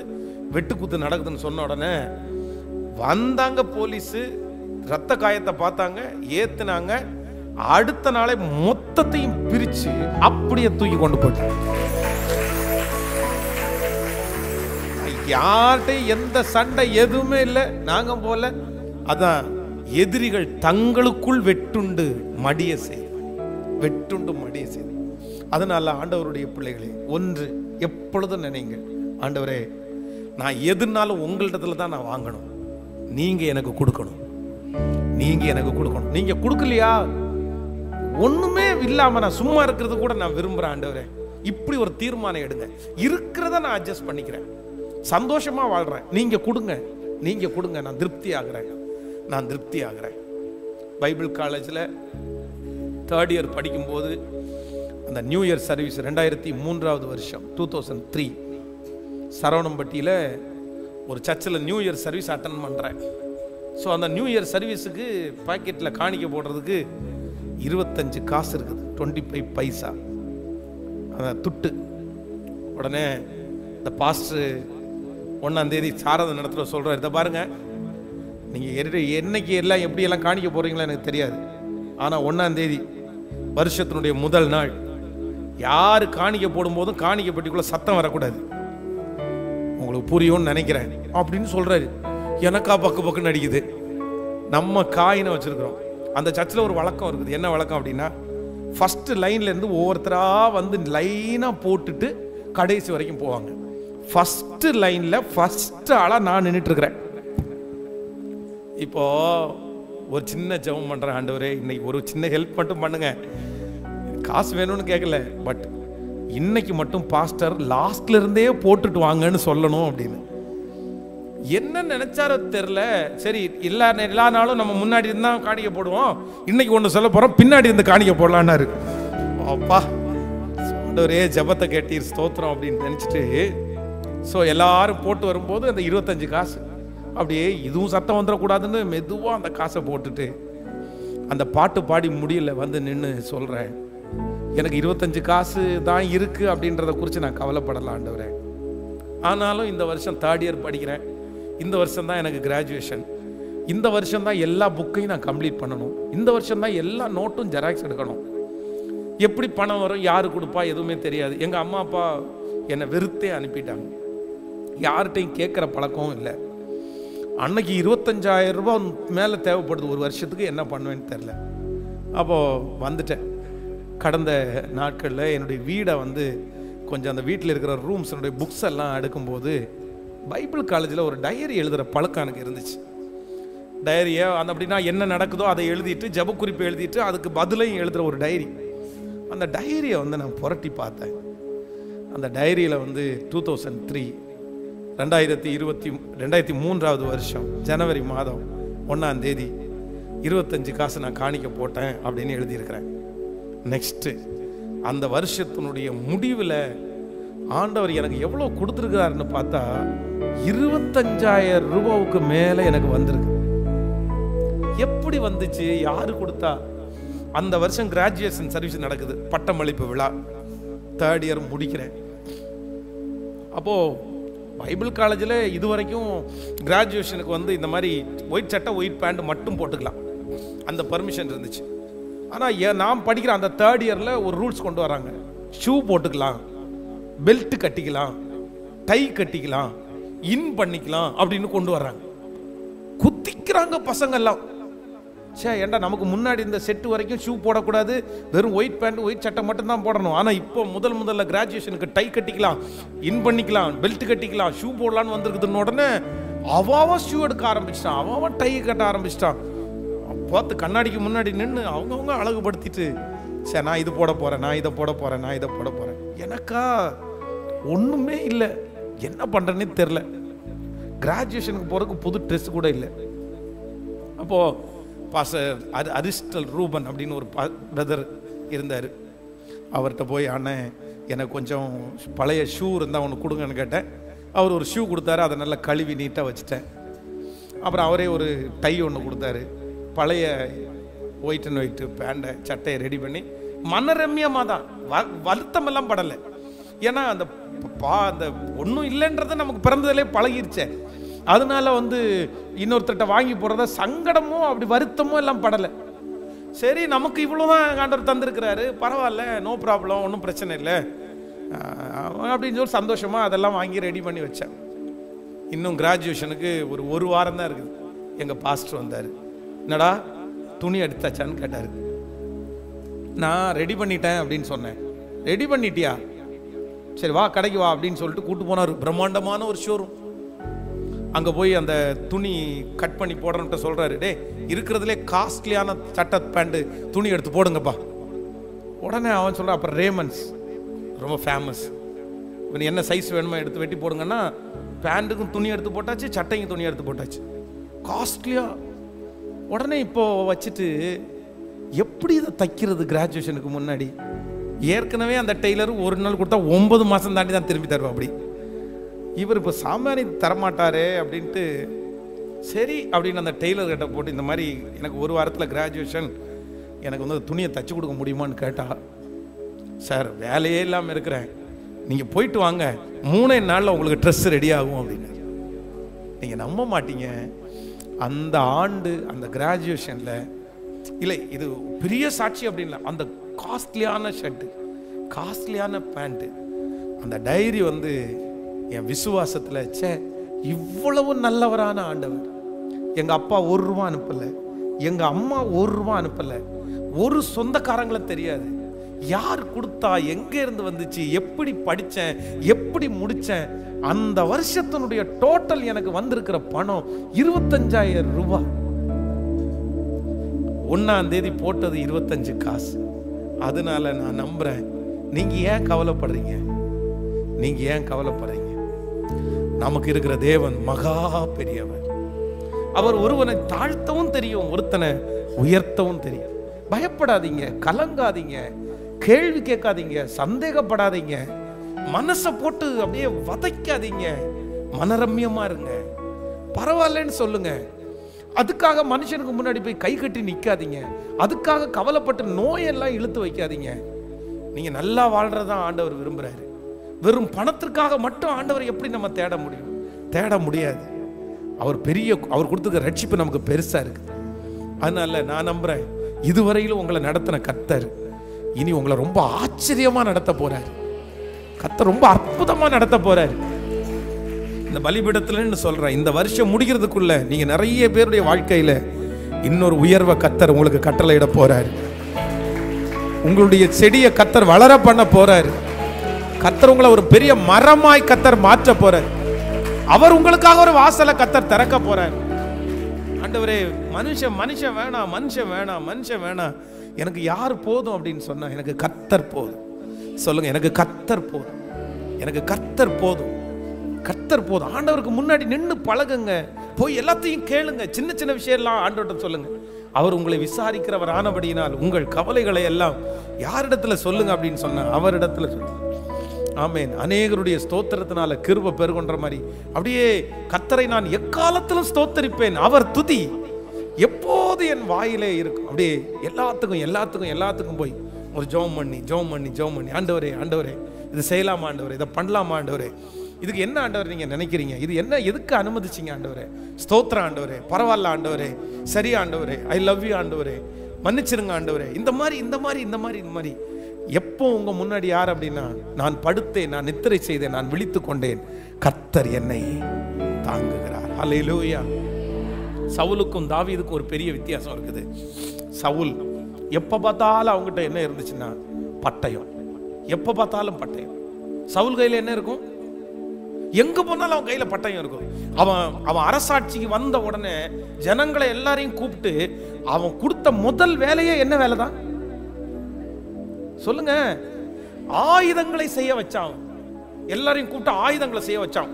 கொல்லர்களை உண்டாக்கினான் அப்படின்னு வேதம் சொல்லு சவுளுடைய மனசு சவுளுடைய எண்ணம் எல்லாமே எதை டிபெண்ட் பண்ணினா இதை டிபெண்ட் பண்ணி தான் இன்னும் நீங்க வேதத்துல வாசிச்சு பாருங்க. சவுல் வந்து அந்த தேசத்துல ஒரு பராக்கிரமசாலிகளை பார்த்தா கூட என்ன பண்ண மாட்டாராமா விட மாட்டானாமா? யாரையாவது ஒருத்தனை ஜெய்ஜாண்டிக்கா பார்த்தானா உடனே தோல் மேல கையை போட்டு எப்பா வாப்பா என் பக்கத்துல இருப்பா. அந்த மாதிரி அவனுடைய கான்செப்ட் முழுக்க முழுக்க இவங்க இருந்தா ஜெ- ஜெயிச்சிடலாம் இவங்க இருந்தா நம்ம வாழ்ந்துடலாம் அப்படின்னு அவனுடைய சிந்தை எல்லாம் அப்படிதான் போகும். பட்டயத்தை செய்வதும் அதை அதை ஆனா தாவீதை குறித்து வேதம் சொல்லுது அப்படியே ஆப்போசிட் இவன் வந்து பட்டயத்தை செய்விச்சது மட்டும் இல்ல தாவிது முன்னாடி நிற்கிறான் ரூமுக்குள்ள இருக்கிறாங்க அவனுடைய ஈட்டியை எடுத்து எரிஞ்சான்னு பைபிள் சொல்லுது. பாருங்க பெட்ரூமுக்குள்ள ஈட்டி பட்டயம். சாப்பாட்டு அறைக்கு போகிறான் கேட்குறான் மகனை பார்த்து என்னப்பா தாவீது வரலையா? அவனுடைய சேர் மட்டும் காலியாக இருக்குது அப்படின்னு. உடனே அவன் சொல்கிறான் இல்லை தாவீது வெளியூர் போயிட்டான். உடனே பட்டயத்தை எடுத்து அவன் சேர்லயே வீசுறான் அங்கேயும் பட்டயம். சாப்பாட்டு அறையில் பட்டயம் பெட்ரூமில் பட்டயம் ராஜ பதவியில் வந்த உடனே பட்டயத்தில் தான் ஆரம்பிச்சான். மலஜலம் கழிக்க போகிற இடத்துல மட்டும் பட்டயத்தை நிப்பாட்டிட்டு உள்ளே போய் க- அதை பாத்ரூம் உட்காந்து வரான்னு வைங்களேன் அங்கே மட்டும் தான் பட்டயத்தை எடுத்துட்டு போகல. அது இல்லை அவ்வளோதான் போயிட்டு வந்துட்டான். திருப்பி சவுல தாவீத துரத்துற எல்லா இடத்துலயும் அவன் கையில பட்டயம் பட்டயம். எங்க பார்த்தாலும் பட்டயம். கடைசியில செத்ததும் எப்படிதான் செத்தான் அப்படின்னு சொன்னா சவுல் தன் பட்டயத்தை நிறுத்தி அது மேல விழுந்து உங்க பலத்தை மட்டும் நம்பாதீங்க. ஆனா தாவீதை குறித்து வேதம் சொல்லுது அவனுக்கு எங்க போனாலும் அவன் கையில என்ன இருந்துச்சு தெரியுமா? அப்படியே கையில போகும்போதெல்லாம் ஒரு கிட்டார். கத்தரை நான் எக்காலத்திலும் ஸ்தோத்திரம். அவர் துதி. சிங்கக்குட்டிகள் தாட்சி அடைந்து பட்டினியாய் கத்தரை தேடுகிறவர்கள் ஒரு நன்மையும் குறைபடாது. கத்தரின் மேய்ப்பரா இருக்கிறார் நான் தாட்சி அடையேன். அவர் என்னை புல்லுள்ள இடங்களில் மேய்த்து அமர்ந்த தண்ணீரன். அப்படியே பாட்டு பாட்டு பாட்டு பாட்டு பாட்டு. அப்பா பார்க்காத போதும் ஆண்டவரை நினைச்சு பாட்டு. அப்பா பார்க்கும் போதும் ஆண்டவரை நினைச்சு பாட்டு. சிங்க கபிலையும் ஆண்டவரை நினைச்சு பாட்டு. எப்ப பார்த்தாலும் தூங்கும்போது கூட அப்படியே நைட்டு போகும்போது ஒரு கிட்டார் எடுத்து ஒரு பாட்டை பாடி ஆராதிச்சு முடிச்சு அந்த கிட்டாரை கொண்டு போய் அங்கே வைக்கும்போது கிட்டார் இடத்துல பேசுறான் பாருங்க. என்ன பேசுறான் தெரியுமா? வீணையே. ஒரு வசனம் தெரியல. வீணையே விழி. சுரமண்டலமே விழியுங்கள். நான். அப்படின்னா போகும்போது என்ன சொல்லிட்டு போறான்னா எப்பா நீ தூங்கு. நானும் தூங்க போறேன். ஆனா காலையில எழும்பும் போது நீ என்ன பண்ணிரு? நீ எந்திரிச்சிருப்பா. அப்படின்னு கிட்டாட்டு சொல்லு. அப்படியே அப்படியே. ராஜாங்கத்துல போனதுக்கு அப்புறம் அப்படிதான். வேதம் சொல்லுது எந்த பராக்கிரமசாலிகளையும் இவன் தேடி போகல. ஆனா வேதம் சொல்லுது ஊர்ல இருக்கிற எல்லா பராக்கிரமசாலிகளையும் இவனை தேடி வந்தாங்கன்னு சொல்லுது. தாவீது போன இடத்துல எல்லாம் புத்திமானாய் நடந்தான். தாவீது போன இடத்துல எல்லாம் கர்த்தர் அவனோடு கூட இருந்து அவனை காப்பாற்றினான் அப்படியே அப்படியே தாவீது தாவீது. பெரிய ராஜ்யபாரம் அவனுக்கு வந்துருச்சு. இது ஒண்ணுனால மட்டும்தான் பட்டயத்தை நம்பல. அவன் யாரை நம்பினான் அப்படின்னு சொன்னான். பிரதர் பட்டயத்தை இல்ல பிரதர் அழகை இல்ல பிரதர் எதையுமே இல்ல பிரதர் சொந்தக்காரங்களை இல்ல பிரதர் அம்மா அப்பா இல்ல பிரதர் அந்த ஒண்ணுக்காக எத்தனை நாள் எவ்வளவு நாள் சண்டை போட்டு கொடுக்காண்டிருப்பீங்க அவன் தவறல அவன் தரல அவன் தவறல ஏமாத்திட்டான் வஞ்சிச்சிட்டான். எத்தனை நாள்? தூய் போடுங்க. விட்டுருங்க. வரும்போது அது வரும். உங்களுக்குன்னு கத்தர் ஒண்ணு பெருசா வச்சிருக்கிறாரு. நீர் என்னை ஆசீர்வதித்தாலே ஒளிய. சொல்லுங்க. எங்க போய் நிக்கணும்? எங்க போய் நிக்கணும்? நீங்க ஆண்டவரே. நீங்க ஆண்டவரே. நீங்க வெளியில ரோட்ல நடந்து போகும்போது சொல்லணும் இதோ அவன் அப்பா அப்பா கொடுத்த சொத்துல பொழைச்சவன் சொல்லக்கூடாது. இதோ கர்த்தரால் ஆசீர்வதிக்கப்பட்டவன். இதோ கர்த்தரால் ஆசீர்வதிக்கப்பட்டவள். கர்த்தர் ஆசீர்வதிச்ச பிள்ளைப்பா இது. அத்தான் அத்தான் அத்தான் அதுதான் ஆண்டவருடைய பிள்ளைகளுக்கு அழகு. அலையிலூயா யாரை தான் நான் பார்ப்பேன் உண்மையே அவர்கள் அவருடைய முகத்தை நோக்கி பார்த்து பிரகாசம் அடைந்தார்கள். அவர்கள் முகங்கள். நீங்க கொடுக்காது எனக்கு. சொல்லுங்க சத்தமா. கேட்கல. வேண்டாம் வேண்டாம். எதுக்கு? வேண்டாம் வேண்டாம். போய் நிக்காதீங்க. போய் நிக்காதீங்க. போய் அடிபணிஞ்சு போகாதீங்க. வேணாப்பா போனா விட்டுருப்பா. அதை பற்றி கவலையே இல்லைப்பா. எடுத்துக்கியா எடுத்துக்கோ. வச்சுக்கிறியா வச்சுக்கோ. விட்டுரு அதை பற்றி கவலைப்படலை. எனக்கு கர்த்தர் எனக்கு தருவார். ஐயோ யாக்கோபை குறித்து வேதம் சொல்லுகிறது. அத்தனை உழைச்சான். பயங்கர கில்லாடி. உங்களை ஏ, நம்ம- மாதிரி நினைக்கிறீங்களா? ஐயோ. என்ன தைரியம்? சொந்த சகோதரன் பசிக்குதுன்னு வர்றான். அவன்கிட்ட டீல் பேசுறான் பாருங்க. சொந்த சகோதரன்லயே சம்பாதிக்கிறவன் யாரு தான் என்ன தருவ நீ? என்ன தருவ அப்படின்னு கேட்குறான் என்ன வேணும் உனக்கு? உன் சேஷ்டபுத்திர பாகத்தை கொடுத்துறியா ஏன்பா? கொடுக்கறதே ஒரு டம்ளர் கூழு. அதுக்கு அவன் கேட்கறது சேஷ்டபுத்திர பாகம் அவங்க அப்பாவுடைய சொத்துல மூணா வச்சு ஒரு பாகம். ஒரு நேரம் பசிக்கு. இவன் தான் நம்ம தான் நம்ம ஆட்கள் நம்ம நம்ம நம்ம ஒண்ணு சகோதரன் தான் ஏசா. பல்ல இழிச்சிட்டு அவன் நானே சாக போறேன். எனக்கு எதுக்கு இது? இல்லதை உள்ளதையும் திறந்து விட்டுட்டு இருப்போம் நம்ம எல்லாம் போ. போனா போட்டும். நம்ம கத்து அப்படி அந்த மாதிரி ஒரு கிர போட்டும்பா அப்படின்னு விட்டுட்டான் அதில் விட்டானா அவங்க அப்பாவிட்ட போய் ஏமாற்றி மொத்த ஆசீர்வாதத்தையும் தலையில் வாங்கிட்டு மாமனார் வீட்டுக்கு போய் அங்கே போய் மாமனார் இருபது டைம் சம்பளத்தை அவ்வளோ ஏமாத்துனதுக்கு அப்புறம் நீ என்ன எனக்கேவா என்னை பற்றி இன்னும் தெரியாது மாமா உங்களுக்கு. மாமனார் பெரிய சந்தோஷப்படுறான். ஐயோ நான் யாரை ஏமாத்திட்டேன்? கேட்கல பொண்ணுக்காக தான் அமைதியாக இருந்தேன். கல்யாணம் பண்ணி முடிச்ச உடனே சரி கடைசியா போகிற போக்கில் ஒரு போட்டி வச்சிருவோமா? அவ்வளோதான் ஒரே போட்டி. ரெண்டு பேருக்கும். என்னன்னா வரி வெறுமையானது. அவ்வளோ வாதுமை பட்டையை உரிச்சு அது வந்து தண்ணி அடுக்க வரும்போது போட்டு பார்த்தா மொத்த குட்டிங்க யாருக்கு வந்துச்சு? நான் அவங்கள ஏமாத்தினா அப்படியே பண்ணிக்கலாம் கொஞ்சம் விட்டேன். இப்போ மொத்தத்தையும் எடுத்துட்டு பெரிய பரிவாரங்களோட புறப்பட்டு வர்றான். ஆனால் இடையில வரும்போது தான் அவனுடைய மனசு இத்தனை சம்பாரிச்சோமே இத்தனை ஏமாத்தி பொழைச்சோமே இவ்வளவு நமக்கு வந்துருச்சே. ஆனால் மனசுக்குள்ள ஒரு சமாதானம் கூட இல்லையே. நம்ம கிடைச்சதை குறித்து ஒரு சந்தோஷம் கூட நமக்கு இல்லையே. ஏன் அப்படின்னு பார்க்கும்போது தான் நீ இது உன் பலத்தினால சம்பாரிச்சது. இது உன்னுடைய திறமையினால சம்பாரிச்சது. ஆனால் இப்போ முழங்கால் படிட்டு என்ன சொல்றான் அப்படின்னா இதுவரையில் நாம் சம்பாரிச்சதெல்லாம் சம்பாத்தியம் இல்லை ஆண்டவரே நீர் என்னை. உனக்கு என்னப்பா வேணும்? உனக்கு என்ன குறை? உனக்கு என்ன இருக்குது?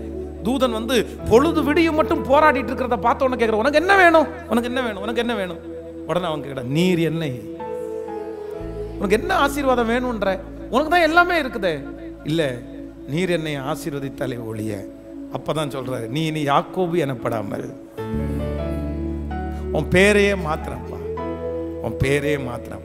போதும் ஆண்டவரே. போதும் ஆண்டு இது போதும்.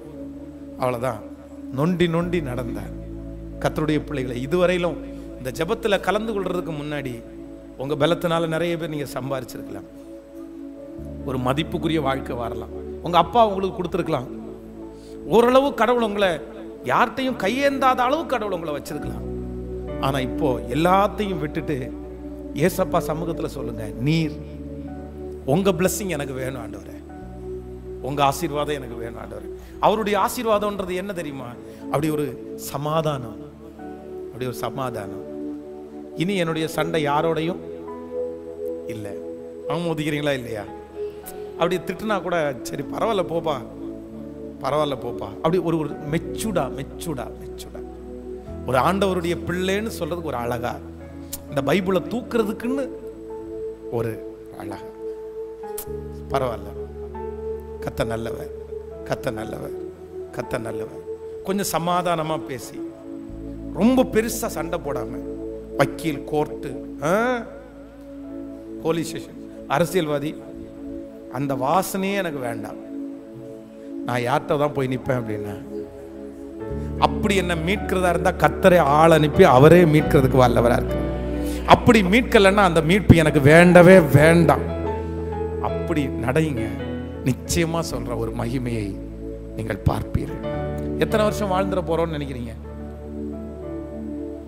ஒரு ஒரு அதை இப்பெல்லாம் அறுபது சொல்லிட்டாங்க எண்பது சொல்லுங்களேன். இல்லை தொண்ணூறு சொல்லுங்களேன். நீங்க எல்லாம் தொண்ணூறு வருஷம் நூறு வருஷம் வரைக்கும் நீங்க வாழுங்க. நிறைய பேர் சொல்ல வேணாம் பாஸ்ட் ஐயோ இதுவே தாங்க முடியல நமக்கு. போய் சேர்ந்தா பரவாயில்ல. அப்படி. நீங்க எத்தனை எத்தனை வருஷம் வாழ போறோம்? ஒண்ணுமே கிடையாது.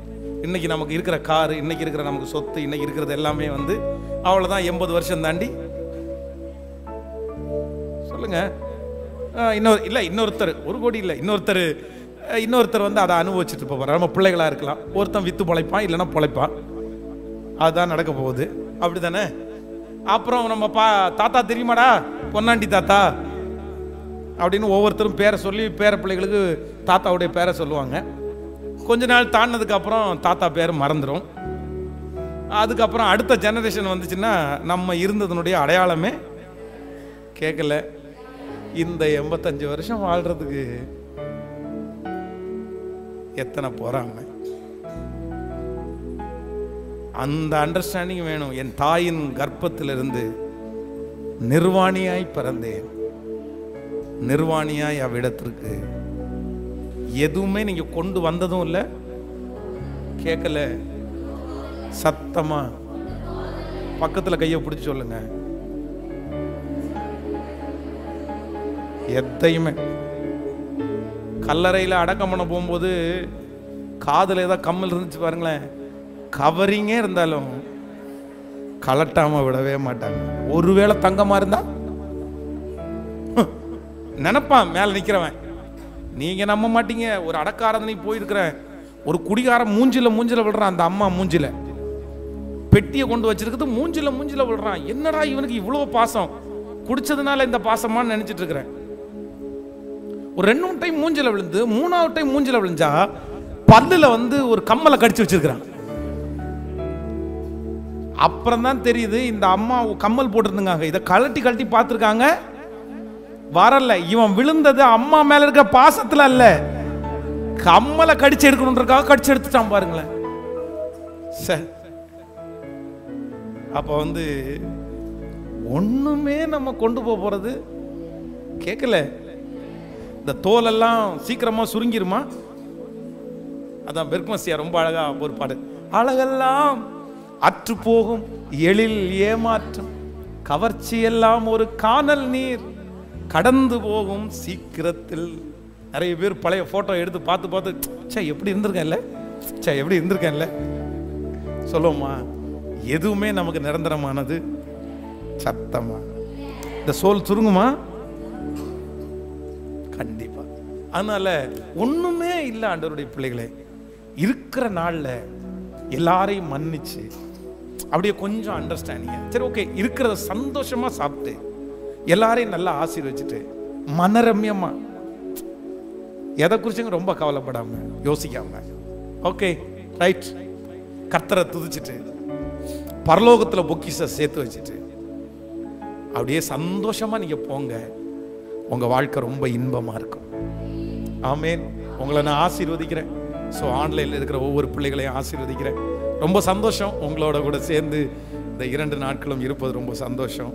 உங்களுக்காக நான் ஜெபம் பண்ணுறேன் ஆண்டவர் உங்களை பல மடங்கு ஆசீர்வதிப்பார். கண்டிப்பாக நீங்கள் இந்த வருஷம் முடிகிறதுக்குள்ளே ஒரு மகிமையை நீங்கள் பார்ப்பீங்க.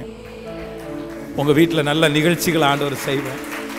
உங்களுடைய பாத்திரத்தை ஆண்டவர் நிரம்பி வழிய பண்ணுவேன். ஸோ உங்களுடைய மரத்தை கத்தர் வளர பண்ணுவார். நீங்கள் ரொம்ப ஆசீர்வாதமாக இருப்பீங்க. அந்நியர்களுக்கு ஆசீர்வாதமே இருக்குது. உலகத்தானுக்கு ஆசீர்வாதம் இருக்குது. அவருடைய பிள்ளைகளாக இருக்கிற உங்களையும் என்னையும் அவர் எப்படி கைவிட்டுருவார்? கண்டிப்பாக கைவிடவே மாட்டார். ஸோ உங்களுடைய இருதயம் கலங்காதிருப்பதாக உங்களுடைய இருதயம் கலங்காதிருப்பதாக ஏதோ ஒரு காரியத்தை குறித்து ரொம்ப கலக்கத்தோடு உங்கள் இருதயம் என்ன ஆண்டவர் உங்களை பார்த்து சொல்கிறாரு நீ ஏன் கலங்குகிறாய்? ஏன் நீ கலங்குற? பார்த்துக்கலாம். ஒன்றும் வராது. ஒன்றும் வராது. இதுவரையிலும் நடத்தின தேவன் இனியும் உங்களை கண்டிப்பாக நடத்தி செல்லுவார். ஹalleluya எத்தனை பேர் ஆமோதிக்கிறீர்கள்? இப்போ நான் சொல்ல போகிறேன் என்ன சொல்ல போகிறேன் நீர் அண்டவரே ஹண்ட்ரட் பர்சன்ட் யாரை நம்புகிறேன் அப்படின்னு சொன்னேன் இந்த யுத்தத்தை யார் பண்ண போகிறா அப்படின்னா எனக்காக யார் என்னை ஆசீர்வதிக்க போகிறார் அப்படின்னா நீங்கப்பா நீங்கப்பா நீங்கப்பா. டூ தௌசண்ட் ரெண்டாயிரம் இன்னை வருகிற இந்த ஜூன் மாதம் பதினாறாம் தேதி என்னுடைய இருபத்தி நாலாவது வருஷம் ஊழியத்தில் முடிஞ்சு இருபத்தஞ்சாவது வருஷத்தில் காலடி எடுத்து வைக்கிறேன். டுவெண்ட்டி ஃபைவ் இயர்ஸ் ரொம்ப சின்ன வயசுலேயே ஊழியத்துக்கு வந்துட்டேன். ஸோ பதினஞ்சு வயசுலேயே வீட்டை விட்டேன். வரும்போது எங்கள் பாஸ்டர் வந்து ஒரு பெட்டி வாங்கி கொடுத்தாரு ஒரு சுட்கேஸ் அந்த சுட்கேஸ்க்குள்ளே வச்சது வந்து என்னுடைய இடுப்புக்கு பத்தாத பேண்ட்டு ரொம்ப லூஸான பேண்ட் ஏன் அப்படின்னா எங்கள் ஊரில் இருக்கிற பணக்காரங்க எல்லாம் அவங்க போட்ட பேண்ட் எனக்கு தான் கொடுப்பாங்க. ஸோ பெல்ட் வாங்க முடியாதுன்றதுக்காக ஒரு கயிறு. ஸோ பழைய ரெண்டு மூணு சட்டை. ஒரே ஒரு புது சட்டை. நானாக செங்கல் சுலைக்கு போய் வாங்கி போய் அப்படியே சந்தோஷமாக அன்னைக்கு வந்து எனக்கு ஒரு முப்பத்தி எட்டு தான் சைஸ் இருக்கும். அன்னைக்கே நாற்பத்தி ரெண்டு சைஸுக்கு வாங்கின அந்த சட்டையை. கடைக்காரரே கேட்டார் இது உனக்கா உங்கள் அப்பாவுக்கா? அப்படின்னு கேட்டு எனக்கு தான் அப்படின்னு. ஏ இவ்வளோ பெரிய சட்டை வாங்குற? அப்படின்னு கேட்டார். இல்லை நான் வளருவேன் இல்லை போடுறதுக்கு அப்படின்னு. ஸோ வாழ்க்கையிலே ஃபஸ்ட்டு முதல் முதல்ல ஒரு சட்டை புதுசாக வாங்குகிறோம் சின்னதாக வாங்கிடக்கூடாது. நம்ம வளருவோம் வளர வளர போடணுன்றதுக்காக வாங்கினேன். ஸோ அந்த சட்டையோட எங்கள் அப்பா ஒரு பக்கத்தில் திட்டுறாரு நீ எல்லாம் பிச்சை தான் எடுப்ப நீ திரும்பி வந்துடாத அப்படியே போயிரு. நீ என்கிட்ட உதவின்னு மட்டும் வந்து நிற்காத அப்படின்றாங்க. எங்கள் அம்மா கையை பிடிச்சி அழுறாங்க. ஏப்பா ஒரு மூணு வருஷம் இருந்துட்டு போனேன்னா அந்த கடனெல்லாம் முடிச்சிடலாம்ல இப்படியே ஊழியத்துக்குன்னு போறியே அப்படின்னு. எங்கள் அம்மாவுடைய கண்ணீரை ஒரு நாள் நான் வடிக்க வச்சதில்லை. இந்த ஃபஸ்ட் டைம் எங்கள் அம்மா எனக்காக கண்ணீர் வடிக்கிறாங்க. சரி ஆனாலும் ஆண்டவருக்காக தானே அப்படின்னு நினச்சிட்டு எப்படி பண்ணுவேன் எப்படி படிப்பேன் எங்கே போவேன் என்னுடைய எதிர்காலம் என்ன இருக்குது? ஊழியம்னா என்ன?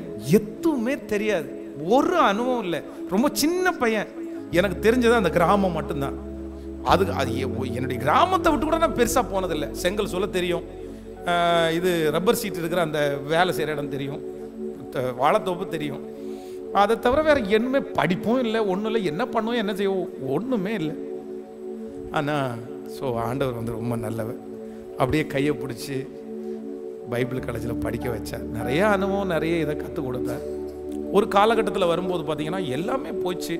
நம்பிக்கையும் போச்சு விசுவாசமும் போயிடுச்சு ஒரு காலத்தில் பயங்கரமான ஃபெய்த்து வீட்டை விட்டு பெட்டியை எடுக்கும்போது எங்கள் அப்பா திட்டுனாலும் எங்கள் அப்பாட்ட இதை பாருங்கப்பா திரும்பி எல்லாம் வந்துடுவேன்னு நினச்சிடாதீங்க. பிச்சை எடுத்தால் கூட திரும்பி வர மாட்டேன் என் ஆண்டவர் என்னை வாழ வச்சா வைக்கட்டும். சாகடிச்சா சாகடிக்கட்டும். உங்கள்கிட்ட வந்து பணத்துக்காக நிப்பேன்னு நினைக்காதீங்க அப்படின்னு சொல்லிட்டு பயங்கரமாக சவால் விட்டுட்டு அப்படி வீட்டை விட்டு கிளம்பினவன். ஆனால் ஒரு காலகட்டத்தில் ஊழியத்துக்கு வந்து படித்து முடிச்சுட்டு ஊழியக்காரன் ஆனதுக்கு அப்புறம் திடீர்னு மனநிலைமை பாதிக்கப்பட்டு பைத்தியம் மாதிரி ஆயிட்டேன். எனக்கு நினைவே தப்பிருச்சு. என்ன பண்ணுவேன்னு எனக்கு தெரில தூக்கம் சுத்தமாக போயிருச்சு. வாழ்வேன்ற நம்பிக்கை கொஞ்சம் கூட இல்லை. விசுவாசமும் கொஞ்சம் கொஞ்சமாக குறைய ஆரம்பிச்சிருச்சு. இனி எப்படி ஊழியம் செய்ய போறோம்னா என்ன? அது ஒரு பெரிய கலக்கம். ஆனாலும் திரும்பவும் ஆண்டவர் ரொம்ப அழகா கையை தூக்கி ஸோ கொண்டு வந்து உருவாக்கி இப்போதான் தெரியுது. ஏன் அதெல்லாம் அனுமதிச்சார் அப்படின்னா என்னமோ நிறைய பேர் ஆயத்தப்படுத்தணுன்ற பிளான் எனக்கு இல்லாட்டாரும் என்னை குறித்து அவருக்கு இருந்திருக்கு. அதனால தான் இன்னைக்கு உங்கள் முன்னாடி நான் நின்றுட்டு இருக்கிறேன். எதுக்குமே கவலைப்படாதீங்க. எதை குறித்தும் யோசிக்காதீங்க. உங்கள் வாழ்க்கையில் நடக்கிறதெல்லாம் கண்டிப்பாக தீமைக்கு நடக்காது நன்மைக்கு மட்டும்தான் நடக்கும். நீங்கள் விழுந்தாலும் நன்மைக்கு நீங்கள் எழுந்தாலும் நன்மைக்கு உங்களை அவமானப்படுத்தினாலும் நன்மைக்கு உங்களை குறித்து கேவலமாக திட்டினாலும் நன்மைக்கு நீங்க கற்பனை பண்ணது நடந்தாலும் நன்மைக்கு நடக்கலனாலும் நன்மைக்கு அன்றியும் அவருடைய தீர்மானத்தின்படி அழைக்கப்பட்டவர்களாகிய தேவனிடத்தில் அன்பு கூறுகிறவர்களுக்கு சகலமும் சகலமும் சகலமும் சகலமும் நன்மைக்கு ஏதுவாகவே நடக்குது.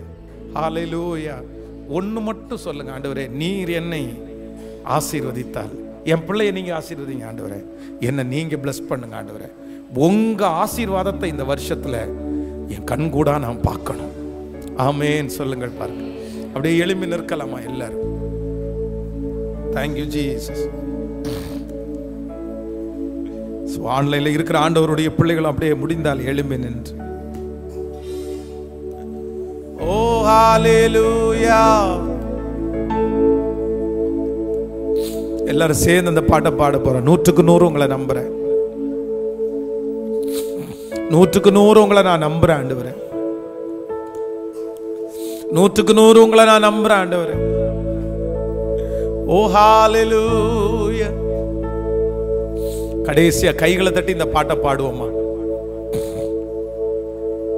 மனுஷன் முன்னாடி என்ன தலகுனிய வைக்க மாட்டீங்கன்னு நான் நம்புறேன் ஆண்டவரே. என்னை வெட்கப்படுத்த விட மாட்டீங்கன்னு நான் நம்புகிறேன் ஆண்டவரே. கைகளை தட்டி எல்லாரும் பாடி நன்றி ஆண்டவரே நன்றி.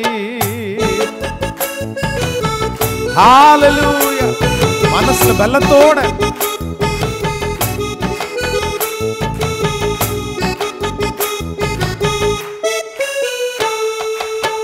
நூற்றுக்கு நூறு.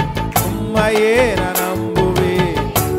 புதம் செய்திடுங்க அதிசயம் நடத்தி நூற்றுக்கு நூறு உம்மையே நான் நம்புவேன். புதம் செய்திடுங்க அதிசயம் நடத்திடுங்க மனிதர்கள் முன்பாக தலை குறிந்து போகாமல் உதவி செஞ்சிடுங்க உயர்த்தி வச்சிடுங்க. மனிதர்கள் முன்பாக தலை குறி போகாம உதவி செஞ்சிடுங்க உயர்த்தி வச்சிடுங்க. உண்மைத்தான் நான் நம்பியிருக்கேன் பலத்தோட பாடுங்க. பின்னாடி வரைக்கும். எஸ் அவர் அற்புதம் செய்ய வல்லவர். செய்யுங்கப்பா. ஆராய்ந்து முடியா அதிசயங்கள் செய்பவரே. அற்புதம் செய்திடுங்க அதிசயம் நடத்திடுங்க ஆராய்ந்து முடியாத அதிசயங்கள் அற்புதம் செய்திடுங்க அதிசயம் நடத்திடுங்க. ஐ- நன்மைகளை தருவேன் என்று சொன்னீரே இன்றைக்கு தந்திடுங்க இப்பவே தந்திடுங்க. நன்மைகளை தருவேன்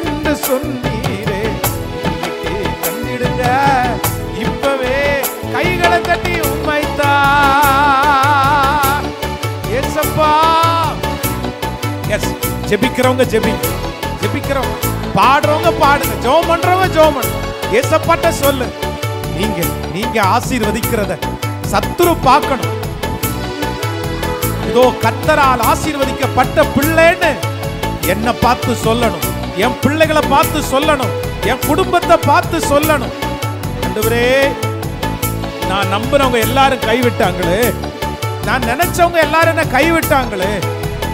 எத்தனை எத்தனை சத்துருக்கள் எத்தனை மனிதர்கள்? ஆனா அந்த மனிதர்களுக்கு முன்பாக வெட்கப்பட்டு போகாதபடி அப்பா! கைகளை உயர்த்தி இயேசுவேன்னு சொல்லி எஸ் அவருடைய பிரசன்னம். இந்த சத்தத்தை கேட்டுக்கொண்டிருக்கிற ஒவ்வொருவர் மேலும் கத்தருடைய பிரசன்னம். மனுஷங்க முன்னாடி தலை குனிஞ்சு போகாதபடி இப்பொழுது ஒரு அற்புதம் நடக்கட்டும் அப்பா. எல்லாம் உம்மாலே வருகிறது. ஐஸ்வர்யமும் கனமும் உம்மாலே வருகிறது. தேவரே சகலத்தையும் ஆளுகிறவர். தேவரே சகலத்தையும் ஆழ்கிறவர் சியோலின் சிறையிருப்பை திருப்பும் போது சொப்பனம் காண்கிறவர் போல இருந்தோமே. இதோ இப்போ இப்போ இப்போ. உங்க பிள்ளைகளுக்கு அந்த அற்புதம் நடப்பதாக நடப்பதாக. தேவரே நாங்கள் சிறுமைப்பட்ட நாட்களுக்கு ஓ ஹalleluya. துன்பத்தை கண்ட நாட்களுக்கு சரியாய் மகிழ்ச்சியாக்குற கர்த்தர் நித்திய மகிழ்ச்சி உன் தலையின் மேல் இருக்கும். சஞ்சலமும் தவிப்பும் உன்னை விட்டு ஓடி போகும் ஜோமனுங்க ஜோமன். இத்தாலர சம்தனரர பௌரியாக்குதல வாலிப தம்பிங்க தங்கச்சிங்க சத்தம் போட்டு ஏசப்பா பார்த்து ஆண்டவரே நீர் என்ன பிளஸ் பண்ணுங்க ஆண்டவரே. நீர் என்ன ஆசீர்வதிங்க ஆண்டவரே. நன்றியப்பா. நன்றியப்பா. நன்றி.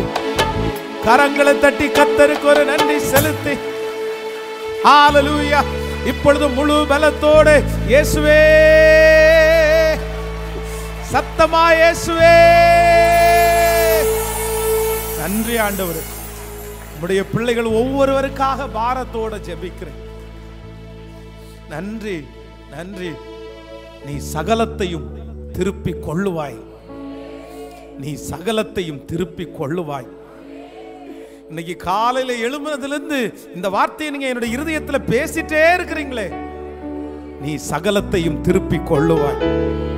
நீ ஒன்னு கூட விடாம சகலத்தையும் திருப்பி கொள்ளுவாய். நீ இழந்தது எல்லாத்தையுமே நீ திருப்பி கொள்ளுவாய்.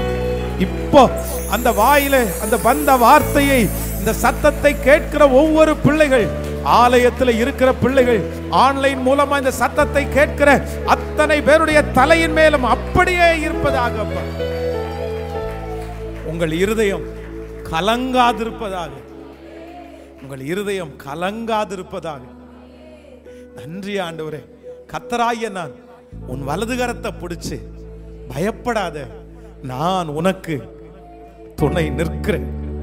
நான் உனக்கு பெரிய பலன் உனக்கு மகா பெரிய கேடகமுமாய் இருக்கிறேன்.